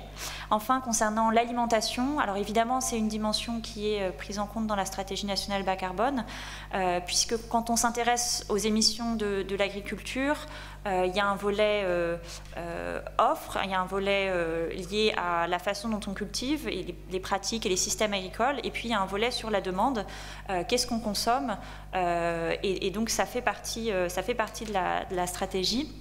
Euh, en tenant compte justement, comme ça a été beaucoup mentionné euh, auparavant, de l'évolution des régimes alimentaires, des nouvelles préconisations nutritionnelles, euh, en particulier sur la consommation de viande ou sur la consommation de, protéines végétales, et de façon générale, de, viser un système où on consomme différemment des produits de meilleure qualité et donc des produits également locaux ce qui, in fine, change les pratiques euh, agricoles du côté de nos agriculteurs euh, dans un système qui se veut vertueux pour tous en augmentant aussi la rémunération des agriculteurs. D'accord, merci. Je crois que Paul vous voulez réagir, je crois d'abord. Donc, sur deux questions. Donc, l'un est le, la croissance économique et, la biodiversité et ou le, le, changement climatique. Donc, on peut constater à l'heure actuelle qu'il y a effectivement une corrélation entre la croissance économique et la perte de, biodiversité et aussi les émissions de gaz à effet de serre. Ce qui est assez intéressant, c'est de regarder les scénarios qui sont développés pour, le futur. Et euh, il est parfois un peu difficile de découpler les choses parce que ces scénarios mélangent beaucoup de choses. Mais il est clair que les scénarios avec une croissance économique très rapide, avec très peu de freins environnementales sur ces croissances économiques sont parmi les plus néfastes pour la biodiversité et aussi pour euh, le changement climatique. Donc, ils sont néfastes pour la biodiversité à travers le changement climatique et aussi à travers euh, les impacts directement sur l'utilisation des terres et d'autres facteurs qui impactent la biodiversité.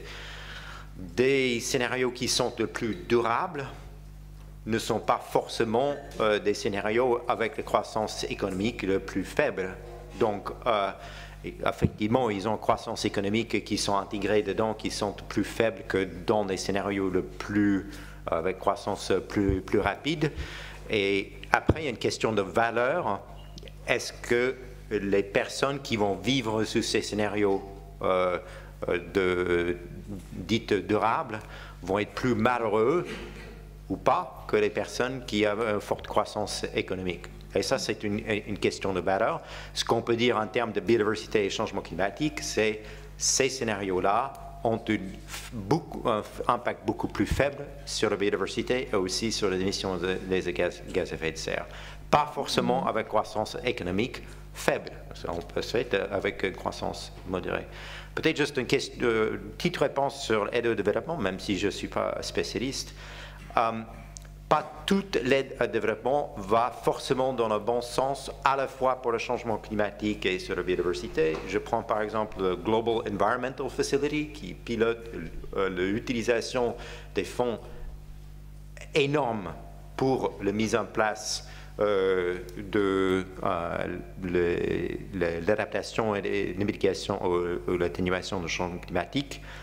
à l'heure actuelle, ils financent beaucoup de projets qui sont modérément bien ou très bien réfléchis en termes de changement climatique. Et il y en a beaucoup qui ne sont pas très bien réfléchis en termes de leur impact sur la biodiversité. Donc, euh, Merci beaucoup. Je vais passer la parole à Valérie Masson-Delma. Merci. Oui, si j'ai bien compris, il y avait une question qui partait aussi sur l'impact du changement climatique sur la biodiversité. C'est vraiment des sujets qui sont transverses entre l'IBES et les rapports d'évaluation du GIEC, où finalement on passe en revue la, même littérature quelque part des deux côtés. Vous avez montré à quel point le changement climatique aujourd'hui rajoute une pression supplémentaire pour la biodiversité. On l'a abordé dans le rapport sur 1,5 degré, et je voulais rappeler quelques chiffres. À 2 degrés de réchauffement planétaire, c'est 13% des surfaces continentales qui subiraient une transformation des écosystèmes. Il y a une méta-étude qui a porté sur 105 000 espèces différentes d'insectes, de plantes et de vertébrés et qui montre qu'autour de 2 degrés, on aurait environ 18% des insectes, 16% des plantes et 8% des vertébrés qui perdraient environ la moitié de leur habitat. Ce serait plus faible si le réchauffement était stabilisé à 1,5 degré. Et puis on a également montré euh, que certains écosystèmes sont particulièrement vulnérables aux conséquences directes du réchauffement, comme les récifs de coraux tropicaux, euh, donc qui subissent des blanchiments aujourd'hui et qui risquent d'être très sévèrement dégradés pour l'immense majorité d'entre eux euh, entre 1,5 degré et 2 degrés. Euh, sur le rapport spécial sur les océans et la cryosphère qu'on va rendre le 25 septembre, on a structuré notre évaluation avec les changements physico-chimiques, les conséquences et les interactions avec les écosystèmes et leurs services, et les implications finalement en cascade pour les sociétés humaines qui en dépendent. Et ça montre le besoin justement de décloisonner et d'avoir cette approche euh, beaucoup plus intégrée. On a également eu un, un ensemble de réunions avec les membres des bureaux du GIEC et de l'IBES ou de la Convention pour la biodiversité euh, avec un besoin clair de connaissances plus précises, en particulier sur ce qu'on appelle les solutions basées sur la nature, leur potentiel et leurs limites, leurs co-bénéfices, hein, et puis les boucles de rétroaction euh, climat et biodiversité qu'on ne comprend pas complètement. D'accord, merci beaucoup. Alors, je suis désolée, on ne va pas pouvoir prendre d'autres questions. Il faut qu'on passe à la prochaine séquence. en tout cas, excusez-moi, à on avait deux petites questions. Euh, je suis vraiment désolée, on peut vraiment pas. On est vraiment, mais il y aura une séquence de questions après la troisième, enfin la, la prochaine intervention. Je suis désolée. oui. Parce qu'il faut vraiment sortir de l'amphi à 13h. Euh, après, il y a des cours, j'imagine. Euh, donc, merci beaucoup euh, aux intervenants pour cette table ronde.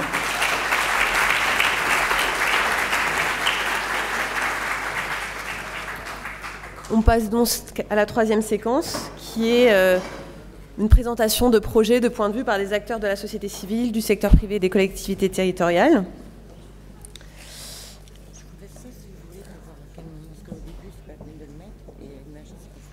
D'accord. D'accord.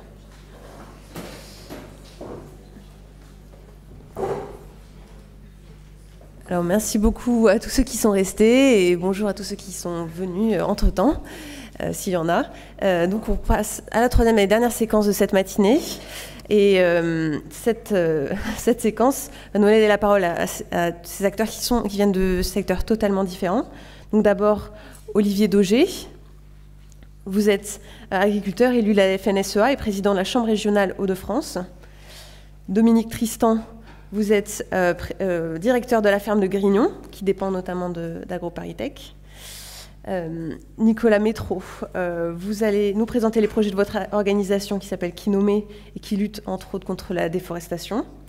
Et Laurence Motoman, euh, vous êtes conseillère régionale de Nouvelle-Aquitaine et présidente du groupe Interassemblée Transition énergétique et écologique. Et vous me décrirez comment votre collectivité territoriale a élaboré son plan d'action d'atténuation et d'adaptation au changement climatique.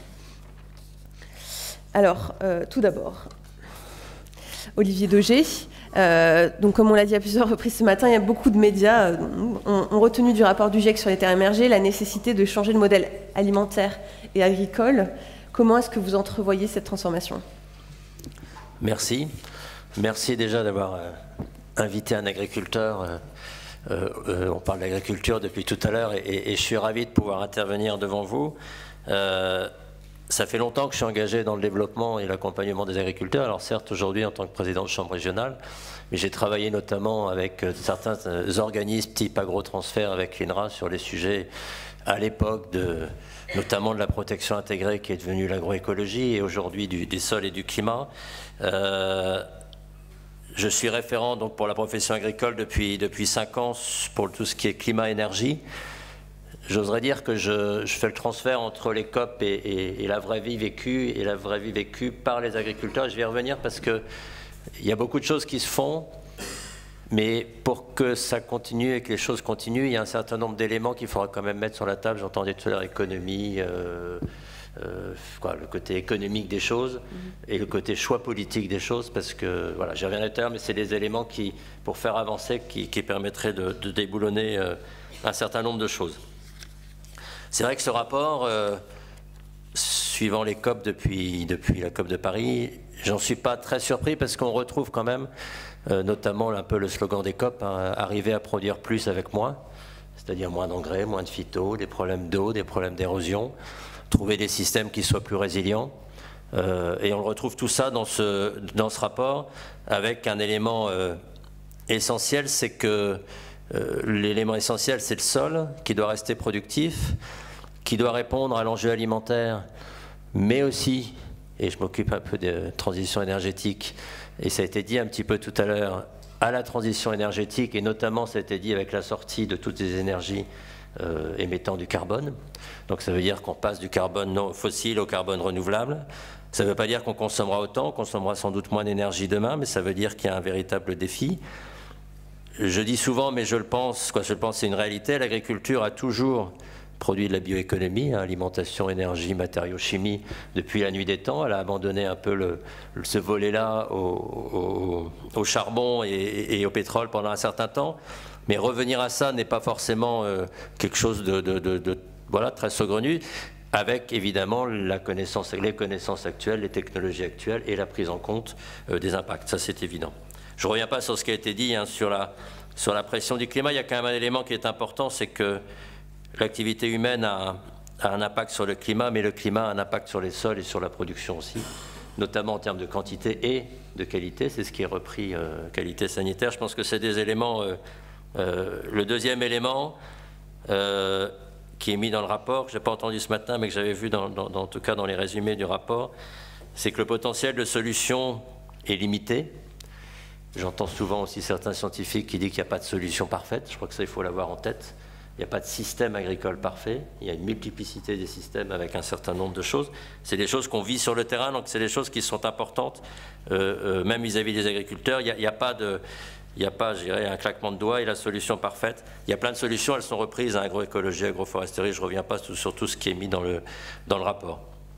Il y a un élément important avant de passer à l'agriculture de, France, c'est l'importance de la connaissance des acteurs du terrain. Je vous invite au maximum aller au contact des agriculteurs. J'oserais dire de la vraie vie. Euh, non, mais je suis un petit peu direct, mais, mais, mais moi qui en vois énormément sur le terrain, l'image qu'on donne de l'agriculture quelquefois dans les médias me, surprend parce que ce n'est pas du tout ce que je, vis sur le terrain. Le dernier petit point sur ce rapport qui me semble pas en inadéquation avec l'agriculture française, c'est les trois points principaux, hein, ce tableau que j'aime bien avec les couleurs, euh, des systèmes productifs, euh, des systèmes d'agroforesterie. D'ailleurs, on peut faire des systèmes de production avec de l'agroforesterie. Vous l'avez très bien dit, il n'y a pas, a pas de, a pas de. C'est des choses qui peuvent très bien se compléter. Et puis l'importance des carbones dans les sols. Alors l'agriculture française et qu'est-ce qui est travaillé aujourd'hui? Déjà, premièrement, il n'y a pas un agriculteur français qui soit climato-sceptique aujourd'hui, parce qu'on est les premiers à prendre euh, le climat euh, de face. ça fait 6-7 ans qu'il n'y a pas une production annuelle normale. Alors ça va du gel, euh, tout ce qu'on peut avoir, des inondations, des sécheresses. Euh, donc forcément, tous les agriculteurs aujourd'hui comprennent que les systèmes doivent évoluer rien que pour une raison économique. Rien que pour une raison économique. Parce y a un certain nombre de systèmes, tout système, je discutais tout à l'heure, mais la, sécheresse qu'on a dans certaines régions cette année, qui est une sécheresse longue, il n'y a pas un système qui résiste à cette, sécheresse longue euh, sur le terrain même le système tout air, comme des systèmes que, l'on veut assez novateurs et qui sont très bien. On voit très bien que sur des, accidents climatiques aussi profonds, c'est compliqué. Et les causes, ça a été dit, il y a déjà beaucoup de travaux qui sont faits pour atténuer, que ce soit en élevage, et les instituts de l'élevage travaillent beaucoup sur ce sujet-là, en termes d'alimentation, en termes de système, en termes de beaucoup de choses, pour atténuer. Il faut impérativement, ça a été dit dans la CNBC, mais que l'agriculture atténue. Je mets juste un petit, un petit aparté sur ce sujet. Euh, ça a été un peu dit ce matin, mais je pense que c'est très important. Ce qui compte, c'est l'unité produite. J'ai entendu tout à l'heure qu'il y a des systèmes extensifs qui utilisent un peu de phyto et qui finalement sont moins efficaces que d'autres. Euh, c'est très important l'unité produite. Et je le dis tout de suite, ça évitera de le dire après, c'est très important d'intégrer les importations. C'est-à-dire que ce qui est important, c'est ce qu'on consomme, pas simplement au niveau alimentaire, et la façon dont on le produit. C'est la consommation qui est l'élément principal. La France est bonne sur la production, c'est pour ça que la SNBC me gêne un petit peu dans son système, parce qu'elle ne prend que la production française. Euh, oui, forcément, si on arrête toute la production française, qu'elle soit industrielle ou agricole, et qu'on importe tout, on sera content, mais l'impact sera encore plus fort. Voilà, voilà. Et puis, solution, tout système, il va falloir produire, ça a été dit, il va falloir mieux capter, et surtout, grâce à l'agriculture, on peut répondre aux, enjeux et à la neutralité euh, carbone. C'était Nicolas Hulot qui avait dit, quand il avait parlé de neutralité carbone, qu'elle ne pourrait se faire que grâce au sol et à l'agriculture. Je dis bien le sol parce qu'il y a la forêt aussi. Hein. j'enlève pas en tant que président de chambre d'agriculture, j'enlève pas, la, pas la forêt. Euh, alors les systèmes français dans tout ça, moi je suis toujours, encore une fois, un peu affolé de la, vision qu'on peut avoir de l'agriculture, notamment en France, de l'extérieur, par rapport aux autres agricultures.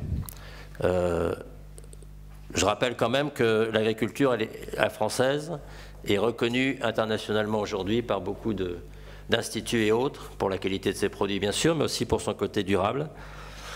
Ça reste une agriculture à taille humaine, je le dis parce que dans nos réflexions sur l'agriculture de demain, c'est des éléments qu'il faut prendre en compte pour pas qu'ils soient détruits par certaines décisions euh, ou non-décisions politiques, j'y reviens rapidement après.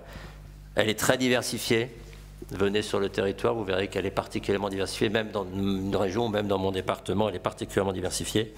Elle reste du territoire. Elle, est particulièrement fragilisée aujourd'hui parce que d'un côté, et je n'ai rien contre, au contraire, je pense que l'idée est bonne, on lui demande de, monter en gamme, mais d'un autre côté, on ouvre les frontières. Et quand je dis on ouvre les frontières, c'est pas simplement par rapport au Mercosur, ou, bien sûr, bien sûr, c'est l'exemple le le plus, le plus frappant. Mais moi qui suis dans une région des Hauts-de-France qui est en bordure de nos amis belges, hollandais et allemands, je peux vous dire que la façon de produire dans ces pays-là n'a rien à voir avec la façon dont on produit chez nous. Et ça, c'est une vraie question qu'on doit aussi avoir dans les décisions politiques, c'est-à-dire qu'on peut demander toujours plus à l'agriculture. Les agriculteurs mettent en place de plus en plus des systèmes, notamment de conservation des sols, de couverts végétaux et ainsi de suite. Mais si économiquement ils ne répondent pas aux, acheteurs, eh ben, économiquement, ils ne tiennent pas la route. C'est ce qui est en train d'arriver. Vous avez vu sur les phrases espagnoles aussi dans le monde il n'y a pas très longtemps. Euh, je pense que c'est des éléments importants. C'est pour ça que pour moi, je dis souvent, attention au syndrome Uderzo, du petit village qui se protège tout seul. Euh, on vit dans un monde. Alors après, il faut aussi insister profondément pour que j'entendais la ministre tout à l'heure. Euh, la meilleure façon d'aider l'agriculture française à être encore plus vertueuse, et il le faut, eh ben, c'est de la protéger par rapport à ce qui rentre et que ce qui rentre respecte les mêmes règles que l'on impose à la France. C'est simple, mais, mais c'est des, choses, des choses importantes. Euh, Il va falloir conclure. Très rapidement. non, non, mais j'ai presque, j'ai presque fini. Non, non, mais si, c'est vrai. Parce que je. Deuxième point par rapport à, tout ce que j'ai pu vivre avec AgroTransfert ou d'autres organismes, il faut impérativement avoir une approche globale sur les exploitations agricoles. Il n'y a pas de solution parfaite, unique, mais c'est aussi une approche globale parce qu'il y a forcément des répercussions de tout ce qu'on fait. De garder cette diversité, euh, elle a tout pour être une solution, l'agriculture française, mais pour ça, il faut bien comprendre que les agriculteurs, encore une fois, sont les premiers et on n'arrête pas, quand on n'arrête pas. Moi, je le vois au niveau des formations, au niveau des demandes des agriculteurs et tout ça. Euh, il faut les protéger, il faut aussi revenir, je pense que c'est un des véritables enjeux de demain, c'est pas forcément de moins produire, c'est plutôt de plus produire, mais surtout revenir aux produits de saison et aux produits de territorialité.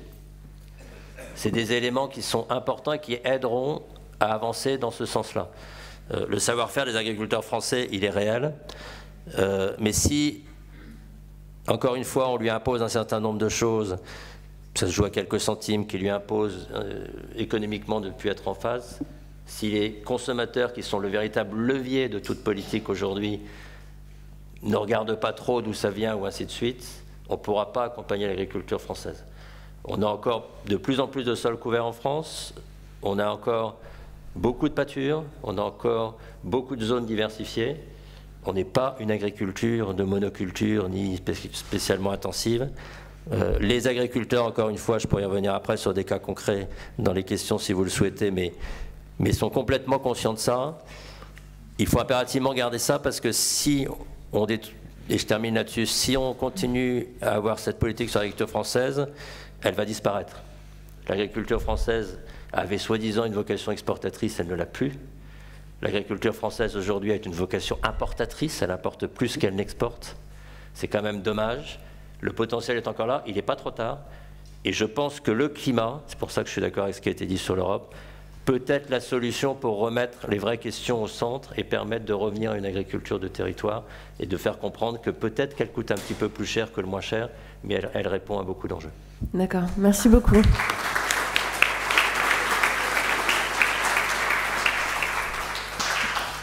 Alors, Dominique Tristan, vous dirigez la ferme de Grignon, dans les Yvelines, au cœur de la plaine de Versailles, il me semble. Vous possédez près de 200 vaches laitières, 600 brebis, 400 hectares de culture et une laiterie. Est-ce que vous pouvez nous expliquer en quoi votre ferme est expérimentale? Alors on est la ferme expérimentale d'AgroParisTech et c'est surtout au titre d'un projet de recherche-développement euh, qui s'appelle Grignon Énergie Positive qu'on m'a sollicité pour aujourd'hui, puisque c'est un projet de R&D qui vise en fait euh, à trouver les leviers techniques organisationnels pour diminuer les impacts sur l'énergie fossile consommée en agriculture, mais aussi les émissions de gaz à effet de serre. Alors j'avais prévu pas mal de points, beaucoup ont été euh, nommé par mon voisin, on ne s'était pas accordé avant, mais c'est très bien, du coup ça va me permettre d'aller à l'essentiel et de gagner un petit peu de temps sur, sur le timing. Bah déjà, oui, pour confirmer aussi que même nous dans les Yvelines, on est euh, assez bien lotis en termes de climat et en termes de, sol, et on s'aperçoit déjà du changement climatique, et ça s'accélère d'année en année. c'est pas une sécheresse qu'on vit, mais c'est deux consécutives, et on voit très bien que les systèmes sont à bout de souffle, même quand ils sont bien pilotés. Alors, ce, fameux projet Green Energy Positive, euh, bon, il a la particularité d'être lancé déjà il y a 13 ans. Euh, dans un premier temps, on l'a fait sur Grignon, essentiellement. Pendant 3 ans, on a essayé de faire nos preuves et on a commencé à communiquer à l'extérieur à partir de résultats qu'on jugeait assez tangibles et assez parlants. Et des, techniciens, des coopératives, des agriculteurs sont venus nous voir en disant ben, ça nous semble intéressant. Alors là, on est en 2009, hein, il y a 10 ans. Euh, donc, on se posait déjà la question dans le monde agricole de, changement climatique et de l'adaptation dans les fermes. Et petit à petit, on a attiré derrière nous 25 fermes, enfin 24 plus nous, euh, qui ont mis en place des changements concrets sur leurs fermes, avec des prises de risques voilà, engagés par les fermes pour, euh, pour changer le système. Et la particularité qu'on a eue, je pense, qui était assez novatrice à l'époque, euh, c'est de regarder justement une approche globale, c'est-à-dire à la fois les impacts environnementaux, centrés surtout énergie, gaz à effet de serre à l'époque, euh, l'impact économique, parce qu'il n'y aura pas de changement s'il n'y a pas l'économie, et alors ce qu'on appelait aussi nous, le, ce qu'on appelle encore d'ailleurs le potentiel nourricier, c'est-à-dire quelque part la, production alimentaire mise sur le marché par une ferme, parce qu'on reste quand même sur une agriculture voilà, nourricière qui a cette fonction première qui est, euh, qui est l'alimentation. Et à chaque technique qui ont été euh, évaluées l'était sur les trois dimensions, économique, environnementale, mais aussi la capacité productive euh, permise par cette technique. Alors, le, point important, je pense qu'on parle beaucoup de carbone, mais c'est quand même qu'aujourd'hui, le monde agricole, il est face à plusieurs problématiques. L'actualité en témoigne encore aujourd'hui, les phytos, la biodiversité, et qu'à un moment, certes, certaines problématiques ne vont pas forcément tout aller dans le même sens. Et je pense que c'est important de parler aussi de notion de compromis, euh, puisque bah, l'agriculteur devra à un moment choisir, euh, alors l'agriculteur ou les filières d'ailleurs, hein, c'est peut-être le marché qui le guidera, mais euh, une voie qui sera plus vertueuse pour une des thématiques que pour l'autre. Mais je pense qu'il faut en être conscient aussi. Et c'est vrai qu'aujourd'hui, bah, sur le terrain, hein, moi je le vis concrètement à Grignon, on est en zone périurbaine, il y a 26 000 voitures qui passent devant la ferme chaque jour. sortir avec le pulvé, ça devient compliqué. Voilà, ça devient très compliqué. donc donc bah, des systèmes de main qui auront moins de phyto n'auront pas forcément, à mon sens, toujours un meilleur bilan en gaz à effet de serre si on raisonne, encore une fois, je suis d'accord avec vous, euh, produits sur place et importation. donc il faut être conscient de ça. Alors, euh, sur l'aspect économique, euh, on, l'a très bien vu, nous, finalement, dans notre réseau de 25 fermes. à Grignon, ben voilà, on est ferme, ferme publique, on a le luxe de pouvoir prendre un petit peu de risque au niveau de nos systèmes de production. Un agriculteur, dans la vraie vie, il a bien sûr pas pris les mêmes risques que nous. Et un des résultats qu'on a vu au bout de plusieurs années de suivi dans nos 24 autres fermes, c'était finalement la capacité à risquer sur de grandes surfaces des changements de technique assez conséquents. Donc on a parlé tout à l'heure de la PAC euh, qui pouvait être un, support euh, assurantiel pour, pour le changement. Oui, bien sûr, mais je pense que ça ne suffira pas. Il faudra peut-être que les acteurs privés aussi s'emparent du sujet. Euh, je prends l'exemple aujourd'hui des multirisques climatiques où on est à 25% de rendement en moins avant d'activer l'assurance. Bon, bah, si on attend d'avoir 25% en moins de, gaz à effet de serre euh, sur une ferme avant de pouvoir déclencher une assurance, je pense que ce ne sera pas forcément favorable pour avoir un changement rapide. Euh, alors ensuite, il y a une question importante, je pense, d'acceptabilité sociale aussi des techniques ou des technologies qu'on pourrait mettre en place, euh, qui sont certes vertueuses pour euh, les gaz à effet de serre, mais qui peuvent, poser question pour un citoyen ou même pour un consommateur. je prends un exemple tout, simple.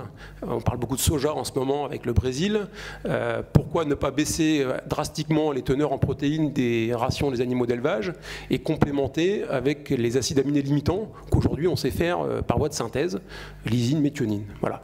Est-ce qu'aujourd'hui, le, consommateur est prêt à se dire j'achète de la viande de porc euh, bas carbone, mais les porcs ont été nourris de manière assez importante avec des acides de synthèse Voilà. C'est une vraie question, parce que là, de, ce point de vue-là, euh, les, bilans gaz à effet de serre ne sont pas neutres. Et je pense qu'il faut se poser la question. Euh, je pourrais parler des OGM, je pourrais parler de plein de technologies comme ça, mais je crois que c'est un choix collectif qu'on doit faire. Euh, C'était d'ailleurs pour ça que dans le, projet Grignon Énergie Positive, dès le départ, on avait un axe fort, nous, de communication pour expliquer au grand public, mais aussi aux scolaires, c'est un, public particulier, euh, tout ce qu'on mettait en place sur la ferme pour améliorer parce que derrière, c'est voilà, un, un, choix collectif. Et il ne faut pas que le monde agricole soit accusé dans 10 ans ou dans 15 ans d'avoir développé des techniques euh, particulières pour être vertueux et d'être critiqué par derrière. Alors, euh, dernier point, et je pense que je vais en, finir avec ça, euh, c'est je, reprendrai en fait les, grands concepts de l'agronomie. On parle souvent de trois concepts l'efficience, c'est-à-dire optimiser au mieux les intrants pour produire plus et mieux. La substitution, bah, c'est remplacer un intrant par un intrant qui est moins impactant, qui a potentiellement les mêmes effets, et la reconception. Donc on parle souvent de reconception de système. Et à mon sens, euh, aujourd'hui, l'agroécologie est peut-être un petit peu trop vue euh, sur le volet uniquement reconception. C'est-à-dire, je caricature, mais euh, on ne fait de l'agroécologie que si on fait de l'agroforesterie, des lentilles, de la cameline et, du pois chiche. Non, je crois qu'il faut, revenir un petit peu quand même aux bases. Euh, je pense que sur les deux premiers leviers d'efficience et de substitution, il reste encore plein plein de leviers. Euh, malgré qu'en France, on a 70 ans de développement agricole derrière nous, il y a encore énormément de gains possibles si on a une approche à la tonne, que ce soit par bilan gaz à effet de serre par litre de lait, par tonne de blé, par tonne de maïs. Je pense qu'on a encore plein plein de leviers aujourd'hui à activer, avec des vrais enjeux derrière de développement. Et je pense qu'il ne faut pas mettre de côté euh, tout le travail qui a été fait et qui est encore fait sur le terrain par les agriculteurs, les conseillers, les techniciens, les ingénieurs, et qui est encore un, enjeu technique, et qu'il ne faut pas reculer devant cet enjeu technique, euh, y compris dans des maisons comme la nôtre, où on forme des ingénieurs qui, demain, seront encore là pour piloter toutes les molettes au mieux, pour être plus efficaces, plus efficients. Et je vais m'arrêter là. Merci beaucoup.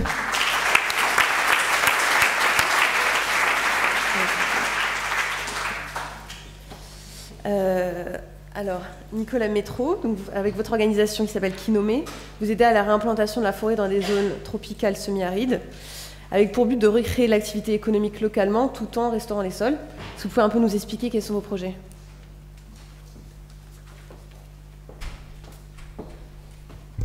Bonjour et merci de m'avoir invité. Donc effectivement, notre métier, l'équipe Kinomé depuis 2005 et nos, nos partenaires assez nombreux, c'est de créer des solutions concrètes aux problèmes dont on a parlé ce matin, sur le terrain, beaucoup en Afrique et en Amérique latine, mais on verra qu'il y a beaucoup de liens avec ce qui vient d'être dit, parce qu'il y a beaucoup de problématiques communes, notamment à tous les agriculteurs euh, du monde. Euh, je vais vous parler de cacao en Côte d'Ivoire, euh, et ça me permettra d'aborder quatre sujets. D'abord, un exemple concret d'utilisation des terres et de voir l'évolution sur 100 ans, parce qu'on a un vrai recul hein, avec des problèmes, et puis aussi des solutions qui commencent à émerger à grande échelle. Ça me permettra euh, du coup d'aborder un sujet qui me semble clé, notamment pour la jeune génération qui, monte, c'est euh, la capacité à travailler tous ensemble. Je pense que s'il y a une chose qu'on n'a pas réussi à faire jusqu'à présent et qui est essentielle pour régler un problème comme le changement climatique, c'est de beaucoup, beaucoup plus faire travailler tous les acteurs ensemble. C'est pas facile.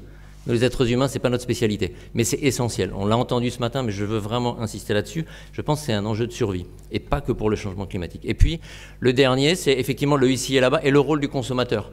Qu'est-ce qu'on peut faire sur ces, euh, euh, sur ces 11 tonnes de tout à l'heure, euh, qui, voilà, la, différence entre ce qu'on fait ici et puis ce qu'on importe? Parce qu'en tant que consommateur, ben, on, a, on, au chapitre.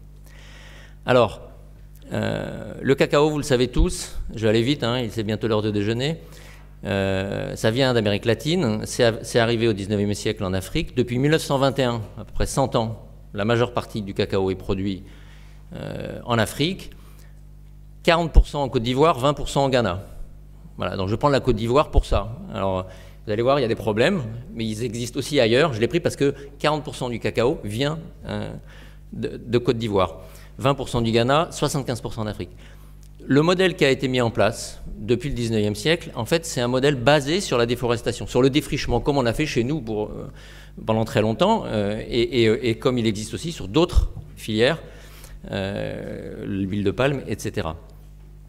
Globalement, on va chercher forêt. Chercher forêt, c'est défricher. On s'installe, on plante, on verra quand même tout à l'heure.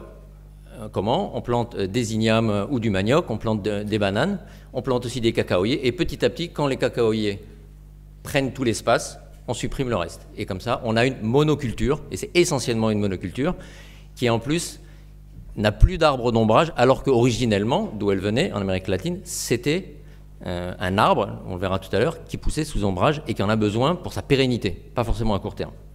Donc qu'est-ce que ça produit? Ben, Ça produit que si on regarde des statistiques, on se rend compte que la zone de répartition du cacao, donc euh, vous prenez aujourd'hui à gauche, aujourd'hui c'est 2013-2015, et puis vous prenez 2030, hein, c'est pas 2100, c'est 2030, c'est dans 11 ans, vous avez une peau de chagrin euh, et une aire de répartition du cacao qui est en train de disparaître. Alors que, et c'est quand même une ironie, la, la, demande du cacao est à peu près garantie sur les 50 ans qui viennent parce que les Chinois, les Russes, les Indiens commencent à de plus en plus manger du cacao. Donc on a une demande garantie, mais on a une offre qui est très menacée. Et ça, c'est vrai en Côte d'Ivoire, mais c'est vrai ailleurs aussi. Alors, qu'est-ce qu'on peut faire? D'abord, le constat. Constat, ça, c'est quoi? Vous allez voir des photos que j'ai prises euh, en Côte d'Ivoire, en visitant des coopératives. Ça, c'est euh, ce qu'on appelle pudiquement le grainage. Le grainage, c'est combien il faut euh, de fèves de cacao pour faire 100 grammes. Et on s'aperçoit que dès qu'il y a une sécheresse, et il y en a de plus en plus, en France, mais aussi là-bas, eh ben, le grainage se casse la figure, c'est-à-dire que là-dessus, il y a au moins un tiers des fèves qui ne sont plus utilisables. Et donc évidemment, un tiers du revenu qui disparaît pour euh, le, producteur. Alors qu'est-ce qui fait le producteur? Si vous n'avez pas trop l'habitude, vous n'avez peut-être pas repéré, les arbres qui sont tout secs, ce sont des cacaoyers. Ils sont tous morts, même si on voit que derrière, il y a d'autres parcelles qui ont survécu. Ils sont tous morts à cause de la sécheresse, euh, disent, les fermiers, et eux, leur, perception, c'est que cette sécheresse, elle est liée à la déforestation. Après, on verra ce que disent les scientifiques là-dessus, mais en tout cas, eux, ils disent très clairement, et partout, il y a moins de forêts, et donc il y a des sécheresses plus graves, et donc on a grillé nos arbres. Et donc, du coup, on replante, comme je disais tout à l'heure, avec des cultures annuelles d'abord, et, puis des cacaoyers qui vont petit à petit reprendre la suite. Le problème, c'est que ça ne règle pas le problème. Le problème, pour le régler, il faut revenir à l'essentiel. L'essentiel, bah, c'est que le cacaoyer, comme je disais tout à l'heure, vous le voyez, c'est l'arbre en bas, là, en bas des étages, dans la, couche intermédiaire numéro 1, qui a ses fruits sur, euh, le tronc. Euh, c'est un coliflore, comme, peu d'arbres. Il a les fruits sur le tronc et sur les branches. Il a l'habitude d'avoir des arbres plus grands que lui, qui le protègent des maladies, de certains aléas climatiques, qui lui prennent aussi de la lumière et de l'énergie, et donc qui lui prennent du rendement. Et parce que ça lui prend, du rendement, il a disparu. Parce qu'au fait, le cacao devenant une commodité mondiale, on a privilégié le rendement à la pérennité du cacao. C'est aussi simple que ça. Donc la réflexion, c'est de se dire comment on peut réintroduire des arbres qui vont permettre d'améliorer euh, la résilience, notamment aux sécheresses, qui vont apporter un revenu complémentaire, qui vont réduire la dépendance. 80% du revenu des planteurs de cacao, c'est le cacao. Ils n'ont quasiment rien d'autre. 20% du PIB ou du PNB euh, ivoirien, c'est le cacao. Une grande partie des, exportations. Donc il y a une dépendance énorme. Comment on peut réduire cette dépendance? Comment on peut réduire la, euh, comment améliorer la résilience au changement climatique et aux maladies? On n'a pas de statistiques officielles en Côte d'Ivoire, mais 18% des plantations de cacao sont infectées par le swollen shot, qui est un, virus au Ghana, par exemple. Et donc, comment tout ça, ça peut être amélioré alors ça, c'est une, parcelle, c'est un jeune, il n'y en a plus beaucoup des jeunes parce que l'agriculteur, aujourd'hui, il a 53 ans en moyenne, c'est à peu près mon âge, sauf que lui, il a 58 ans d'espérance de vie, et tous ses fils, qui en général reprennent la, la ferme, sont partis à Abidjan. Et donc, là, il y a un vrai problème pour les chocolatiers parce qu'il n'y a personne pour reprendre la suite. Comment on fait? Et c'est un problème, évidemment, je vous ai dit qu'il y avait des passerelles avec la France, que messieurs qui ont, qui ont parlé avant moi, évidemment, vivent tous les jours. Donc là, on a réintroduit quoi? Eh bien, on a réintroduit, en plus du cacao, vous voyez, des bananiers, vous voyez euh, des, tubercules, puis il y a des avocats et d'autres qui vont réduire le risque et améliorer la résilience. Et puis voilà ce que ça donne en paysage, au milieu de forêts dégradées, alors que la plupart des cacaoyères, 90% des cacaoyères aujourd'hui, ben en fait c'est des monocultures, donc c'est un couvert euh, continu de, de cacaoyers qui sont de plus en plus malades. Alors une fois qu'on a dit ça, comment on fait pour porter ça à grande échelle? Et comment on fait pour réintroduire des fromagers, par exemple?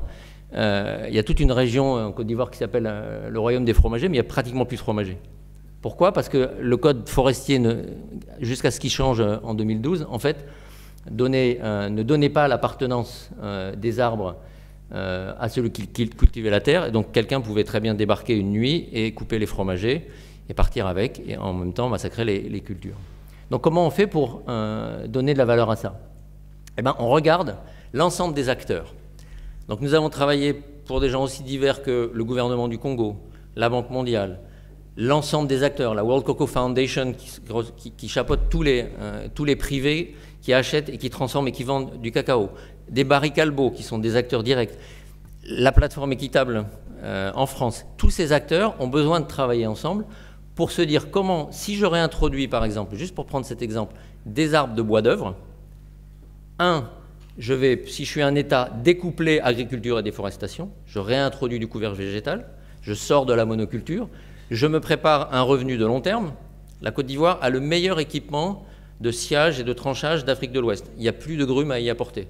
Donc il y a même des sociétés qui sont prêtes à payer les arbres aujourd'hui pour les acheter dans 20 ans. Voyez? Donc là, on a commencé à avoir des solutions économiques. Ça, c'est pour les États. Bah, les forestiers, je viens de le dire, ça leur garantit la durabilité et tout simplement leur survie. Les ONG, ça leur permet de, travailler sur la biodiversité, sur la défense des populations euh, riveraines. La recherche, eh ben, elle s'applique à des problématiques et je suis très heureux de voir qu'on a un rapport aujourd'hui du GIEC qui concerne les trois conventions internationales et qui, aborde le sujet que tout est lié.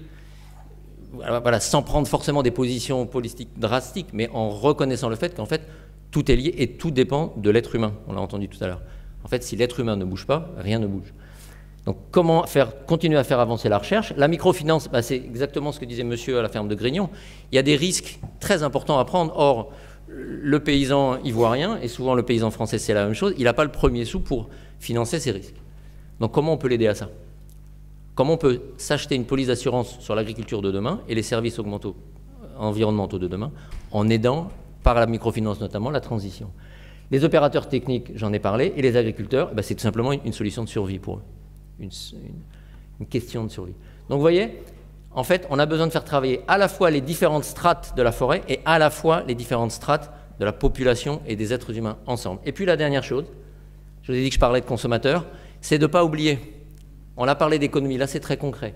Quand vous prenez une tablette de chocolat ivoirienne, il y en a deux tiers qui sortent du pays, de la valeur ajoutée, il y en a 7% qui restent aux producteurs. Tant que vous avez ça, il n'y a aucune possibilité de résilience pour un, pour un producteur de cacao. Et il ne va pas demander à ses fils de rester sur sa, sur, sa plantation. Ce n'est pas possible. Donc nous, consommateurs, vous tous, même sans, aller, même sans travailler dans le développement, même sans, sans aller en Côte d'Ivoire, vous pouvez vous dire, quand j'achète du cacao, et c'est pareil, hein, d'ailleurs c'est une des très belles choses sur le ici et là-bas, comprendre comment ce qu'on fait là-bas importe ici. Le commerce équitable est en train de se développer ici grâce à ce qui a été fait là-bas dans les pays du Sud sur le café, les bananes, le cacao par exemple. En appliquant et en étant plus exigeant sur ces labels, par exemple, euh, de certification, vous pouvez accélérer cette transition. Vous pouvez redonner un peu de pouvoir à ces agriculteurs notamment. Et puis, vous pouvez vous poser la question, et nous devons nous poser la question, est-ce que quand j'achète une plaque de chocolat, est-ce que je l'achète vraiment au bon prix est-ce que si je mettais 50 centimes de plus, ça serait un drame Probablement pas. Et ça permettrait à la fois d'augmenter ce 7% et de faire passer au-dessus du seuil de survie et donc au-dessus du seuil de capacité à agir sur son avenir 800 000 familles en Côte d'Ivoire, 6 millions, ça c'est juste les agriculteurs engagés dans le cacao. Je ne parle pas de tous les autres, sachant que tout ce que j'ai dit, ça a des conséquences sur les autres types d'agriculture en Afrique de l'Ouest et ailleurs. Merci. Merci beaucoup. Alors, donc il est 13 heures passées. Euh, on a dû évacuer l'autre amphi. Mais on peut rester, jusqu'à 13h30 ici. Je, vais être super rapide puisque je suis la dernière à intervenir. Bah, allez-y, commencez directement. Alors déjà, je voulais euh, juste euh, dire ce que, ce que mon prédécesseur voilà, vient. Euh, ce qu'on fait ici a des impacts aussi sur ce qui se passe à l'autre bout du monde. Donc, sans rentrer dans les détails de ce qui vient d'être dit tout à l'heure par rapport au soja, je pense qu'on peut aussi penser à l'autonomie protéinique des élevages. On a quand même 2 millions de tonnes de soja qui sont importées. Il y a 60% qui viennent du Brésil. Donc je pense qu'en étant aussi sur euh, un élevage euh, avec euh, des protéines, des sojas, donc je viens des Landes, je peux vous dire qu'on n'a pas que du maïs, on a aussi du soja maintenant pour rendre autonomes les élevages. Comme on n'a pas beaucoup de temps, je vais rester sur ma lecture. Je sais que ça fait à peu près 7 minutes. Donc, euh, euh, depuis plusieurs années, déjà, la région Nouvelle-Aquitaine a pris conscience de, l'urgence climatique, euh, la nécessaire transformation de notre mode de développement, entre autres grâce à la coopération avec le monde scientifique. Les travaux ont servi de base permettant d'objectiver et d'aider à la décision publique afin de réorienter progressivement les politiques en connaissance de cause et des conséquences probables. Donc sur cette image, une, présentation rapide. Donc je vous passe les chiffres qui sont déjà inscrits. on a 12 départements. Euh, il y a 5,8, ça c'est déjà marqué. Donc au niveau de nos compétences, vous voyez les transports, les lycées, la gestion des fonds européens, l'économie, l'aménagement du territoire, le tourisme, la culture et le sport. Ce qui nous permet aussi d'avoir une politique climatique territoriale un peu transversale et pour euh, aller un peu aussi sur cette transversalité, nous avons organisé, donc dès 2016, nous avons réuni le COPTEC, qui est une COP régionale avec les acteurs de la transition énergétique, les agriculteurs et écologiques. Euh, donc sur, euh, on peut passer rapidement sur l'image 2. des chiffres supplémentaires. Donc, nous sommes la première région agricole française et européenne. on est aussi la première région en termes d'utilisation de pesticides. Euh, et européenne d'ailleurs aussi. En 2018, notre région était classée euh, deuxième région bio-française en nombre de fermes. Euh, par la volonté aussi de la région, nous avons été à compenser un, arrêt du, maintien à l'agriculture biologique du gouvernement. Donc nous avons compensé en votant 28 millions d'euros pour le maintien, parce que si on veut aussi accompagner la transition agricole, il faut être incitatif, il faut soutenir les parcours. Les trois premières années sont difficiles pour les agriculteurs, donc déjà on a essayé de, voir comment permettre d'augmenter cette surface en bio. Donc ça nous fait à peu près 7% de la la surface agricole utile régionale de 44,2 millions d'hectares. Euh, on est aussi la première région de France métropolitaine pour ses surfaces boisées, avec 2,8 millions d'hectares de forêt.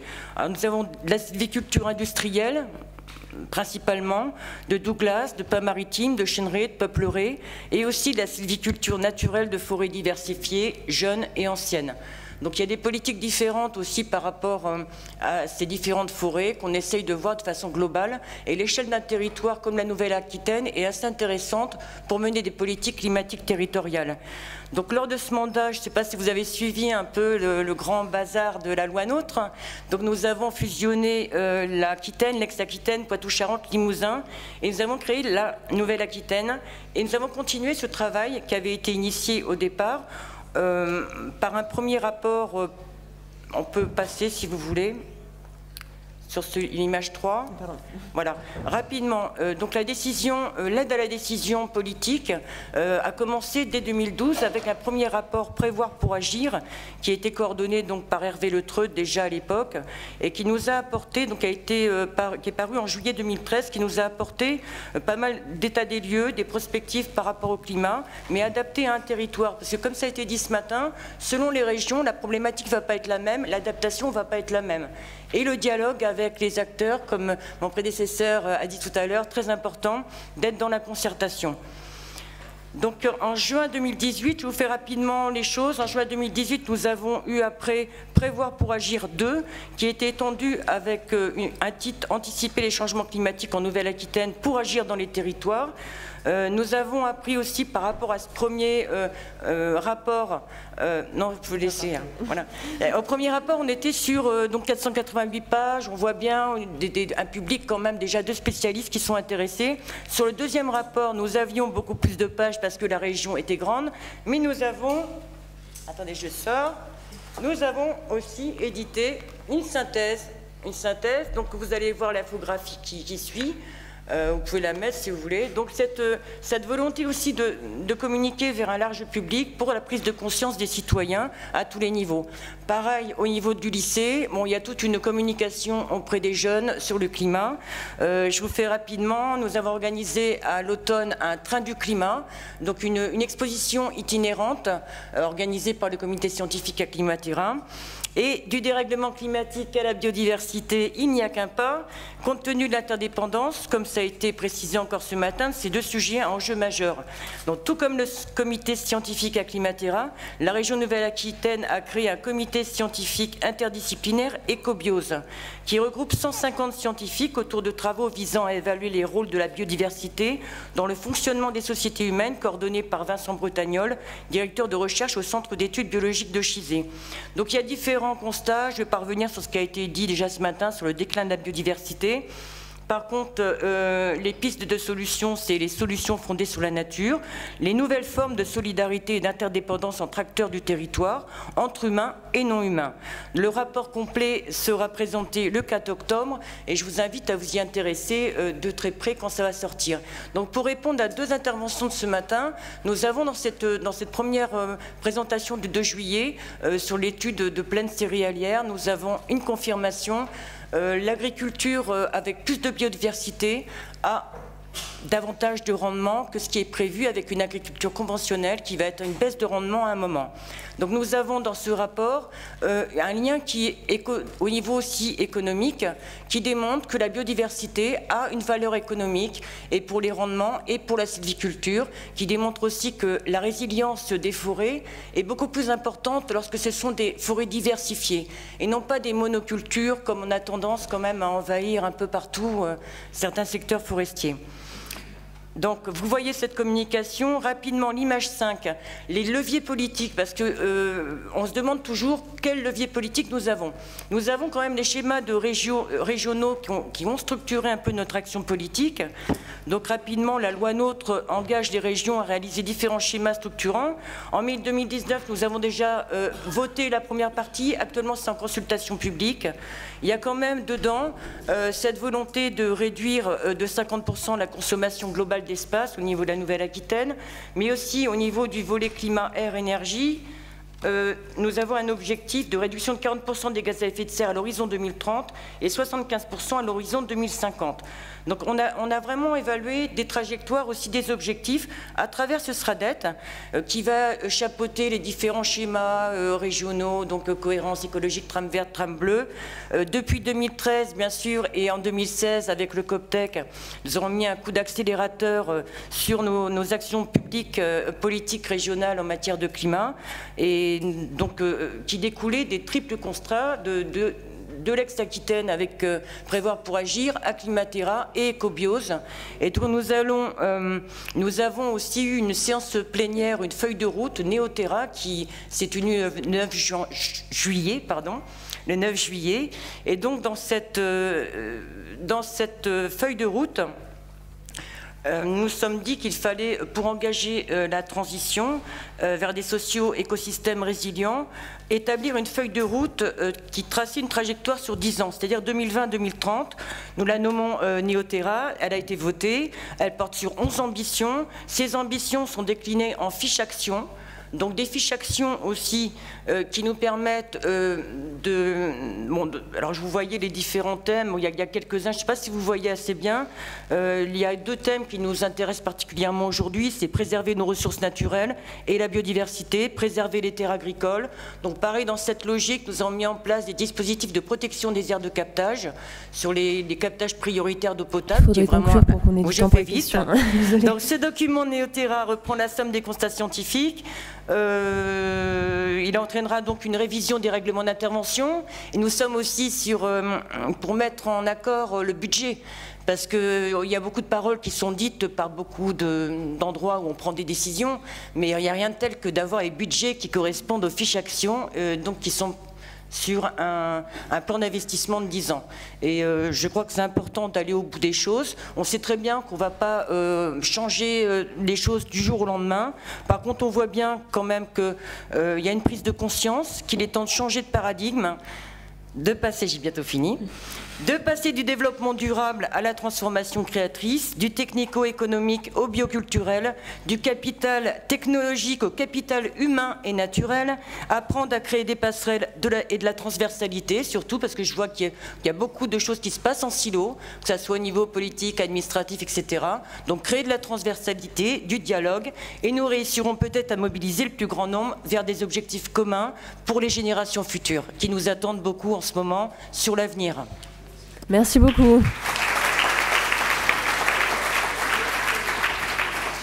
Euh, alors je vais passer aux questions rapidement. Il y a peut-être des gens de l'autre amphi qui sont venus, qui étaient un peu frustrés de ne pas en avoir posé. Euh, s'il y a des gens qui ont envie de poser des questions. Euh, il y a monsieur là-haut, en haut à droite, là-haut, tout en haut à droite.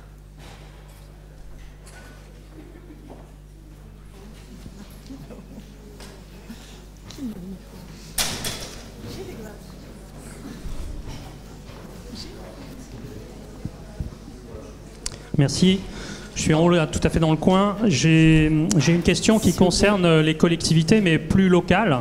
Euh, militant beaucoup au niveau associatif, je trouve qu'on a euh, des supports ou pas, ou finalement des oppositions dans les, dans les collectivités locales, donc euh, mairies et, intercommunalités, qui sont très puissants, en particulier au niveau de l'utilisation des terres.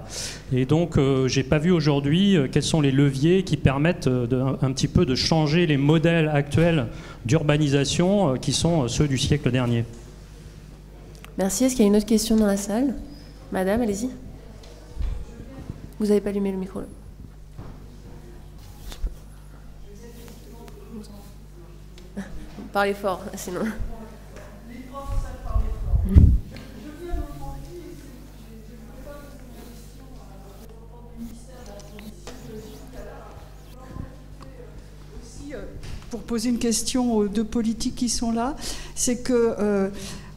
nos deux représentants de l'agriculture ont bien précisé euh, l'importance de la demande, de ce que, euh, parce que rien ne se fera si les, citoyens consommateurs ne euh, marchent pas avec. Et qu'est-ce qui est fait aujourd'hui pour que ces, politiques qu'on veut mettre en place. Aude tout à l'heure avait parlé de l'appropriation par les autres ministères, mais le public s'y approprie aussi. Parce que je suis sûre que, parmi nous, il y en a qui sont déjà euh, véganes en, vélo. Et eux, bon, d'accord, ils font bien les choses. Il y en a aussi, ils sont sûrement pas là, qui voudront jamais changer. Mais le plus important, c'est la majorité de nos concitoyens, et nos concitoyens également au niveau de l'Europe, qui sont peut-être prêtes à changer, à condition que ça paraisse pas comme euh, une punition, comme quelque chose de difficile, etc. Donc je voulais savoir ce qui était, quels étaient ces volets autour de la demande euh, qui étaient, qui étaient pensés.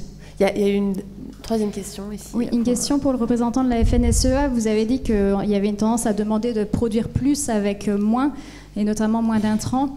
Euh, quand on sait aujourd'hui qu'on produit assez pour nourrir plus de 10 milliards de personnes et que dans le même temps on a près de 30% de la production qui est perdue ou gaspillée, euh, est-ce que vous pensez réellement aujourd'hui, et au vu aussi des changements de régime alimentaire qui sont demandés en termes de santé publique, puisqu'on a 2 milliards de personnes dans le monde qui souffrent de surpoids ou d'obésité, euh, qu'il faut réellement continuer de produire plus dans les années à venir Est-ce que la France a réellement vocation à être euh, euh, le grenier du monde et à nourrir les, autres, les autres quand on connaît les, phénomènes de déstructuration des filières locales? Je pense notamment à, un phénomène autour de la filière laitière. il y a une campagne qui s'appelle N'exportons pas nos problèmes qui montre comment ce, cette tendance à l'exportation peut aujourd'hui déstructurer des filières locales dans d'autres pays. Donc est-ce que vous pensez réellement que c'est vraiment produire plus avec moins qui est demandé aujourd'hui. Je pense à un scénario aussi de l'IDRI euh, qui réfléchit à la transition agroécologique euh, de l'Europe d'ici à 2050 et qui montre qu'aujourd'hui, on pourrait aussi se permettre euh, de réduire certaines productions et, d'accepter une certaine baisse de rendement pour certaines productions. Merci beaucoup. alors, qui veut répondre aux questions? Peut-être sur les leviers locaux, peut-être oui. Pour la première question, euh, il y a différentes choses qui peuvent aussi euh, stimuler euh, l'adaptation et l'atténuation, enfin une politique d'adaptation et d'atténuation au niveau communal. On a déjà le SRADET où les, PLUI, les SCOT et les PLU devront, devront être. le SRADET va être prescriptif. Alors je sais bien que c'est un petit peu lent parce que le SRADET n'est pas encore voté, les, les PLU et les SCOT qui ont déjà été votés, il va falloir attendre la prochaine fois. Donc ça, c'est un élément. Après, au niveau de la région, souvent, c'est pas connu. On essaye de communiquer un maximum auprès des collectivités sur nos appels à projets, nos appels à manifestation d'intérêt. Donc on soutient des collectivités au niveau des bâtiments publics en autoconsommation solaire. On a une aide à l'ingénierie. Euh, au niveau des projets de territoire aussi, on peut donc on est plus sur des projets de territoire où parfois les collectivités ont du mal à s'entendre. Donc c'est aussi euh, un, frein qu'on a. Et on a aussi euh, une coopération avec le monde agricole donc, euh, et sur l'alimentation, avec les, systèmes d'alimentation territoriaux qu'on met en place progressivement, aussi avec le monde agricole et les citoyens par rapport à la protection de la ressource en eau et avec les collectivités.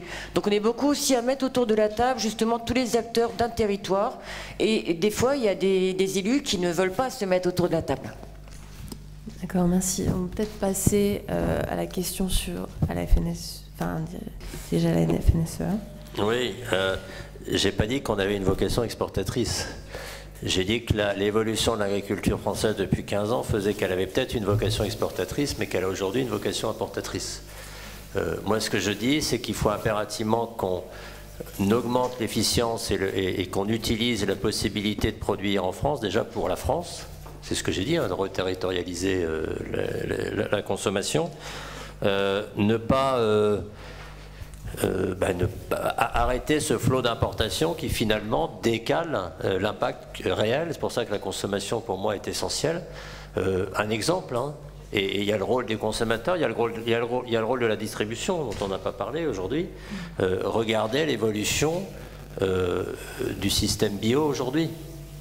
On est passé d'un système bio de, niche sur des circuits courts, sur des marchés qui restent et qui restera.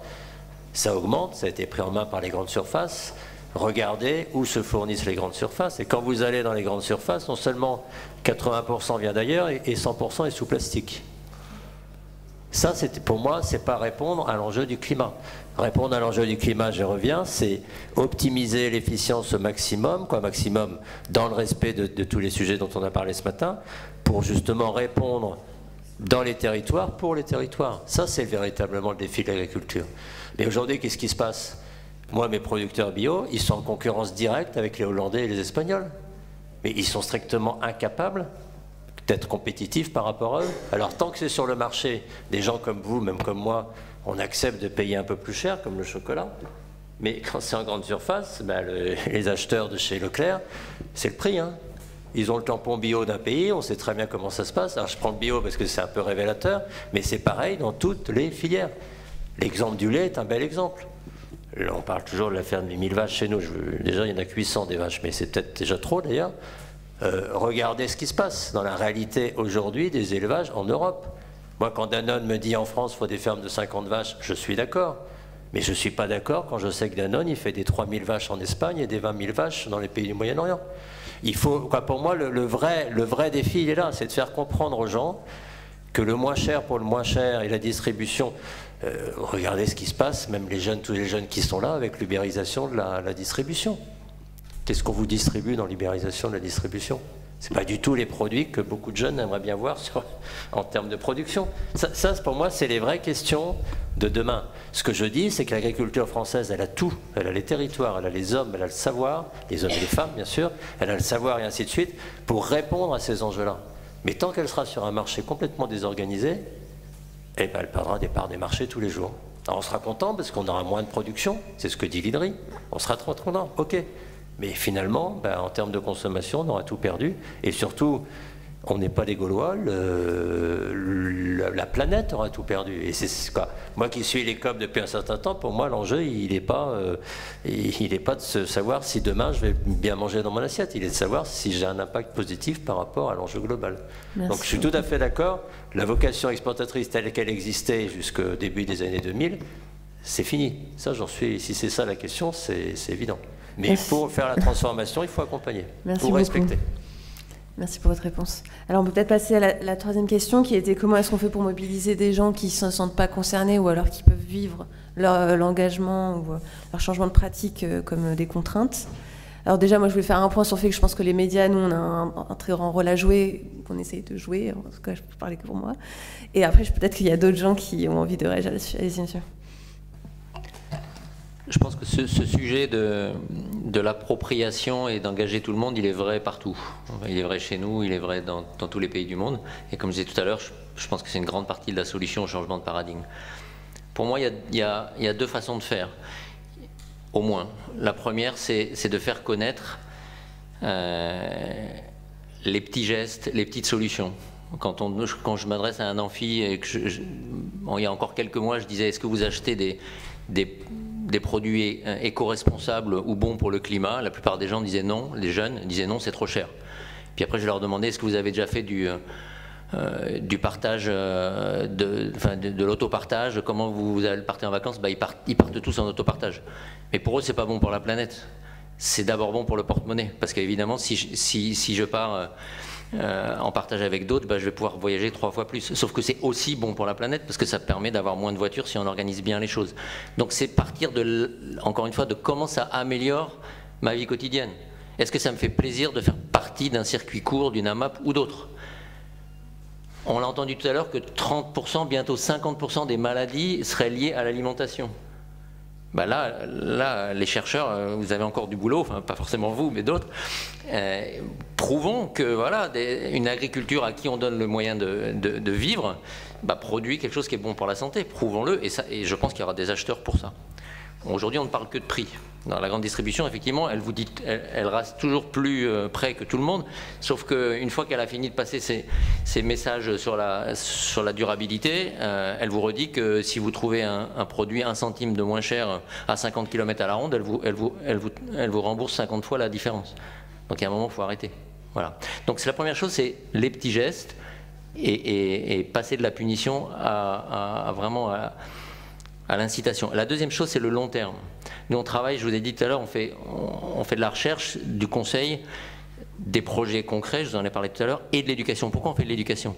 Parce que c'est en plantant des arbres avec les enfants du primaire, comme on fait depuis, notamment euh, dans les Landes, depuis la tempête Klaus, depuis 10 ans, 15 ans, qu'on plante la petite graine, cette fois-ci, pas seulement dans la terre, mais dans le cœur du gamin, qui, un, réapprend ce que c'est le temps long, parce qu'il plante un arbre pour des, pour des gens qui ne connaissent même pas, réapprend la gratuité, remet les mains dans la, matrice, dans, la nature, dans le sol, apprend que les vers de terre, c'est pas Burke, mais en fait, c'est les ingénieurs de la vie, etc., etc. Et donc devient acteur tout de suite.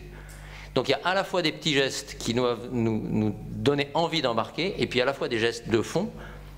Je pense que c'est impératif, impératif que tous les enfants du primaire aillent planter des arbres au moins une fois dans leur, euh, dans leur primaire. La moitié des enfants que j'emmène planter des arbres, ils n'ont jamais été en forêt. Ils savent ce que c'est un arbre. Ils savent ce que c'est éventuellement un bois, mais ils ne savent pas ce que c'est une forêt. La moitié. Ben, comment vous voulez qu'on préserve nos forêts comme ça? Donc voilà, ça c'est le long terme, c'est le terrain, c'est comme quand dans un jardin, ben, on, arrose et puis on prépare le sol. Voilà. Merci on a besoin de ces deux choses. Merci beaucoup. Je vais passer la parole à Nathalie Nobé du Coudray qui va faire une conclusion pour conclure cette belle matinée.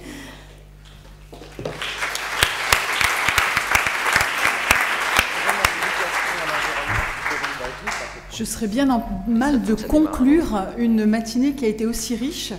Je voudrais tout d'abord remercier tous nos intervenants qui ont, été, euh, qui ont apporté un éclairage que j'ai trouvé absolument extraordinaire. Je voudrais remercier toute l'équipe et je ne nommerai personne parce que je vais effectivement oublier plein de monde, mais j'ai eu beaucoup, beaucoup de monde pour m'aider à préparer ça. J'ai eu beaucoup de gens qui m'ont aidé à penser et beaucoup de gens qui m'ont aidé avec des petites mains. Et je ne sais pas lesquels sont les plus importants, mais je pense qu'ils ont tous le même niveau d'importance. Ensuite, je pense qu'on a eu des... euh, Je pense qu'on a eu plusieurs messages, euh, plusieurs messages d'espoir. Euh, premier message, évidemment, les solutions existent, il y en a beaucoup. On les maîtrise et il faut qu'on se mette ensemble pour réussir. Et je pense que l'exemple que Nicolas Métro a présenté tout à l'heure est une preuve vivante que c'est possible et qu'il appartient à chacun de nous de faire cet effort. Et la, deuxième, la dernière chose que je voudrais dire, c'est qu'on a parlé tout à l'heure des, euh, des confiances élevées, moyennes ou faibles.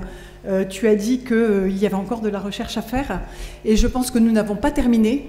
Il y a encore énormément de travail, non seulement d'appropriation de ce rapport et des solutions, mais aussi les questions de recherche qui restent irrésolues et qui vont enchaîner sur des questions de formation à faire progresser, évidemment, notamment ici dans cette école, puisque nous sommes au cœur de ces sujets. Je vous remercie, je vous remercie d'avoir été aussi nombreux. Il paraît que derrière YouTube, ils sont plus de 300, et dans certaines connexions YouTube, c'est dans un amphi de 300 personnes. Donc euh, j'espère que le message est passé. Je vous remercie infiniment et bonne fin de journée.